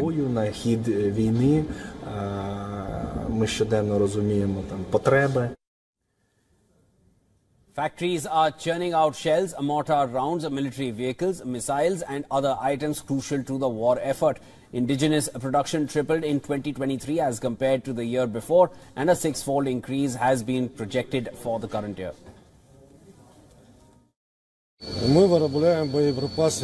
We produce ammunition for 120, 82 and 60 mortars.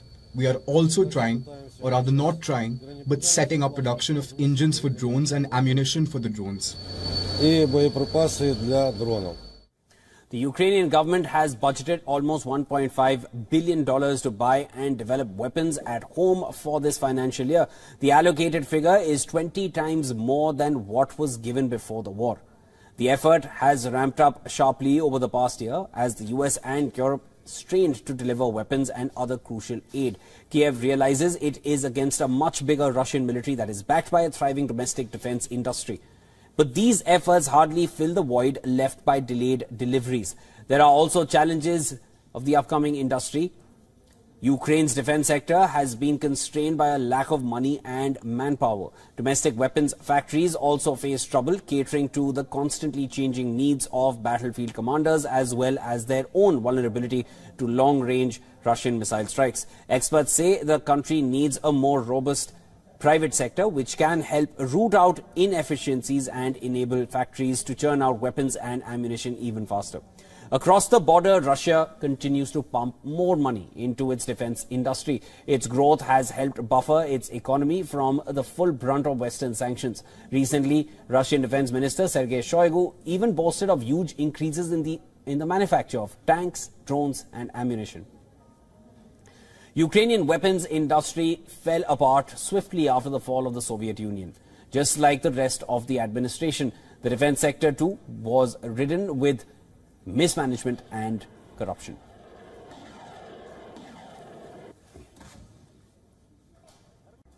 The director of Russia's Federal Security Service says Ukraine, along with the United States and UK, is involved in the latest terror attack in Moscow. According to the director of Russia's most powerful security agency, Alexander Bortnikov, the action was prepared by both the Islamist radicals and Western special services. Ukraine has repeatedly denied any link with the attack so far. UK has also dismissed the Russian accusations as lies. According to US National Security Council, Washington earlier this month shared intelligence with Russia about a planned attack in Moscow. The world was shocked when five gunmen carried out a terror attack in the heart of Russia. The terror attack in Moscow has been claimed by the Islamic State, but Russia seeks answers. Who were the perpetrators and organizers of this deadly attack and who gained from this deadly attack? Russian Foreign Minister Sergei Lavrov says that Russia doesn't need Western assistance in their investigation. Our next report has the complete story. Take a look.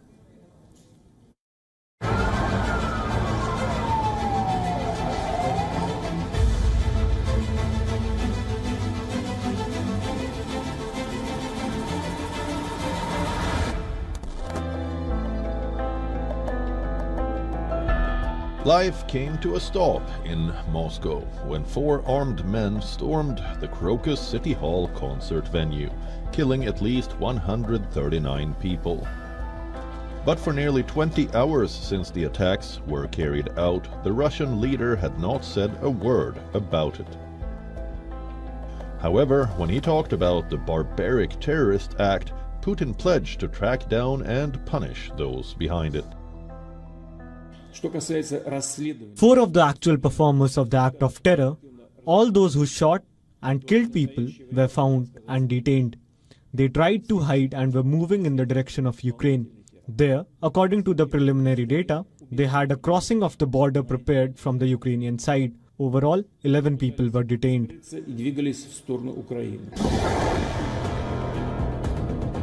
The four gunmen have been identified as citizens of Tajikistan. But Russia seeks answers. Who were the perpetrators? Who were the organizers? This atrocity may be only a link in a whole series of attempts by those who since 2014 have been fighting against our country with the hands of the neo-Nazi Kiev regime. The Nazis, as it is well known, never disdain to use the most dirty and inhumane means to achieve their goals especially today when their much touted counteroffensive completely failed. Ukraine has rejected the charge that it was behind the attack. So, who was responsible? Several hours after the attacks, the attacks were claimed by the Islamic State terror group. But despite that, Russian authorities have not commented on the terror group's claim. Interestingly, it comes at least two weeks after the US warned of a potential attack targeting large gatherings in Moscow. So, did Russia ignore the US warning? Russian officials say that the US intelligence lacked specific detail. Questions swirl over Russia's powerful security agencies how they failed to thwart the massacre despite public and private warnings by the US's intelligence apparatus. Kremlin says that a thorough probe is underway as it seeks to unravel the mystery regarding who were the actual perpetrators and organizers of one of the most deadly terror attack on Russia. Bureau Report, WION, World is One. The world was shocked when four gunmen carried out a terror attack in the heart of Russia. The terror attack in Moscow has been claimed by the Islamic State, but Russia seeks answers.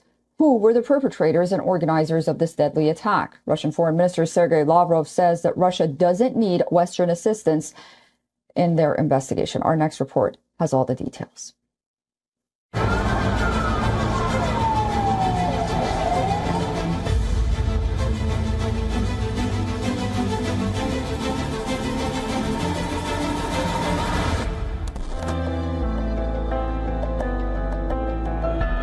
Life came to a stop in Moscow when four armed men stormed the Crocus City Hall concert venue, killing at least 139 people. But for nearly 20 hours since the attacks were carried out, the Russian leader had not said a word about it. However, when he talked about the barbaric terrorist act, Putin pledged to track down and punish those behind it. Four of the actual performers of the act of terror, all those who shot and killed people, were found and detained. They tried to hide and were moving in the direction of Ukraine. There, according to the preliminary data, they had a crossing of the border prepared from the Ukrainian side. Overall, 11 people were detained.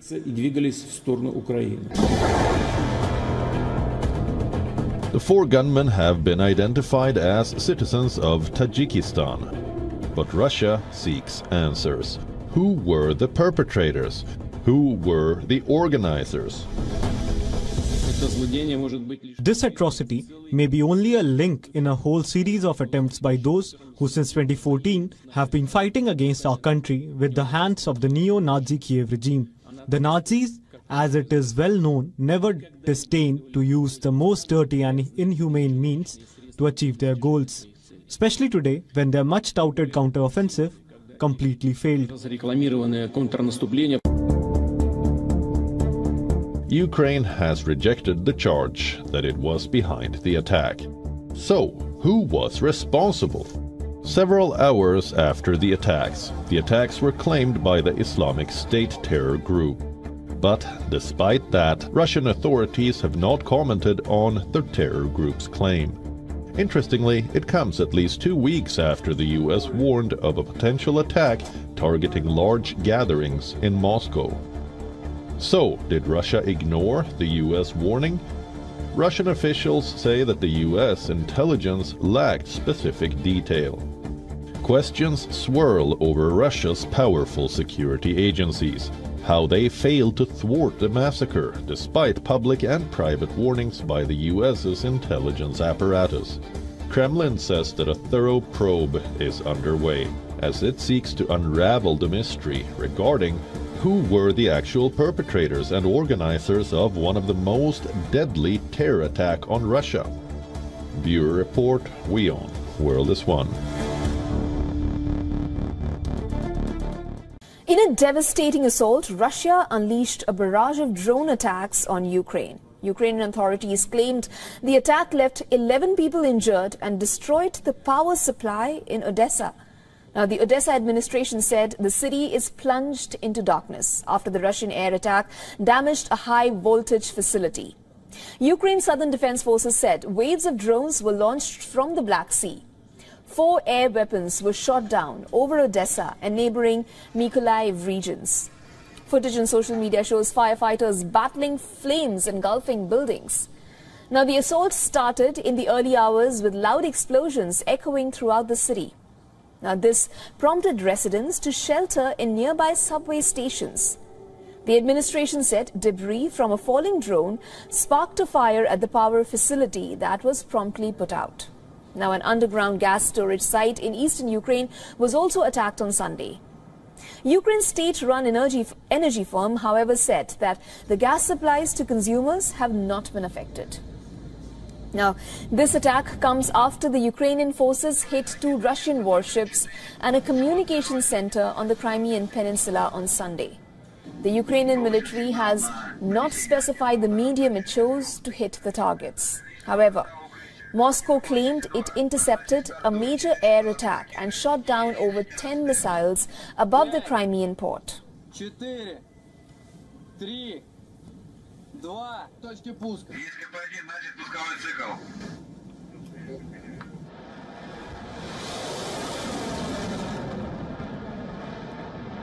Исход четвертый ракетомет номер один.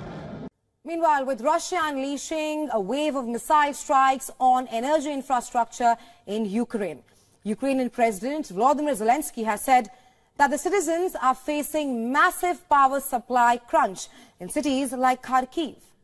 Zelensky has said that over 20,000 people are facing interruption in electricity supply and are helpless due to strict power supply schedules. Moscow's latest offensive has also forced Kiev to seek emergency power supplies from neighboring Poland, Romania and also Slovakia. In some of our regions, recovery efforts are underway after the Russian strikes on Friday night. I'm grateful to everyone who is working non-stop in Kharkiv to restore electricity and heating to the people. The situation is very difficult more than 200,000 customers, apartments and houses in the city of Kharkiv and one of the districts of the region are without stable power supply and are subject to rather strict electricity schedules.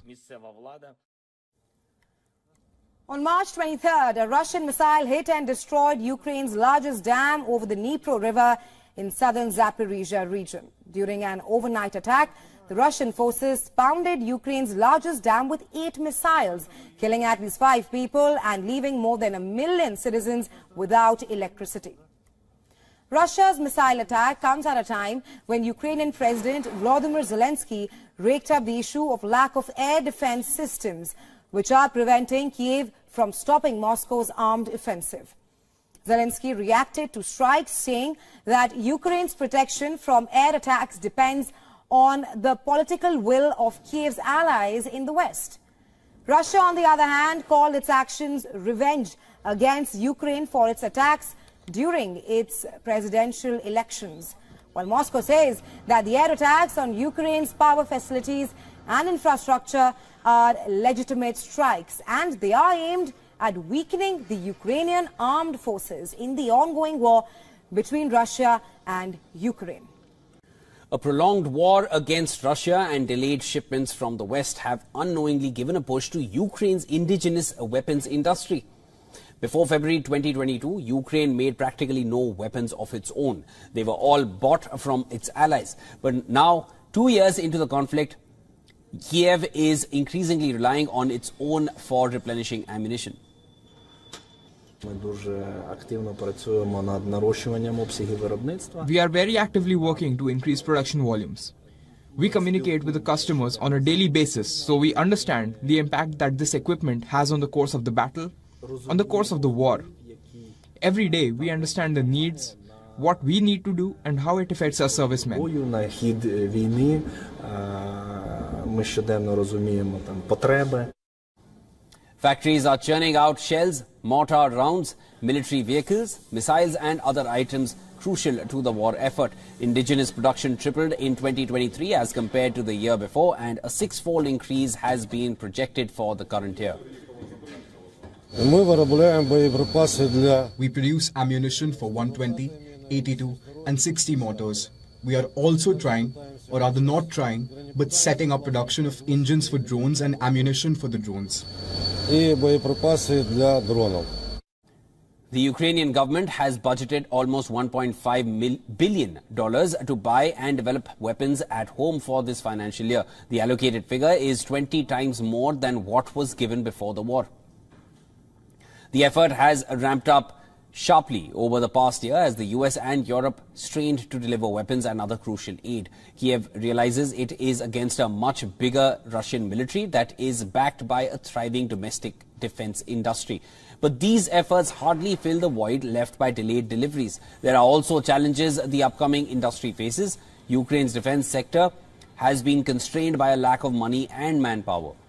Domestic weapons factories also face trouble catering to the, the constantly changing needs of battlefield commanders as well as their own vulnerability to long range Russian missile strikes. Experts say that the country needs a more robust private sector which can help root out in inefficiencies and enable factories to churn out weapons and ammunition even faster. Across the border, Russia continues to pump more money into its defense industry. Its growth has helped buffer its economy from the full brunt of Western sanctions. Recently, Russian Defense Minister Sergei Shoigu even boasted of huge increases in the manufacture of tanks, drones and ammunition. Ukrainian weapons industry fell apart swiftly after the fall of the Soviet Union, just like the rest of the administration. The defense sector too war-ridden with mismanagement and corruption.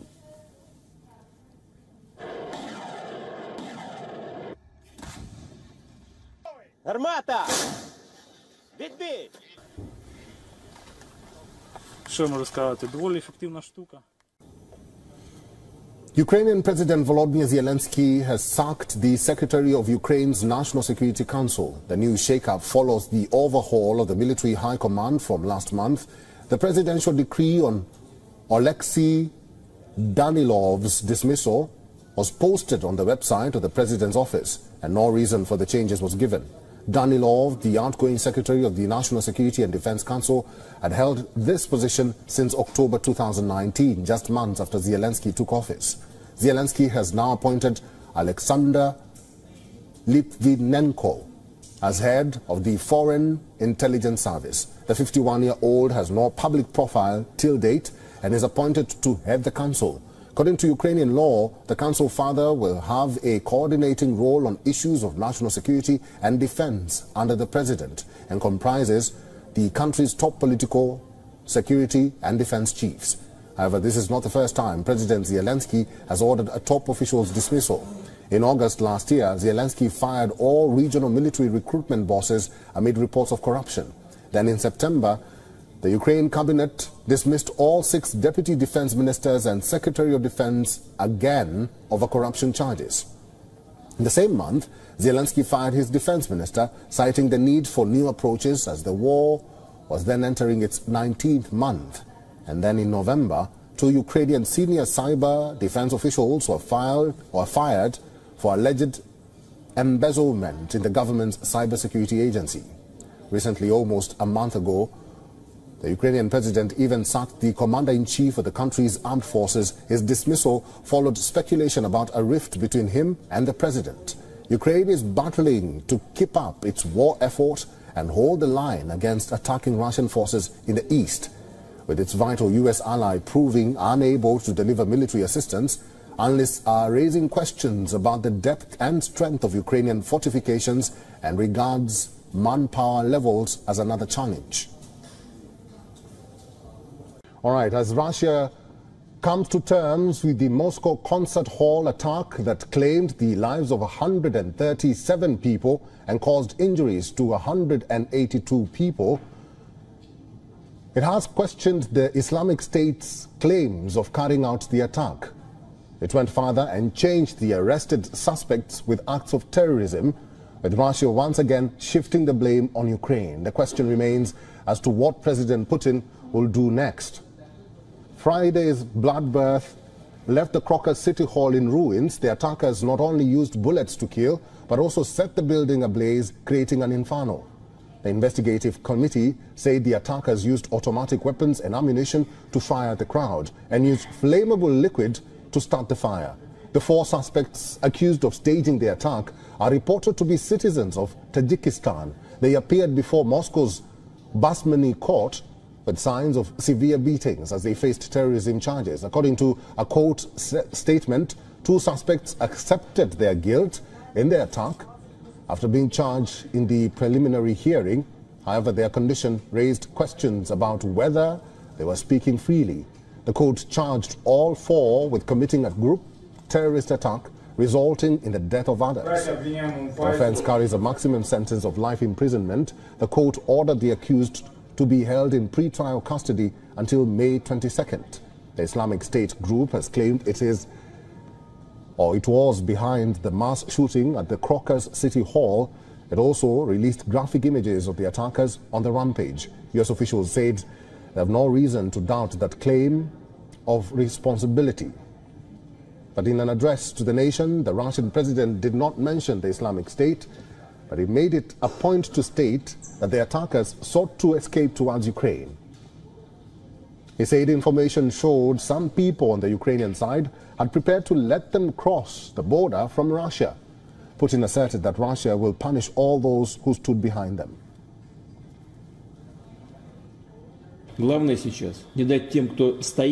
All four of the actual performers of the act of terror who shot and killed people were found and detained. They tried to hide and were moving in the direction of Ukraine. According to preliminary data, they had a crossing of the border prepared from the Ukrainian side. Overall, 11 people were detained. Do you say it or not? Meanwhile, Russia has challenged assertions by the United States and other countries that the Islamic State militant group orchestrated Friday's attack.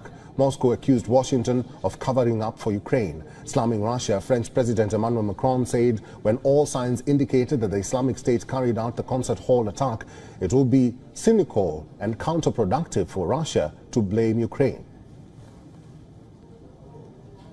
D'abord ici redire euh, notre soutien, notre This attack was claimed by Islamic State, and according to the information available to our intelligence services, it was an entity in the Islamic State which instigated and executed this attack. I think it would be both cynical and counterproductive for Russia itself and the security of its citizens to use this context to try and turn it against Ukraine.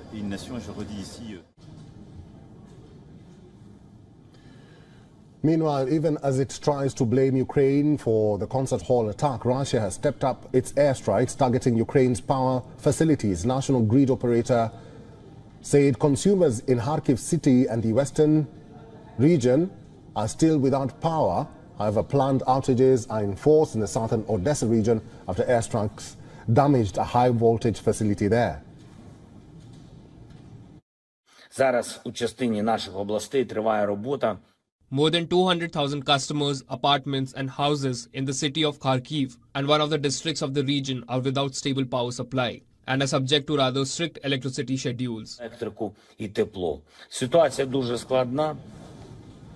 Even Ukraine has denied Russia's suggestions of involvement in the attack. It has not stopped pro-government newspapers in Russia from calling for Ukraine to be declared a terror state.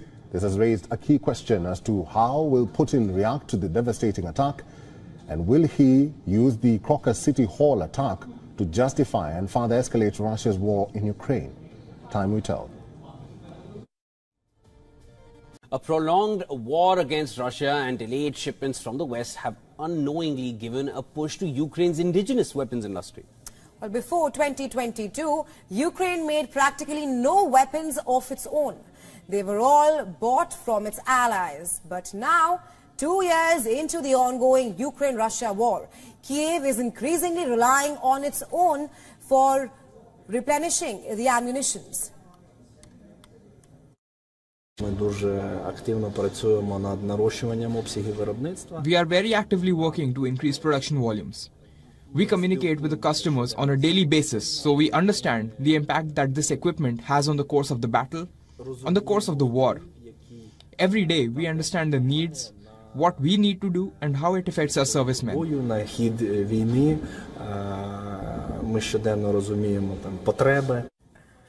Factories are churning out shells, mortar rounds, military vehicles, missiles and other items crucial to the war effort. Indigenous production tripled in 2023 as compared to the year before and a six-fold increase has been projected for the current year.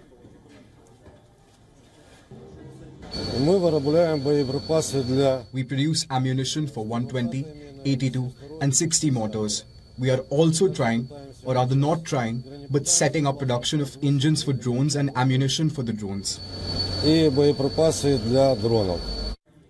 Ukrainian government has budgeted almost $1.5 billion to buy and manufacture weapons at home. For this financial year, the allocated figure is 20 times more than what was given before the war started. The effort has ramped up sharply over the past year as the US and Europe strained to deliver weapons and other crucial aid. Kiev realizes it is against a much bigger Russian military that is backed by a thriving domestic defense industry. But these efforts hardly fill the void left by delayed deliveries. There are also challenges the upcoming industry faces. Ukraine's defense sector has been constrained by a lack of money and manpower. Domestic weapons factories also face trouble catering to the constantly changing needs of battlefield commanders as well as their own vulnerability to long range Russian missile strikes. Well, experts say that the country needs a more robust private sector which can help root out inefficiencies and enable factories to churn out weapons and ammunition even faster. Across the border, Russia continues to pump more money into its defense industry. Its growth has helped buffer its economy from the full brunt of Western sanctions. Recently, Russian Defense Minister Sergei Shoigu even boasted of huge increases in the manufacture of tanks, drones and ammunition. Ukrainian weapons industry fell apart swiftly after the fall of the Soviet Union. Just like the rest of the administration, the defense sector too war ridden with mismanagement and corruption.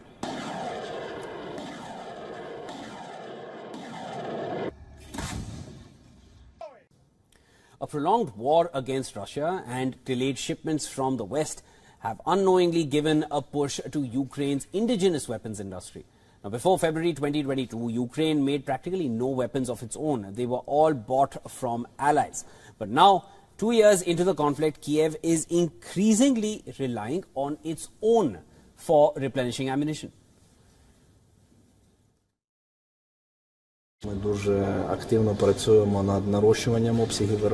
We are very actively working to increase production volumes. We communicate with the customers on a daily basis, so we understand the impact that this equipment has on the course of the battle, on the course of the war. Every day, we understand the needs, what we need to do, and how it affects our servicemen.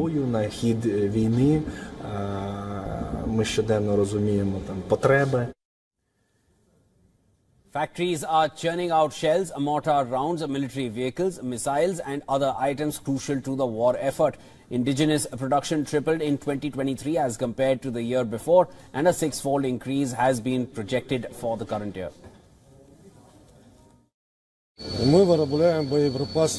We produce ammunition for 120, 82, and 60 mortars. We are also trying, or rather not trying, but setting up production of engines for drones and ammunition for the drones. The Ukrainian government has budgeted almost $1.5 billion to buy and develop weapons at home for this financial year. The allocated figure is 20 times more than what was given before the war. The effort has ramped up sharply over the past year as the US and Europe strained to deliver weapons and other crucial aid. Kiev realizes it is against a much bigger Russian military that is backed by a thriving domestic defense industry. But these efforts hardly fill the void left by delayed deliveries. There are also challenges of the upcoming industry.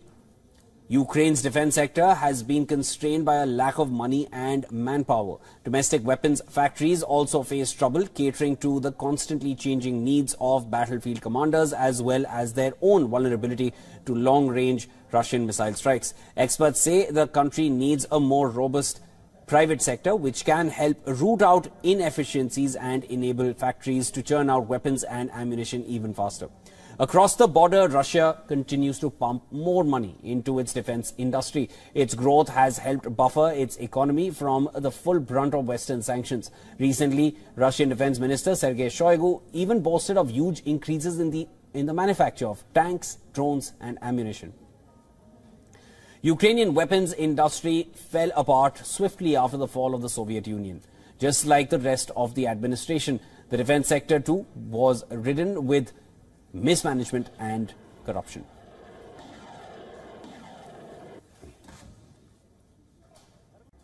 The director of Russia's Federal Security Service says Ukraine, along with the United States and UK, is involved in the latest terror attack in Moscow. According to the director of Russia's most powerful security agency, Alexander Bortnikov, the action was prepared by both the Islamist radicals and Western special services. Ukraine has repeatedly denied any link with the attack so far. UK has also dismissed the Russian accusations as lies. According to US National Security Council, Washington earlier this month shared intelligence with Russia about a planned attack in Moscow. The world was Russian President Vladimir Putin has slammed allegations that Russia is planning to fight against Europe, calling it utter nonsense. Putin said it is meant solely to intimidate the European nations to make them pay more money, and this is a Western propaganda. To discuss this further, we have with us Glenn Diesen, who's a professor of international relations at the University of Southeastern Norway, joining us from Oslo. Mr. Diesen, always a pleasure speaking with you. Welcome to Beyond. What is Russia's plan? What does Russia want in Ukraine, and how far into Ukraine or towards Europe does Russia really want to go? Well, I think it's important to view the crisis in Ukraine as a security competition in a very traditional sense. That is, uh, NATO seeks to be the dominant security institution that is hegemon in Europe, which entails or demands converting Ukraine into an anti-Russian bulwark.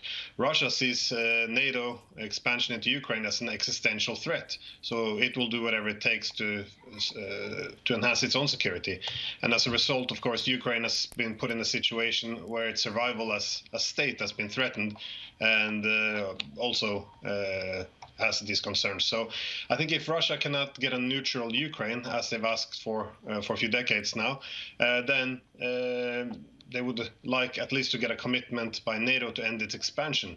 Uh, if this is not possible, I think Russia will just make sure that no strategic territory in Ukraine would end up in the hands of NATO. So I think Russia would go for the territory, everything between Kharkov and Odessa, which were these traditional Russian lands, and probably make a mess out of what remains simply because uh, they, they don't want to see a strong Ukraine being able to be used as a dagger against Russia.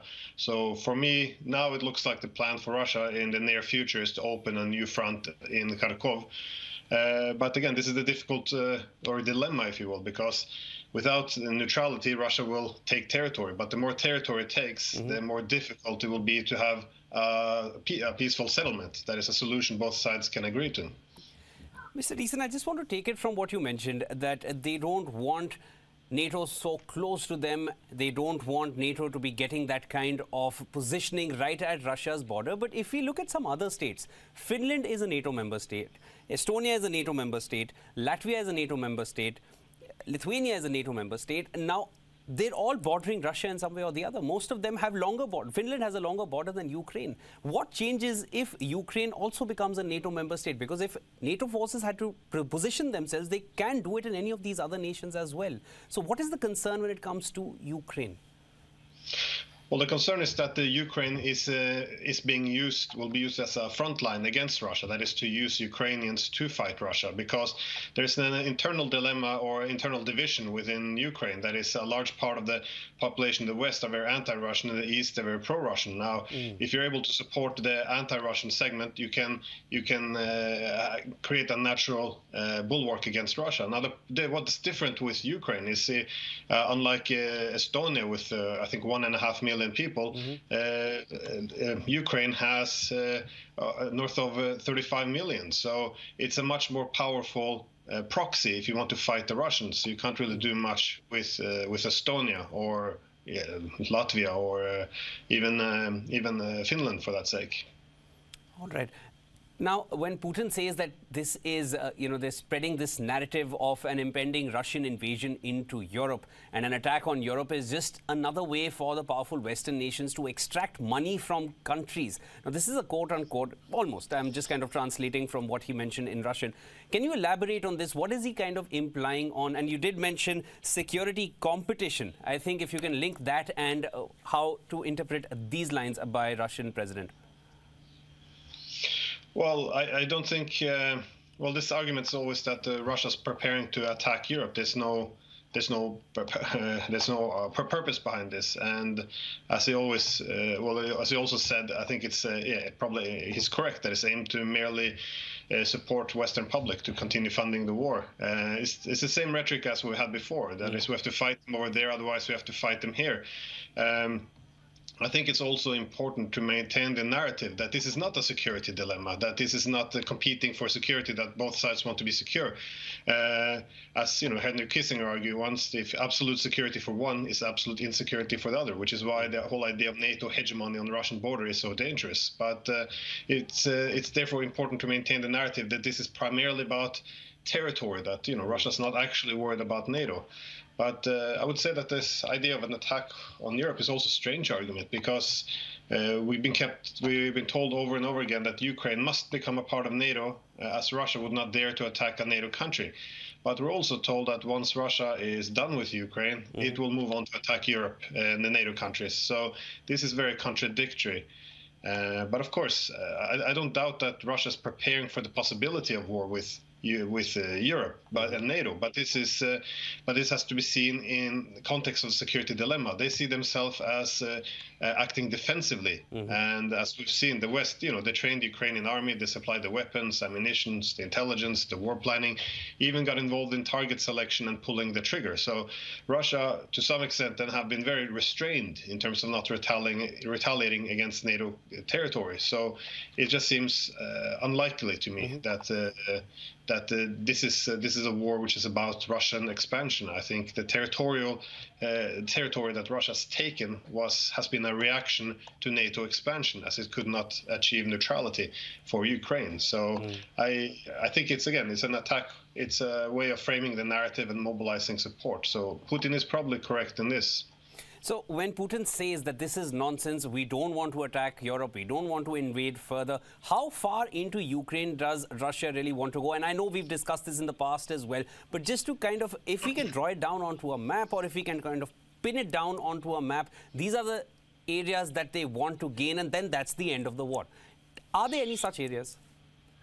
Yeah, uh, I would say Odessa because uh, mm. the way Russia sees it, when in when the NATO countries toppled the government in Ukraine in 2014, the main prize for the United States was Crimea because uh, the key objective for the US and UK, for that matter, is the same as it was in the Crimean War in the mid 19th century, which is to expel the Russians from the Black Sea and effectively make this into a NATO lake, much like they're mm. talking about making the Baltics uh, mm-hmm. Sea a NATO lake. So, uh, so from this perspective, I think the the Russians would uh, seize uh, what it considers to be strategic territory, which is again everything from Kharkov to Odessa, which would make Ukraine a landlocked country. Uh, it would give strategic territory to the Russians, denying it to uh, to NATO, and would also make Ukraine much less appealing to the NATO countries, and that's what they're willing to fight for. So I, I think Odessa would be uh, where where they would want to stop. And also in these areas, they actually find people who are more sympathetic towards Russia, who do not like the government they've been living under for the past 10 years since the coup of 2014. Now, if the Russians go into Western Ukraine, they, they, they, can't find a single person there probably who wants uh, to be a part of the Russian Federation. So mm. it's, it's it's impossible to hold. It has little purpose to hold. Mm. Uh, so I think they simply want to retake the traditional territory of which was Russian uh, before you know it was transferred to the Soviet Union. Sorry, to Soviet uh, uh, Ukraine, and uh, that's probably where they would stop. So Kiev is not on the radar. Odessa essentially gaining some kind of foothold on the port region. That is, and uh, obviously so that they ensure that they maintain a share in the Black Sea. I think that is, as per you, that is what Russia is aiming to gain. And once they gain that and they maintain it and they call it their territory, as long as they get that, that should be the end of the war, at least from the Russian side. Uh, well, Kiev, I'm not sure about. Uh, I, I, don't think they can. I don't think they will accept having the current government in Kiev because mm. it's seen as working uh, as, as being too anti-Russian. That mm. it's being positioned as uh, as a dagger against Russia. So uh, I think that the main objective is still now, as they express more and more clearly, to have regime change. Mm. That is to remove the government which uh, which came into power as a result of uh, the 2014 coup. The problem for Russia is, though, since the war, uh, a lot of Ukrainians, for good reasons, have now developed a lot of animosity towards Russia. So if you have any democratic election now in uh, Ukraine, uh, they will probably end up with a very anti-Russian government, yes. anyways. So uh, Russia, in this sense, have painted itself into a corner, which is uh, one of the um, one of the, yeah, the dangerous consequences of this war as well. That it's it's, it's, it's unclear what can be do what what can be done now. And definitely after the deadly attack on Moscow recently, and Russia has made it clear that they see US, UK and Ukraine behind that attack, regardless of the claims made by the Islamic State, Khorasan region, or what US is saying regarding the Islamic State's involvement. You, uh, Russia has made it clear that they see Ukraine behind that attack. No proof has been given for it, but they've made that statement out there. That is definitely going to have an impact on the ongoing war and the onslaught of uh, Ukraine as it still continues. That was Glenn Diesen joining us, is the international relations professor of international relations, joining us from Oslo. Thank you so much for your time, sir. Uh, my pleasure, Sean. Meanwhile, Russian President Vladimir Putin told Russian military pilots that if Western nations supply Ukraine with F-16s, the fighter jets will not alter the situation on the battlefield. Ukrainian President Volodymyr Zelensky visited fortifications in the country's northeast, inspecting trenches, dugouts and firing positions. Defense experts say that the coming months are shaping up to be more critical to the direction of the war than the 2024 stalemate scenario suggested. Ukraine now, more than two years into a full-fledged war against Russia, has sought F-16s for many months. Belgium, Denmark, Norway and the Netherlands are among countries which have pledged to donate F-16s. A coalition of countries has promised to help train Ukrainian pilots in their use. Putin noted the fighters can carry nuclear weapons and Russia must consider that in the way it organizes matters. The F-16s, he said, would be targets wherever they might be. The Russian president visited a military base in the Tver region, which houses the 344th State Center for Combat Use and Retraining of Flight Personnel. Well, Putin was seen walking with officers and inspecting new helicopter systems and missiles. During the tour, an officer was heard telling him about a new defense system which protects choppers. Putin was also shown the X-39 missile, a multi-purpose projectile that allows the military to operate against armored vehicles and in fortified areas.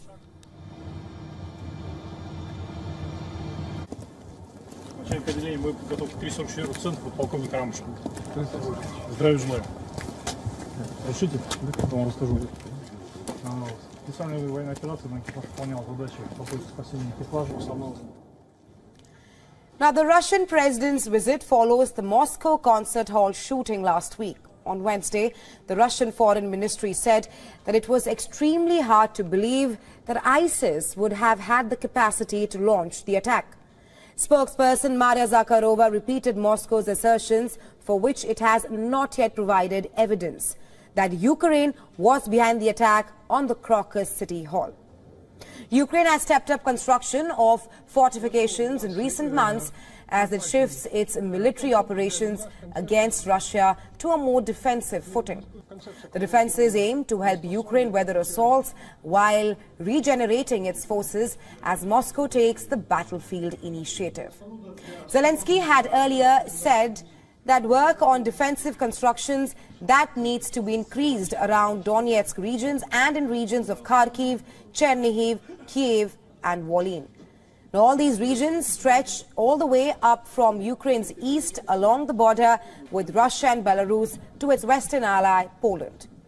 During his trip to Sumy region, Zelensky also paid a visit to Ukrainian soldiers treated at the military hospital and awarded them medals.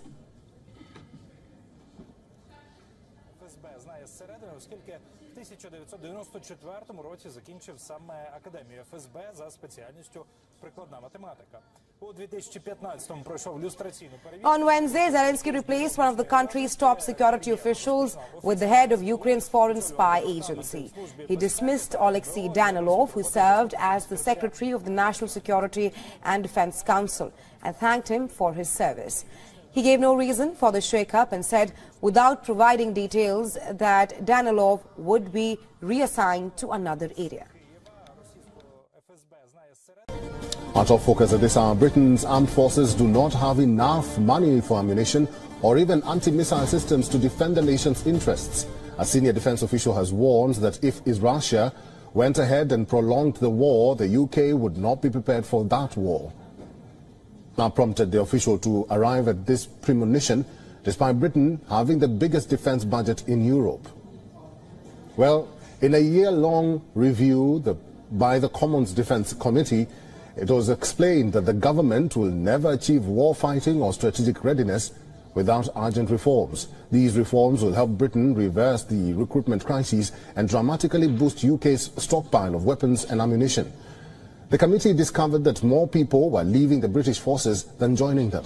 A Ministry of Defence spokesperson said that increasing recruitment and improving retention across the services was a top priority. So amid increasing pressure on defence spending, the committee discovered that at least 1.9 billion pounds, which is over 2.4 million US dollars of funding, may now be used to plug shortfalls in defence rather than to replenish and boost stockpiles.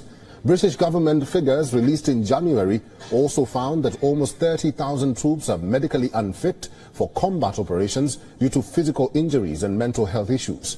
The problem is even bigger in the British Army, where only 53,000 troops out of a total of around 75,000 personnel are currently fully fit for frontline operations. That means that 30% of all troops in the army, or 3 in 10 soldiers, would not be fully fit to fight in a conflict at the moment. United Kingdom's defence spending crisis comes after UK's Secretary of Defence, Grant Shapps, spoke with members of parliament. Shapps said that he had lobbied Prime Minister Rishi Sunak and Chancellor Jeremy Hunt for more money to be spent on defence in the recent budget. However, Shapps failed to secure the increase that he was seeking.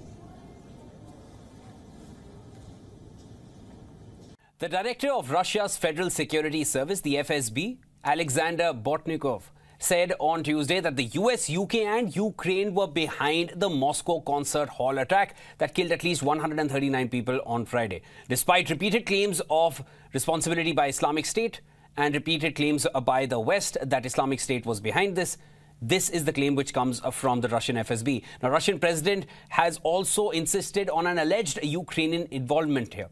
No proof has been provided uh, for these claims then why is Russia insisting that there was a Western hand behind those attacks? What is the FSB basing its remarks on. To discuss matters further, we're being joined by Dr. Gilbert Doctorow. Always a pleasure speaking with you, sir. He's a political analyst, professional Russia watcher, author, and historian joining us from Brussels. So I want to get to it immediately.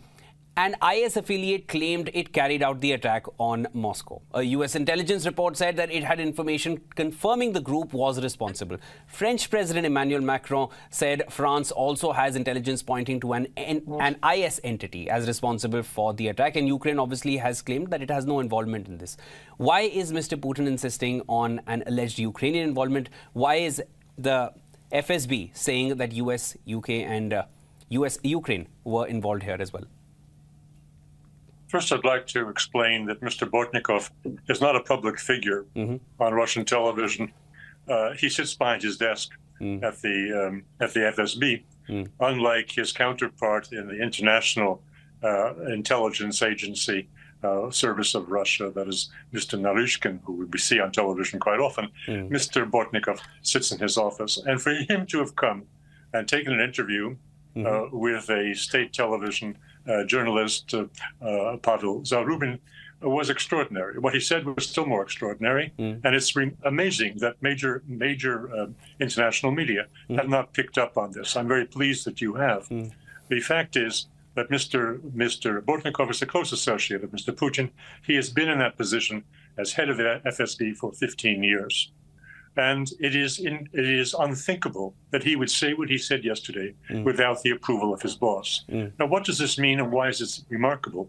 Because going back uh, two years to the bombing of the Nord Stream pipelines, which was the most spectacular mm. act of terrorism uh, against uh, civilian global infrastructure in 50 years, the, the, Russians said nothing about. They didn't point a finger at anyone. Mm-hmm. There was innuendo. The United States was involved. Britain was involved. Other countries, but never a direct accusation. Mm-hmm. What we had yesterday was a direct accusation.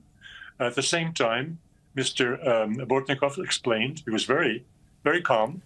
Uh, he was had great poise, mm-hmm. and he chose his words carefully. He mm-hmm. said that he's not speaking out of emotion. He's speaking on the basis of preliminary findings, and that when the the, the, all the findings are ready. When he has solid facts, uh, he will present them.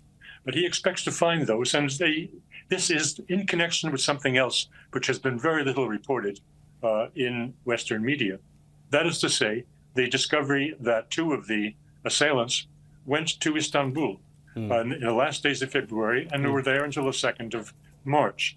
It has also been uh, been uh, revealed on Russian television that the objective of this terrorist attack had been for a strike against a major venue, probably the same Crocus, but it's not relevant. A major venue for 8th of March, International Women's Day, a day that is sacred in Russian calendar and a day that is one week before the presidential elections. The whole logic of this operation would have been to devastate the preceding Russian elections on the 15th or 17th of March. However, the United States intelligence, and this according to the Russians, discovered that this was not feasible. That Mhm. Russian uh, security was very tight for the 8th of March, and the mission would fail. We note that several uh, related facts. Madam Nuland, Victoria Nuland, was with was fired on the 5th of March. It's highly uh, interesting that this coincidence.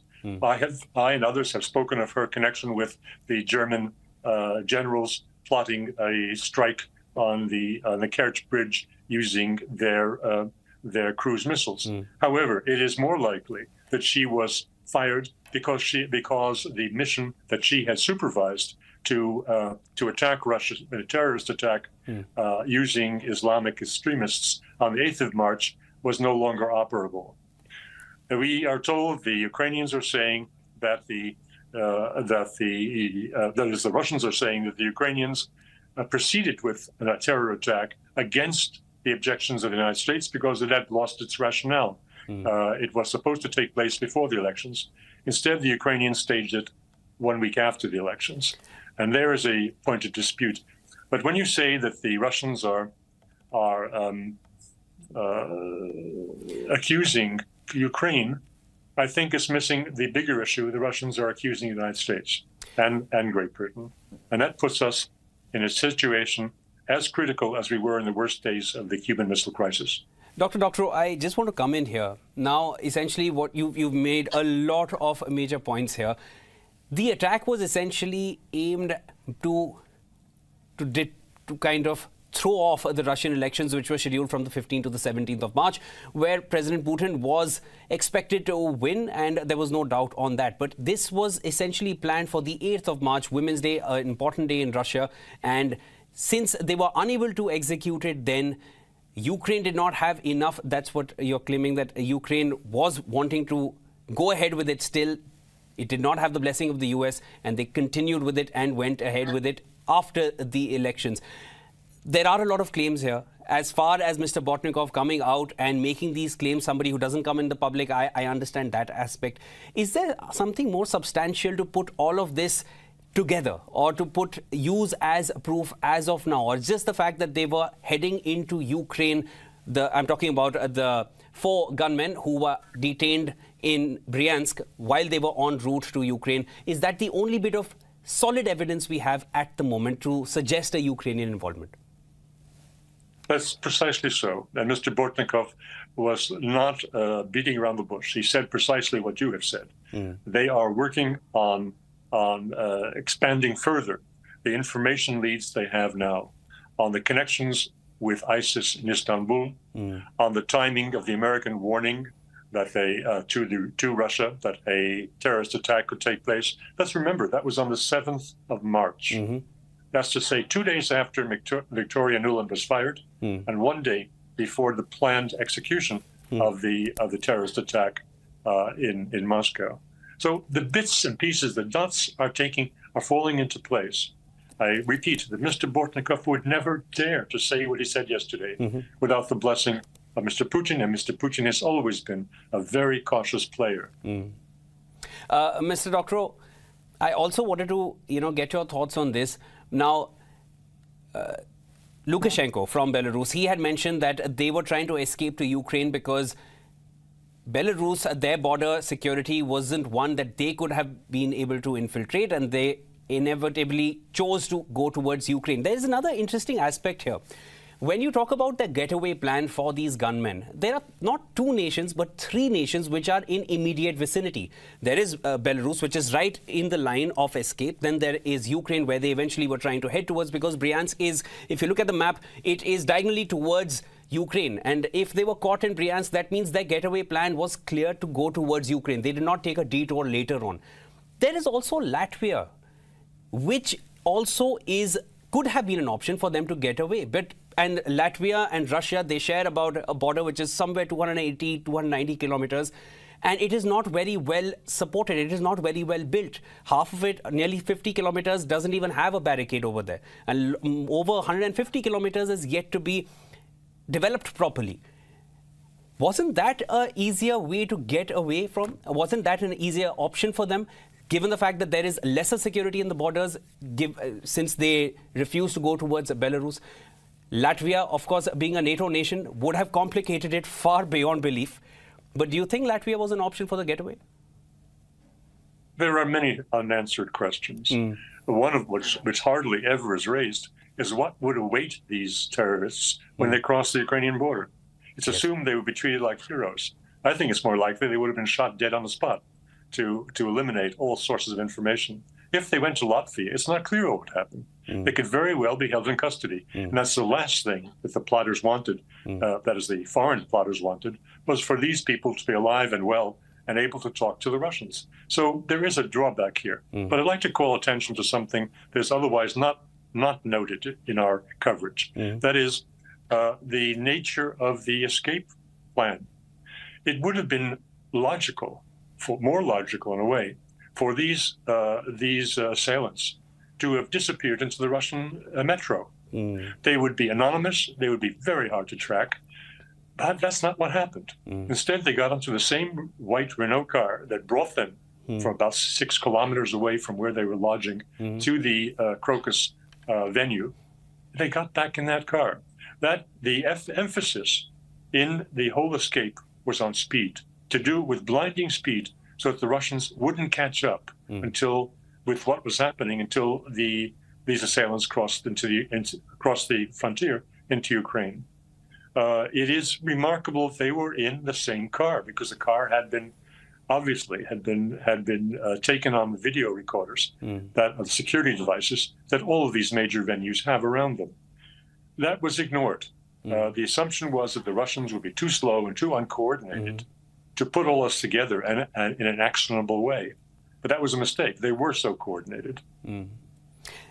Dr. Doctorow, of course, the most pertinent question at the moment, put, among the many other pertinent questions, how do you feel this is going to impact the ongoing war in Ukraine? disastrously for Ukraine, and I hope not disastrously for us.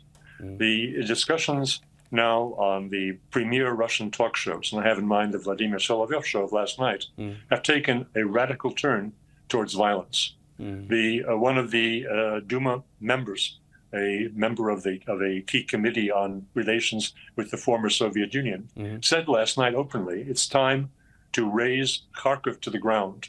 We should give Kharkov is where the terrorist attacks. The Russians call them terrorist attacks. Mm-hmm. They're, they are missile and artillery attacks, and um, also border incursions on the Bel- Belgorod frontier mm-hmm. region of Russia. They're coming from Kharkiv. They are intolerable. Dozens of Russian civilians are being killed each week, and that makes very bad news on Russian television. Mm-hmm. And the there are patriots who say, "Time to finish this." The Ukrainians are no longer our friends. They never again will be our friends. And it's time to give a notice to Kharkiv that everyone should get in their car, mm. pack their cars, and head west because we're going to level Kharkiv to the ground. And that language did not exist mm. until after this terrorist event. There's also talk yesterday on the on the Solovyov show. It's time to flatten the presidential palace in, in Kiev. Time to flatten all of the decision-making, military and civilian institutions in, in Kiev. That violent language did not take place until now. All right, uh, that was Dr. Gilbert Doctorow sharing a lot of insights on us. He's a keen professional Russia watcher and, of course, has a lot of insights on things that most media houses are not discussing at the moment. There is a perspective which does not make it to the rest of the world, and that is what we are bringing to you right here on WION World is One. Thank you so much for your time, Doctor. Thanks for the invitation. A prolonged war against Russia and delayed shipments from the West have unknowingly pushed, given a push to Ukraine's indigenous weapons industry. Now, before February 2022, Ukraine made practically no weapons of its own. They were all purchased from its allies. But now, two years into this war, Kiev is relying increasingly on its own ammunitions that it is manufacturing.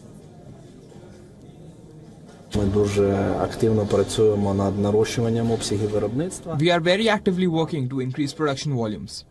We communicate with the customers on a daily basis so we understand the impact that this equipment has on the course of the battle, on the course of the war, Every day we understand the needs, what we need to do and how it affects our servicemen. Бою на хід війни ми щоденно розуміємо там потреби. The factories are churning out shells, mortar rounds, military vehicles, missiles and other items for the war effort. Indigenous production has tripled in 2023 in comparison to the year before and a six-fold increase is being projected for the current year.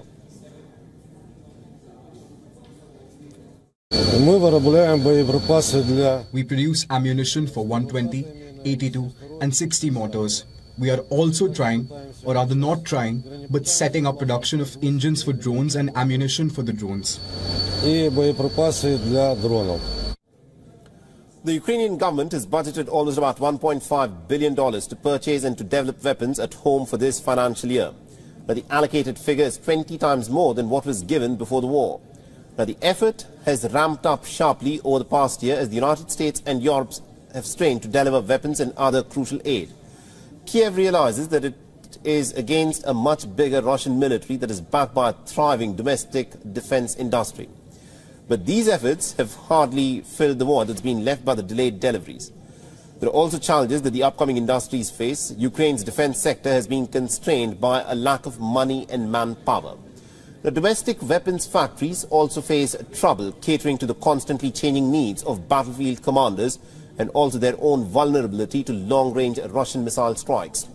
Now, experts say that the country actually needs a more robust private sector which can help root out inefficiencies and enable factories to churn out weapons and ammunition even faster.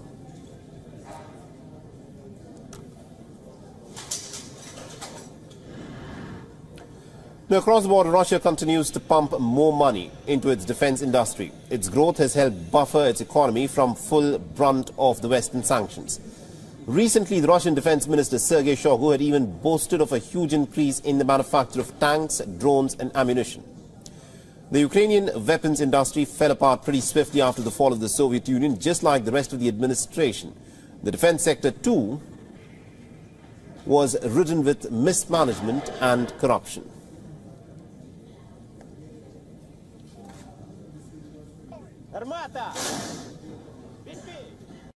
Vladimir Putin told Russian military pilots that if Western nations supply Ukraine with the F-16s, the fighter jets will not alter the situation on the battlefield.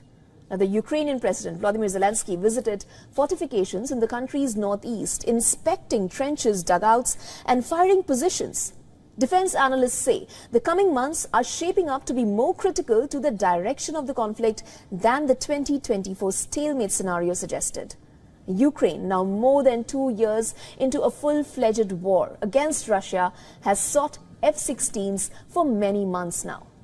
Belgium, Denmark, Norway and the Netherlands are among countries which have pledged to donate F-16s. A coalition of countries has promised to help train Ukrainian pilots in their use.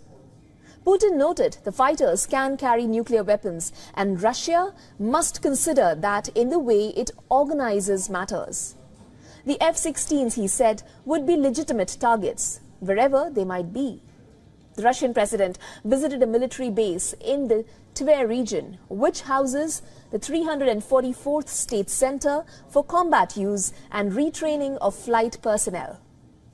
Putin was seen walking with officers and inspecting new helicopter systems and missiles.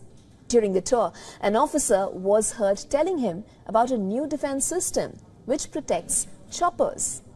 Putin also shown was also shown, in fact, the X-39 missile, a multi-purpose projectile that allows the military to operate against armored vehicles and in fortified areas.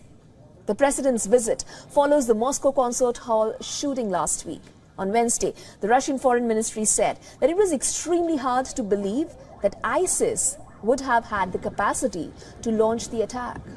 In fact, spokesperson Maria Zakharova repeated Moscow's assertions for which it has not yet provided evidence that Ukraine was behind the attack on the Crocus City Hall. Ukraine has stepped up construction of fortifications in recent months as it shifts its military operations against Russia to a more defensive footing. The defenses aim to help Ukraine weather assaults while regenerating its forces as Moscow takes the battlefield initiative. Zelensky said earlier that work on defensive constructions need to be accelerated around Donetsk towns and in regions of Kharkiv, Sumy, Chernihiv, Kiev, Rivne and Volyn. Those regions stretch all the way up from Ukraine's east along the border with Russia and Belarus to its western ally, Poland. During his trip to Sumy region, Zelensky also paid a visit to Ukrainian, Ukrainian soldiers treated at the military hospitals and awarded medals. On Wednesday, Zelensky replaced one of the country's top security officials with the head of Ukraine's foreign spy agency. He dismissed Oleksiy Danilov, who served as Secretary of the National Security and Defense Council, and thanked him for his service. He gave no reason for the shake-up and said, without providing details, that Danilov would be reassigned to another area. заступником секретаря Ради національної безпеки і оборони України та директором Національного інституту стратегічних досліджень. Литвиненко, доктор політичних наук, професор, заслужений діяч наук. A prolonged war against Russia and delayed shipments from the West have unknowingly given a push to Ukraine's indigenous weapons industry. Now, before February of 2022, Ukraine made practically no weapons of its own. They were all bought from its allies. But now, two years into the conflict, Kyiv is increasingly relying on its own for replenishing ammunitions. We are very actively working to increase production volumes. We communicate with the customers on a daily basis so we understand the impact that this equipment has on the course of the battle, on the course of the war. Every day we understand the needs, what we need to do and how it affects our servicemen. Бою на хід війни ми щоденно розуміємо там потреби. Now, factories are churning out shells, mortar rounds, military vehicles, missiles and other items crucial to the war effort. Indigenous production tripled in 2023 as compared to the year before, and a six-fold increase has been projected for the current year.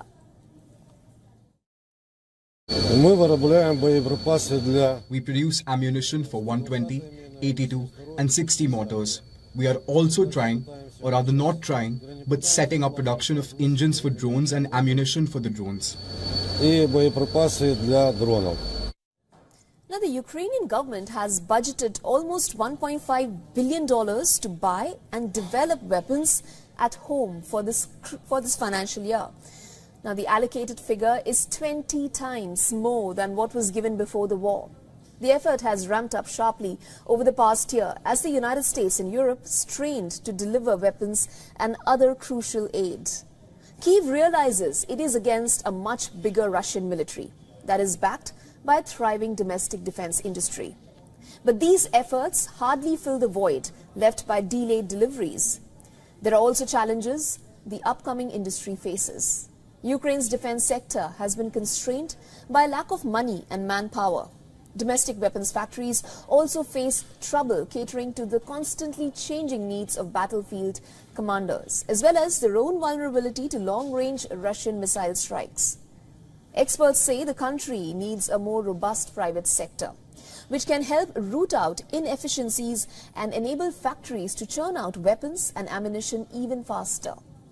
Across the border, Russia continues to pump more money into its defense industry. Its growth has helped buffer its economy from the full brunt of Western sanctions. Recently, Russian Defense Minister Sergei Shoigu even boasted of huge increases in the manufacture of tanks, drones and ammunition. Ukrainian weapons industry fell apart swiftly after the fall of the Soviet Union. And just like the rest of the administration, the defense sector too war-ridden with mismanagement and corruption.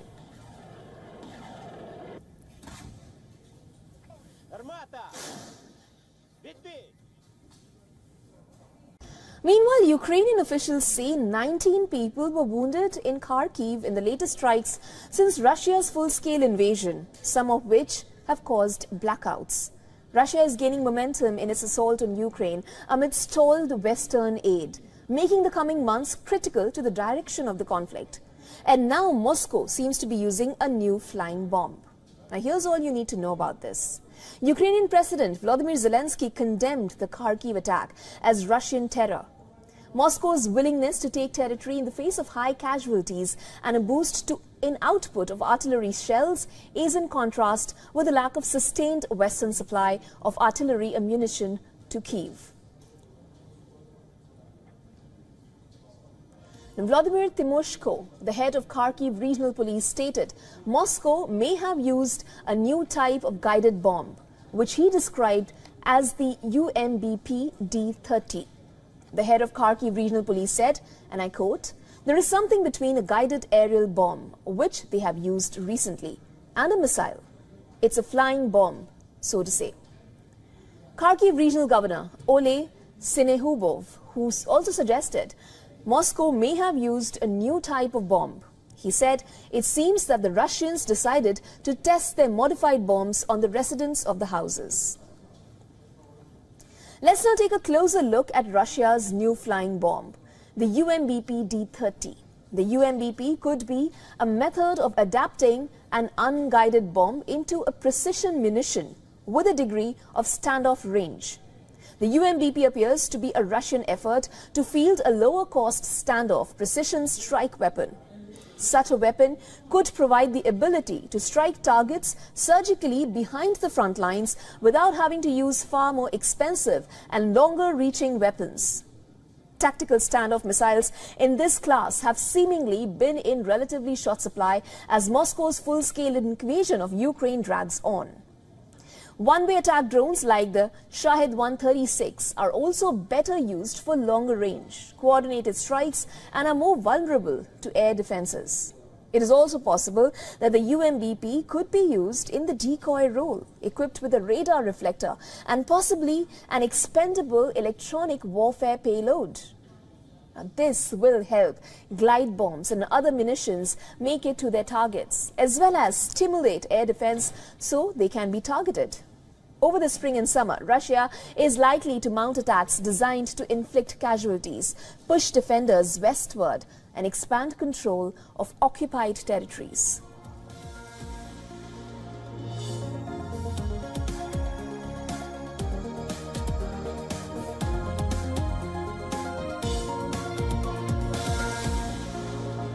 Ukrainian foreign minister has arrived in India for a two-day visit.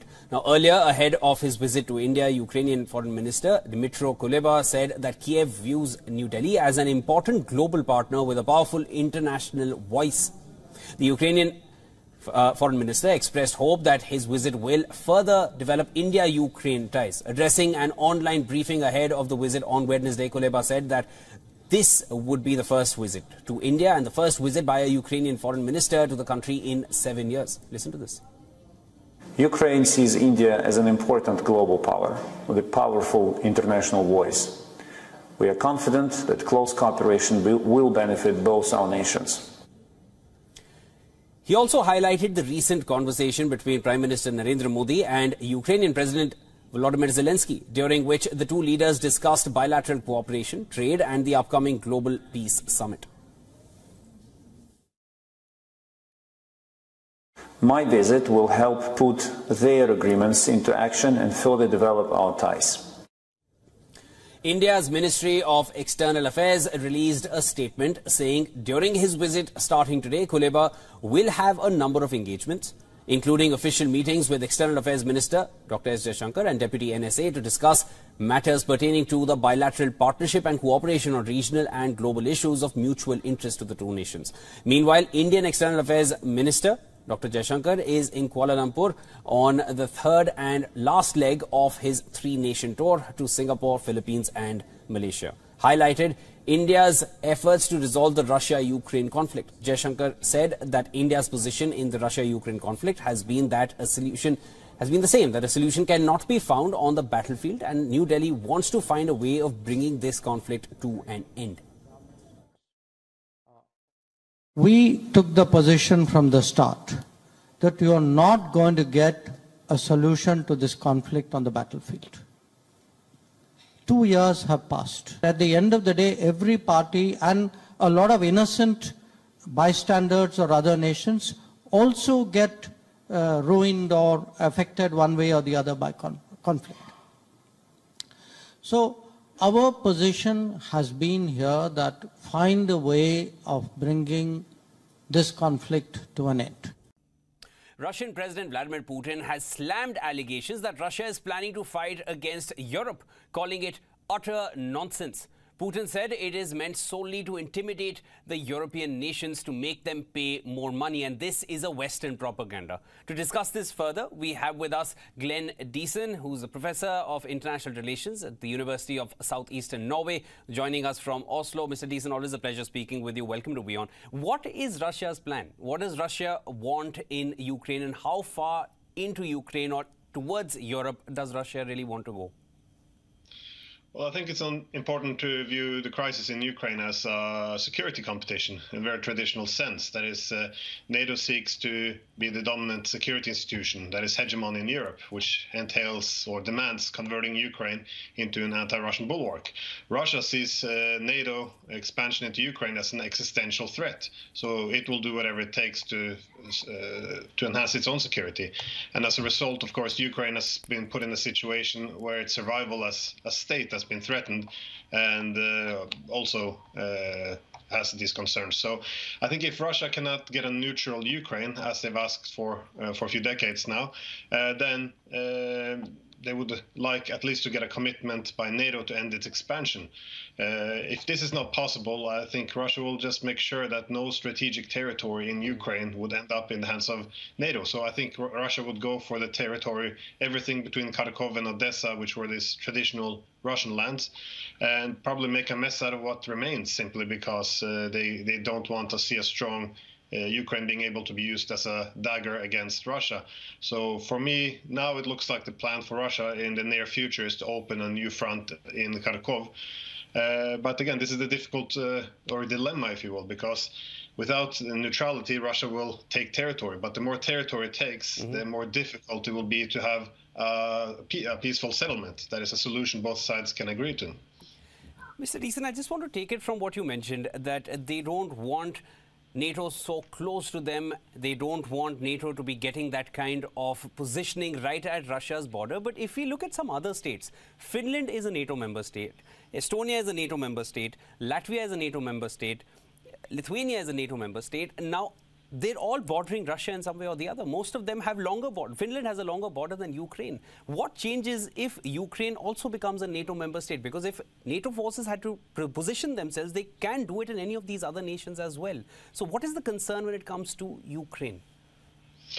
Well, the concern is that the Ukraine is uh, is being used will be used as a front line against Russia. That is to use Ukrainians to fight Russia because there's an internal dilemma or internal division within Ukraine. That is a large part of the population in the West are very anti-Russian, in the East they're very pro-Russian. Now, mm. if you're able to support the anti-Russian segment, you can you can uh, create a natural uh, bulwark against Russia. Now, the, the, what's different with Ukraine is, uh, unlike uh, Estonia, with uh, I think one and a half million million people.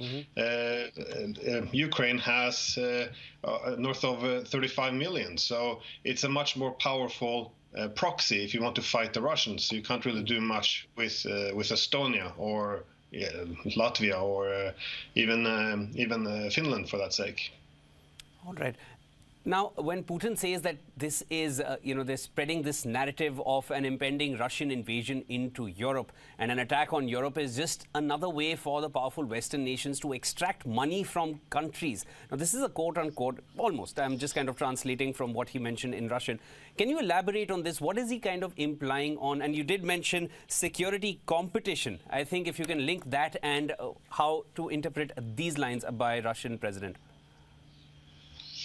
Well, I, I don't think. Uh, well, this argument is always that uh, Russia's preparing to attack Europe. There's no, there's no, uh, there's no uh, purpose behind this. And as he always, uh, well, as he also said, I think it's uh, yeah, probably he's correct that it's aimed to merely support Western public to continue funding the war. It's, it's, the same rhetoric as we had before. That is, we have to fight them over there, otherwise we have to fight them here.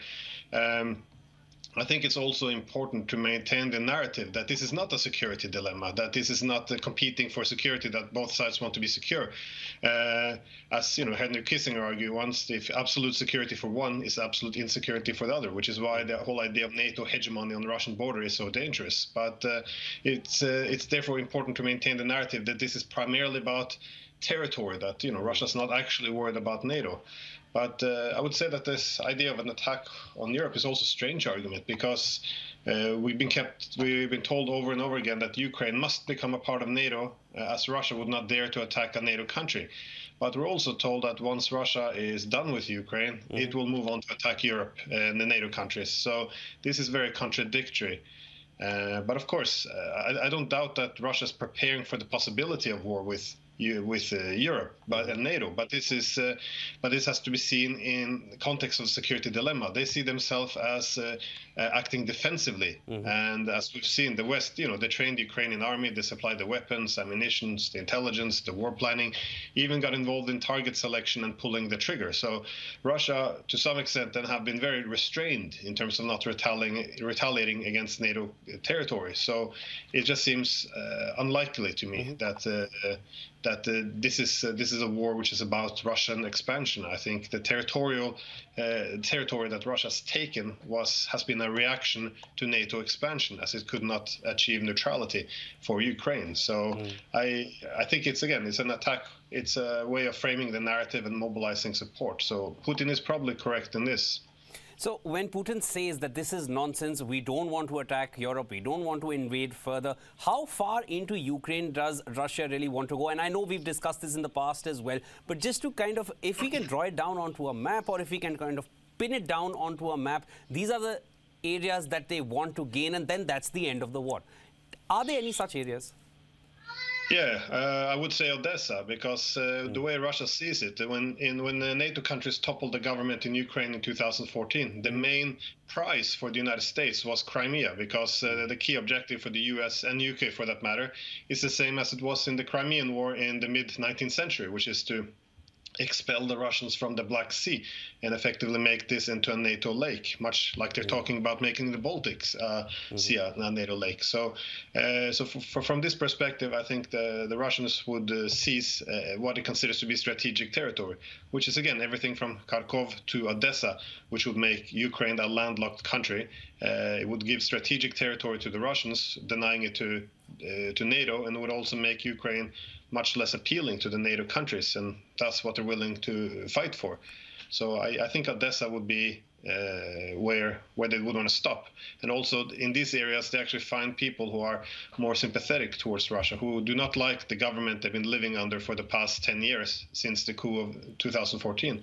Now, if the Russians go into Western Ukraine, they, they, they, can't find a single person there probably who wants uh, to be a part of the Russian Federation. So mm. it's, it's it's impossible to hold. It has little purpose to hold. Mm. Uh, so I think they simply want to retake the traditional territory of which was Russian uh, before you know it was transferred to the Soviet Union. Sorry, to Soviet uh, uh, Ukraine, and uh, that's probably where they would stop. So Kiev is not on the radar. Odessa essentially gaining some kind of foothold on the port region. That is, and uh, obviously so that they ensure that they maintain a share in the Black Sea. I think that is, as per you, that is what Russia is aiming to gain. And once they gain that and they maintain it and they call it their territory, as long as they get that, that should be the end of the war, at least from the Russian side. Uh, well, Kiev, I'm not sure about. Uh, I, I, don't think they can. I don't think they will accept having the current government in Kiev because it's seen as working uh, as, as being too anti-Russian. That it's being positioned as uh, as a dagger against Russia. So uh, I think that the main objective is still now, as they express more and more clearly, to have regime change. Mm. That is to remove the government which uh, which came into power as a result of uh, the 2014 coup. The problem for Russia is, though, since the war, uh, a lot of Ukrainians, for good reasons, have now developed a lot of animosity towards Russia. So if you have any democratic election now in uh, Ukraine, uh, they will probably end up with a very anti-Russian government, yes. anyways. So uh, Russia, in this sense, have painted itself into a corner, which is uh, one of the um, one of the, yeah, the dangerous consequences of this war as well. That it's it's, it's, it's unclear what can be do what what can be done now. And definitely after the deadly attack on Moscow recently, and Russia has made it clear that they see US, UK and Ukraine behind that attack, regardless of the claims made by the Islamic State, Khorasan region, or what US is saying regarding the Islamic State's involvement. You, uh, Russia has made it clear that they see Ukraine behind that attack. No proof has been given for it, but they've made that statement out there. That is definitely going to have an impact on the ongoing war and the onslaught of uh, Ukraine as it still continues. That was uh, Glenn Diesen joining us, is the international relations professor of international relations, joining us from Oslo. Thank you so much for your time, sir. my pleasure, Sean. Meanwhile, Russian President Vladimir Putin told Russian military pilots that if Western nations supply Ukraine with F-16s, the fighter jets will not alter the situation on the battlefield. Ukrainian President Volodymyr Zelensky visited fortifications in the country's northeast, inspecting trenches, dugouts and firing positions. Defense experts say that the coming months are shaping up to be more critical to the direction of the war than the 2024 stalemate scenario suggested. Ukraine now, more than two years into a full-fledged war against Russia, has sought F-16s for many months. Belgium, Denmark, Norway and the Netherlands are among countries which have pledged to donate F-16s.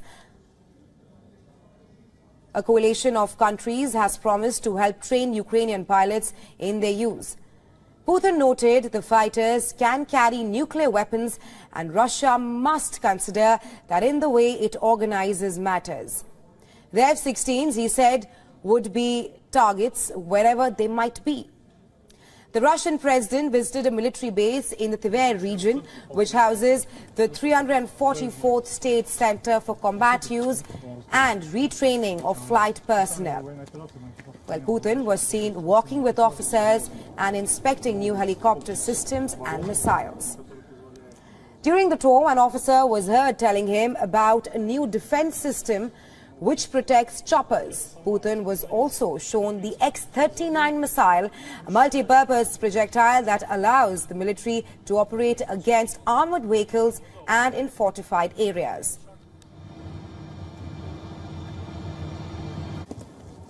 Академии мы подготовка 344 центра полковника Рамушкина. Здравия желаю. Разрешите? Я вам расскажу.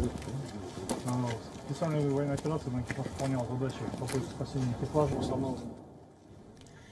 Now, the Russian president's visit follows the Moscow concert hall shooting last week. On Wednesday, the Russian Foreign Ministry said that it was extremely hard to believe that ISIS would have had the capacity to launch the attack. Spokesperson Maria Zakharova repeated Moscow's assertions for which it has not yet provided evidence that Ukraine was behind the attack on the Crocus City Hall. Ukraine has stepped up construction of fortifications in recent months as it shifts its military operations against Russia to a more defensive footing.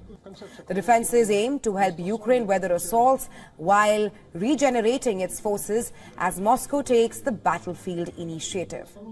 Zelensky had earlier said that work on defensive constructions that needs to be increased around Donetsk regions and in regions of Kharkiv, Chernihiv, Kiev and Volyn.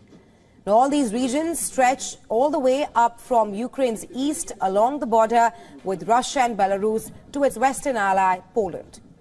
During his trip to Sumy region, Zelensky also paid a visit to Ukrainian soldiers treated at the military hospital and awarded them medals.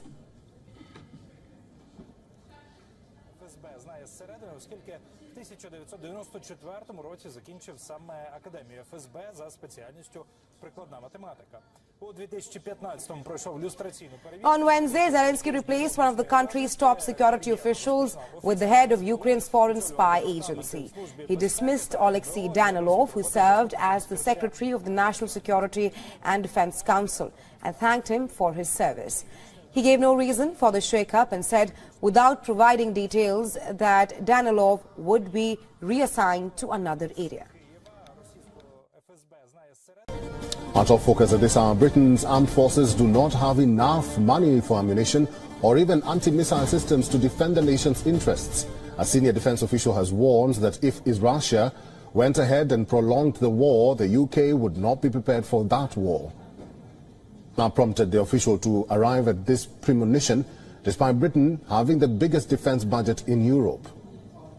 Well, in a year-long review the, by the Commons Defense Committee, it was explained that the government will never achieve war fighting or strategic readiness without urgent reforms. These reforms will help Britain reverse the recruitment crisis and dramatically boost UK's stockpile of weapons and ammunition. The committee discovered that more people were leaving the British forces than joining them. A Ministry of Defense spokesperson said that increasing recruitment and improving retention across the services was a top priority. So amid increasing pressure on defense spending, the committee discovered that at least 1.9 billion pounds, which is over 2.4 million US dollars of funding, may now be used to plug shortfalls in defense rather than to replenish and boost stockpiles. British government figures released in January also found that almost 30,000 troops are medically unfit for combat operations due to physical injuries and mental health issues. The problem is even bigger in the British Army, where only 53,000 troops out of a total of around 75,000 personnel are currently fully fit for frontline operations. That means that 30% of all troops in the army, or 3 in 10 soldiers, would not be fully fit to fight in a conflict at the moment. United Kingdom's defence spending crisis comes after UK's Secretary of Defence, Grant Shapps, spoke with members of parliament. Shapps said that he had lobbied Prime Minister Rishi Sunak and Chancellor Jeremy Hunt for more money to be spent on defence in the recent budget. However, Shapps failed to secure the increase that he was seeking.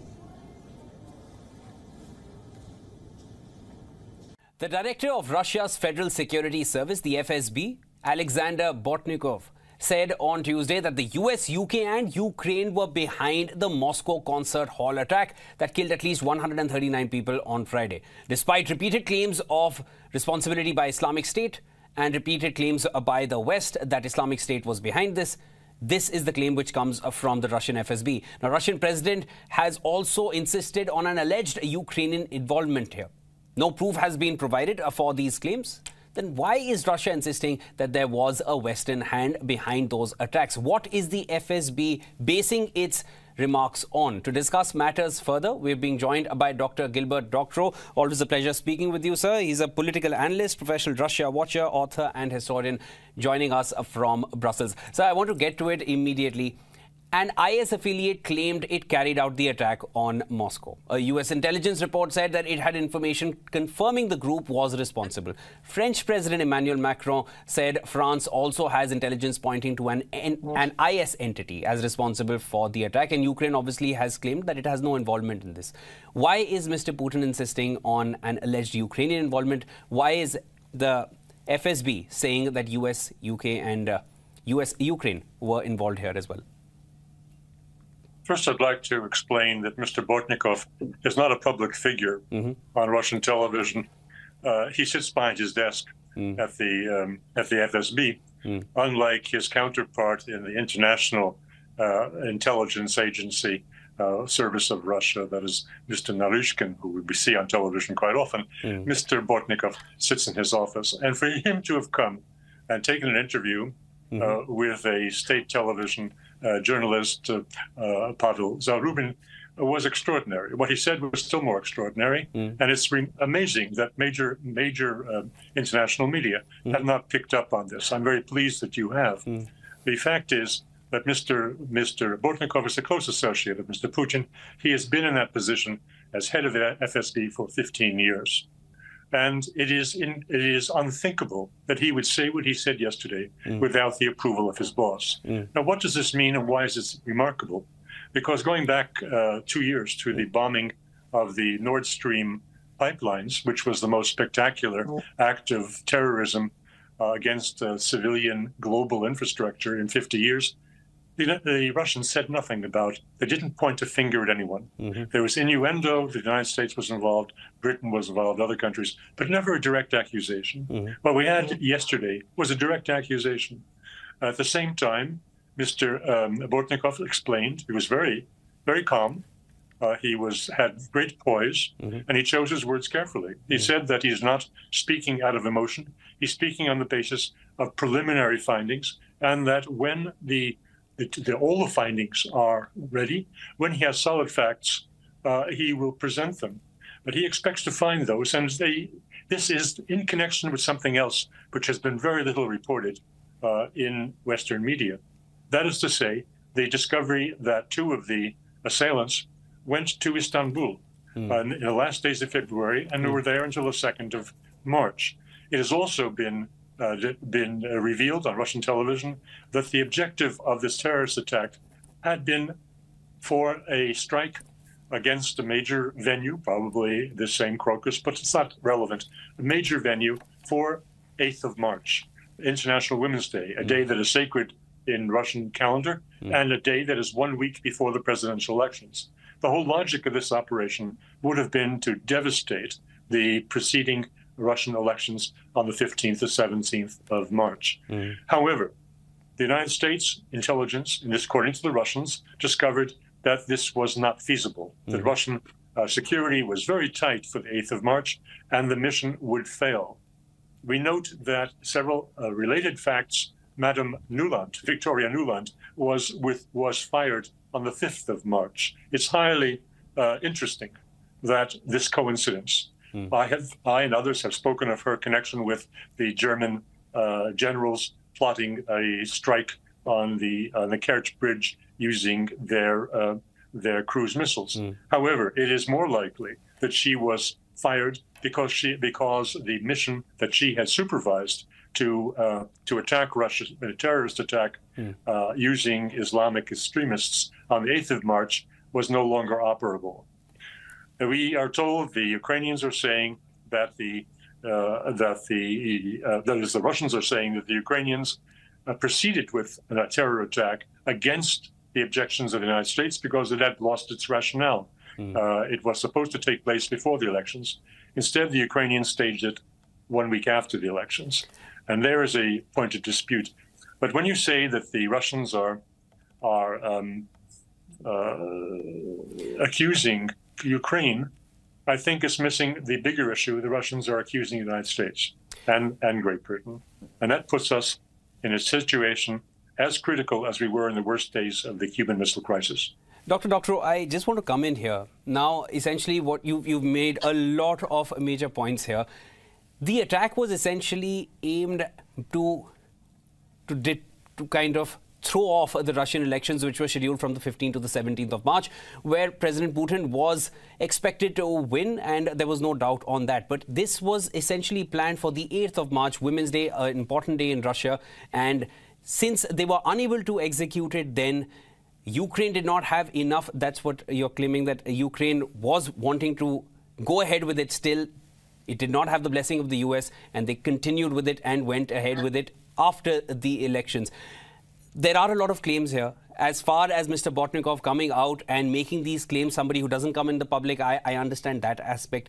Is there something more substantial to put all of this together or to put use as proof as of now or just the fact that they were heading into ukraine the i'm talking about uh, the four gunmen who were detained in bryansk while they were en route to ukraine is that the only bit of solid evidence we have at the moment to suggest a ukrainian involvement That's precisely so. And Mr. Bortnikov was not uh, beating around the bush. He said precisely what you have said. Mm. They are working on on uh, expanding further the information leads they have now on the connections with ISIS in Istanbul, Mm. on the timing of the American warning that they uh, to the, to Russia that a terrorist attack could take place. Let's remember that was on the seventh of March. That's to say, two days after Victor- Victoria Nuland was fired, Mm. and one day before the planned execution of the of the terrorist attack uh, in in Moscow. So the bits and pieces, the dots are taking are falling into place.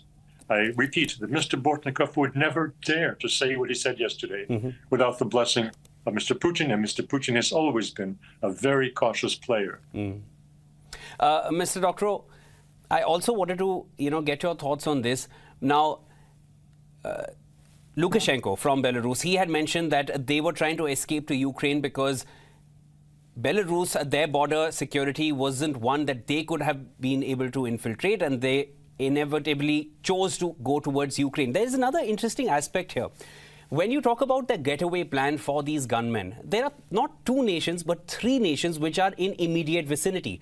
There is uh, Belarus, which is right in the line of escape. Then there is Ukraine, where they eventually were trying to head towards because Bryansk is, if you look at the map, it is diagonally towards Ukraine. And if they were caught in Bryansk, that means their getaway plan was clear to go towards Ukraine. They did not take a detour later on.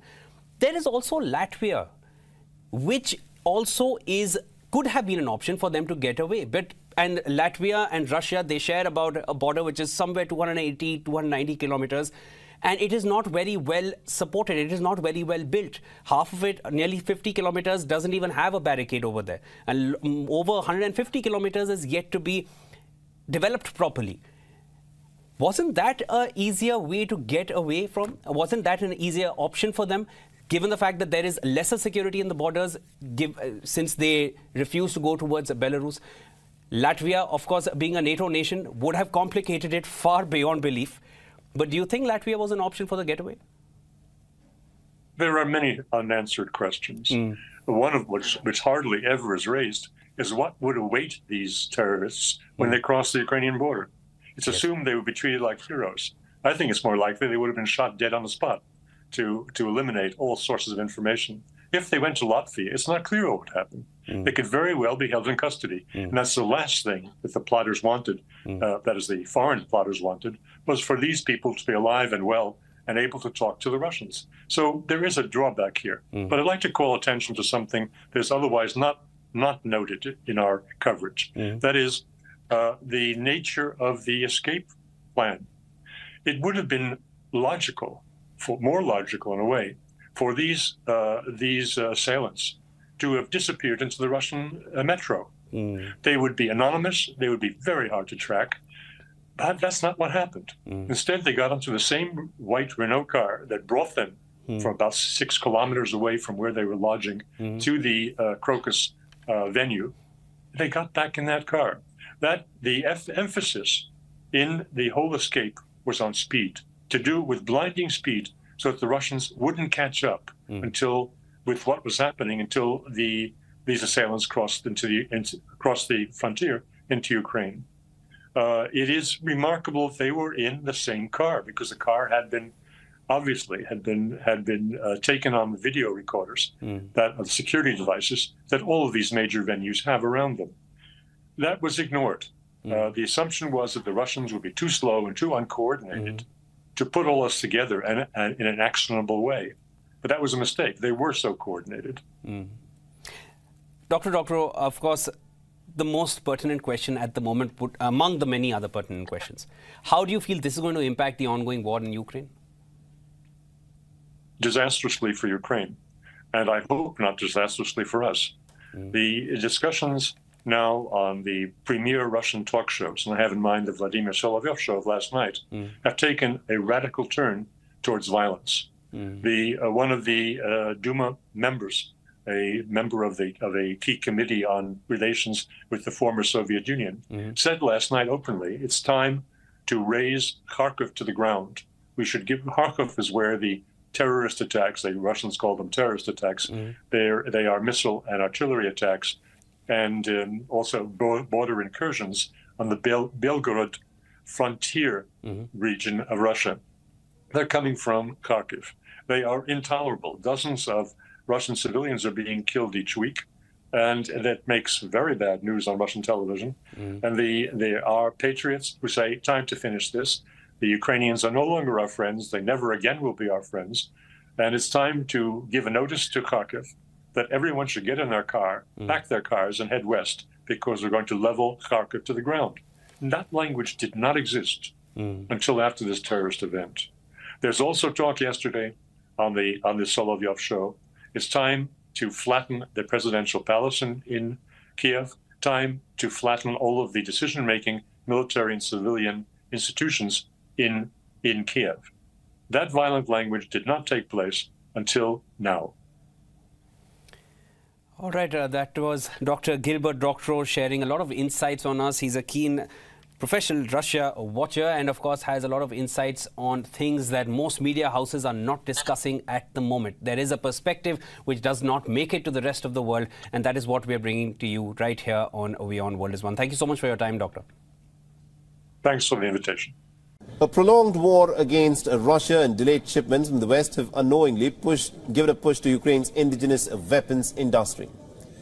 Now, before February 2022, Ukraine made practically no weapons of its own. They were all purchased from its allies. But now, two years into this war, Kiev is relying increasingly on its own ammunitions that it is manufacturing.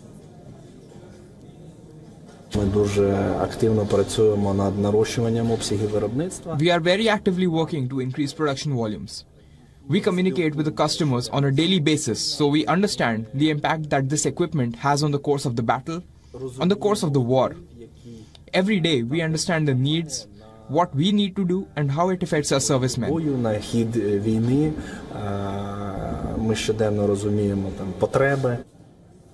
The factories are churning out shells, mortar rounds, military vehicles, missiles, and other items for the war effort. Indigenous production has tripled in 2023 in comparison to the year before, and a six fold increase is being projected for the current year.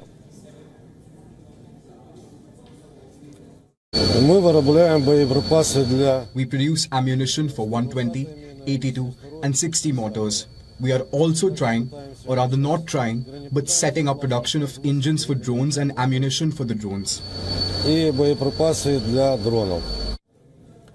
Ukrainian government has budgeted almost about $1.5 billion to purchase and to develop weapons at home for this financial year. But the allocated figure is 20 times more than what was given before the war. Now, the effort has ramped up sharply over the past year as the United States and Europe have strained to deliver weapons and other crucial aid. Kiev realizes that it is against a much bigger Russian military that is backed by a thriving domestic defense industry. But these efforts have hardly filled the void that's been left by the delayed deliveries. There are also challenges that the upcoming industries face. Ukraine's defense sector has been constrained by a lack of money and manpower.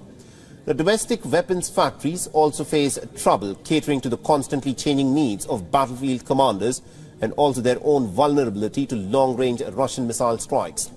Now, experts say that the country actually needs a more robust private sector which can help root out inefficiencies and enable factories to churn out weapons and ammunition even faster.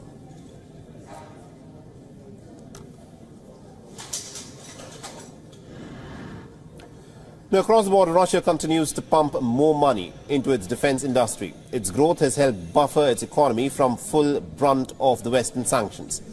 Recently, the Russian Defense Minister Sergei Shoigu had even boasted of a huge increase in the manufacture of tanks, drones and ammunition. The Ukrainian weapons industry fell apart pretty swiftly after the fall of the Soviet Union, just like the rest of the administration. The defense sector, too, was ridden with mismanagement and corruption.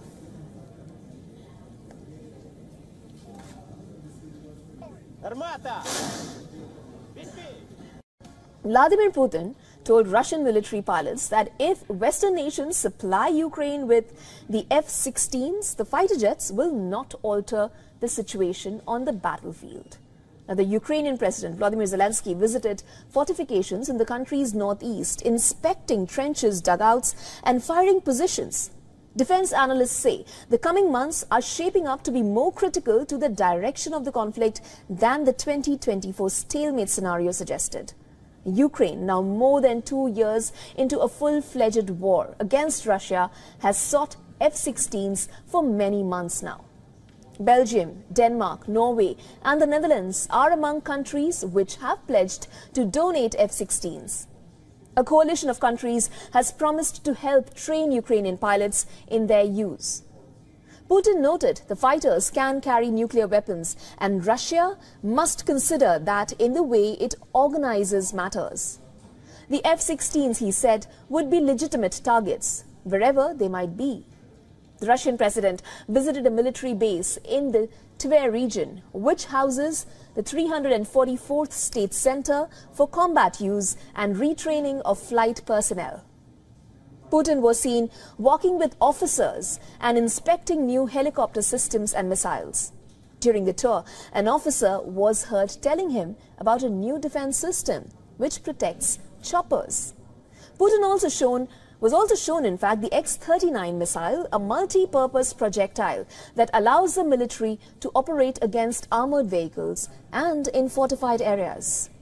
The president's visit follows the Moscow Concert Hall shooting last week. On Wednesday, the Russian Foreign Ministry said that it was extremely hard to believe that ISIS would have had the capacity to launch the attack.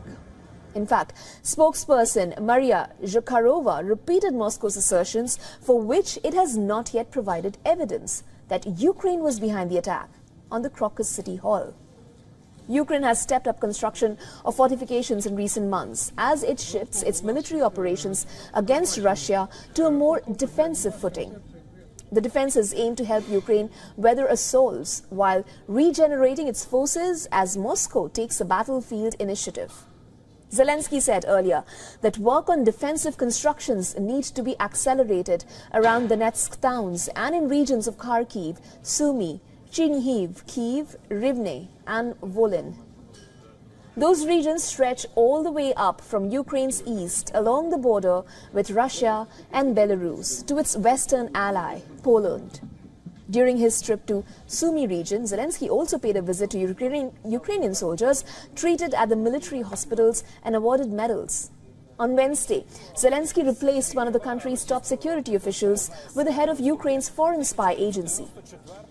He dismissed Oleksiy Danilov, who served as Secretary of the National Security and Defense Council, and thanked him for his service. He gave no reason for the shakeup and said, without providing details, that Danilov would be reassigned to another area. заступником секретаря Ради національної безпеки і оборони України та директором Національного інституту стратегічних досліджень. Литвиненко, доктор політичних наук, професор, заслужений діяч наук. A prolonged war against Russia and delayed shipments from the West have unknowingly given a push to Ukraine's indigenous weapons industry. Now, before February of 2022, Ukraine made practically no weapons of its own. They were all bought from its allies. But now, two years into the conflict, Kyiv is increasingly relying on its own for replenishing ammunitions. We are very actively working to increase production volumes. We communicate with the customers on a daily basis, so we understand the impact that this equipment has on the course of the battle, on the course of the war. Every day, we understand the needs, what we need to do, and how it affects our servicemen.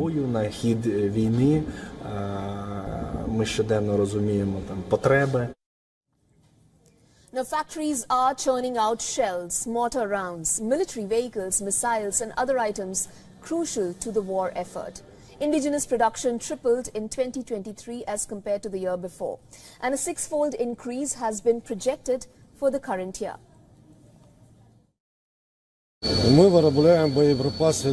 We produce ammunition for 120, 82 and 60 mortars. We are also trying, or rather not trying, but setting up production of engines for drones and ammunition for the drones. Now, the Ukrainian government has budgeted almost $1.5 billion to buy and develop weapons at home for this, for this financial year. Now, the allocated figure is 20 times more than what was given before the war. The effort has ramped up sharply over the past year as the United States and Europe strained to deliver weapons and other crucial aid. Kiev realizes it is against a much bigger Russian military that is backed by a thriving domestic defense industry. But these efforts hardly fill the void left by delayed deliveries. There are also challenges the upcoming industry faces. Ukraine's defense sector has been constrained by lack of money and manpower. Domestic weapons factories also face trouble catering to the constantly changing needs of battlefield commanders, as well as their own vulnerability to long-range Russian missile strikes. Experts say the country needs a more robust private sector, which can help root out inefficiencies and enable factories to churn out weapons and ammunition even faster. Across the border, Russia continues to pump more money into its defense industry. Its growth has helped buffer its economy from the full brunt of Western sanctions. Recently, Russian Defense Minister Sergei Shoigu even boasted of huge increases in the manufacture of tanks, drones and ammunition. Ukrainian weapons industry fell apart swiftly after the fall of the Soviet, Union. And just like the rest of the administration, the defense sector too war-ridden with mismanagement and corruption.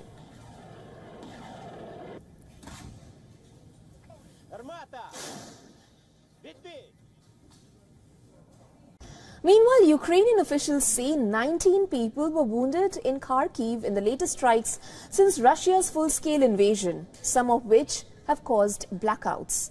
Russia is gaining momentum in its assault on Ukraine amid stalled Western aid, making the coming months critical to the direction of the conflict. And now Moscow seems to be using a new flying bomb. Now here's all you need to know about this. Ukrainian President Volodymyr Zelensky condemned the Kharkiv attack as Russian terror. Moscow's willingness to take territory in the face of high casualties and a boost to in output of artillery shells is in contrast with the lack of sustained Western supply of artillery ammunition to Kiev. Vladimir Timoshko, the head of Kharkiv Regional Police, stated Moscow may have used a new type of guided bomb, which he described as the UMBP D-30. The head of Kharkiv Regional Police said, and I quote, there is something between a guided aerial bomb, which they have used recently, and a missile. It's a flying bomb, so to say. Kharkiv Regional Governor Oleh Syniehubov, who also suggested Moscow may have used a new type of bomb. He said it seems that the Russians decided to test their modified bombs on the residents of the houses. Let's now take a closer look at Russia's new flying bomb, the UMBP D-30. The UMBP could be a method of adapting an unguided bomb into a precision munition with a degree of standoff range. The UMBP appears to be a Russian effort to field a lower-cost standoff precision strike weapon. Such a weapon could provide the ability to strike targets surgically behind the front lines without having to use far more expensive and longer-reaching weapons. Tactical standoff missiles in this class have seemingly been in relatively short supply as Moscow's full-scale invasion of Ukraine drags on. One-way attack drones like the Shahed 136 are also better used for longer range, coordinated strikes and are more vulnerable to air defenses. It is also possible that the UMBP could be used in the decoy role, equipped with a radar reflector and possibly an expendable electronic warfare payload. Now, this will help glide bombs and other munitions make it to their targets, as well as stimulate air defense so they can be targeted. Over the spring and summer, Russia is likely to mount attacks designed to inflict casualties, push defenders westward, and expand control of occupied territories.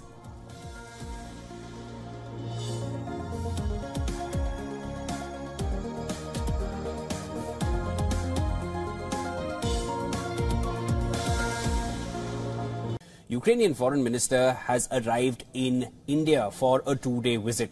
Now, earlier, ahead of his visit to India, Ukrainian foreign minister Dmytro Kuleba said that Kiev views New Delhi as an important global partner with a powerful international voice.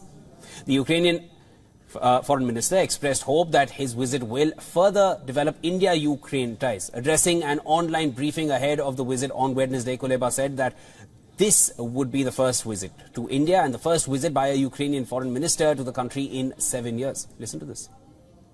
Ukraine sees India as an important global power with a powerful international voice. We are confident that close cooperation will, benefit both our nations. He also highlighted the recent conversation between Prime Minister Narendra Modi and Ukrainian President Volodymyr Zelensky, during which the two leaders discussed bilateral cooperation, trade and the upcoming Global Peace Summit. My visit will help put their agreements into action and further develop our ties. India's Ministry of External Affairs released a statement saying during his visit starting today, Kuleba will have a number of engagements, including official meetings with External Affairs Minister Dr. S. Jaishankar and Deputy NSA to discuss matters pertaining to the bilateral partnership and cooperation on regional and global issues of mutual interest to the two nations. Meanwhile, Indian External Affairs Minister Dr. Jaishankar is in Kuala Lumpur on the third and last leg of his three-nation tour to Singapore, Philippines and Malaysia. Highlighted India's efforts to resolve the Russia-Ukraine conflict. Jaishankar said that India's position in the Russia-Ukraine conflict has been that a solution has been the same, that a solution cannot be found on the battlefield and New Delhi wants to find a way of bringing this conflict to an end. We took the position from the start that you are not going to get a solution to this conflict on the battlefield. Two years have passed. At the end of the day, every party and a lot of innocent bystanders or other nations also get uh, ruined or affected one way or the other by con conflict. So our position has been here that find a way of bringing this conflict to an end. Russian President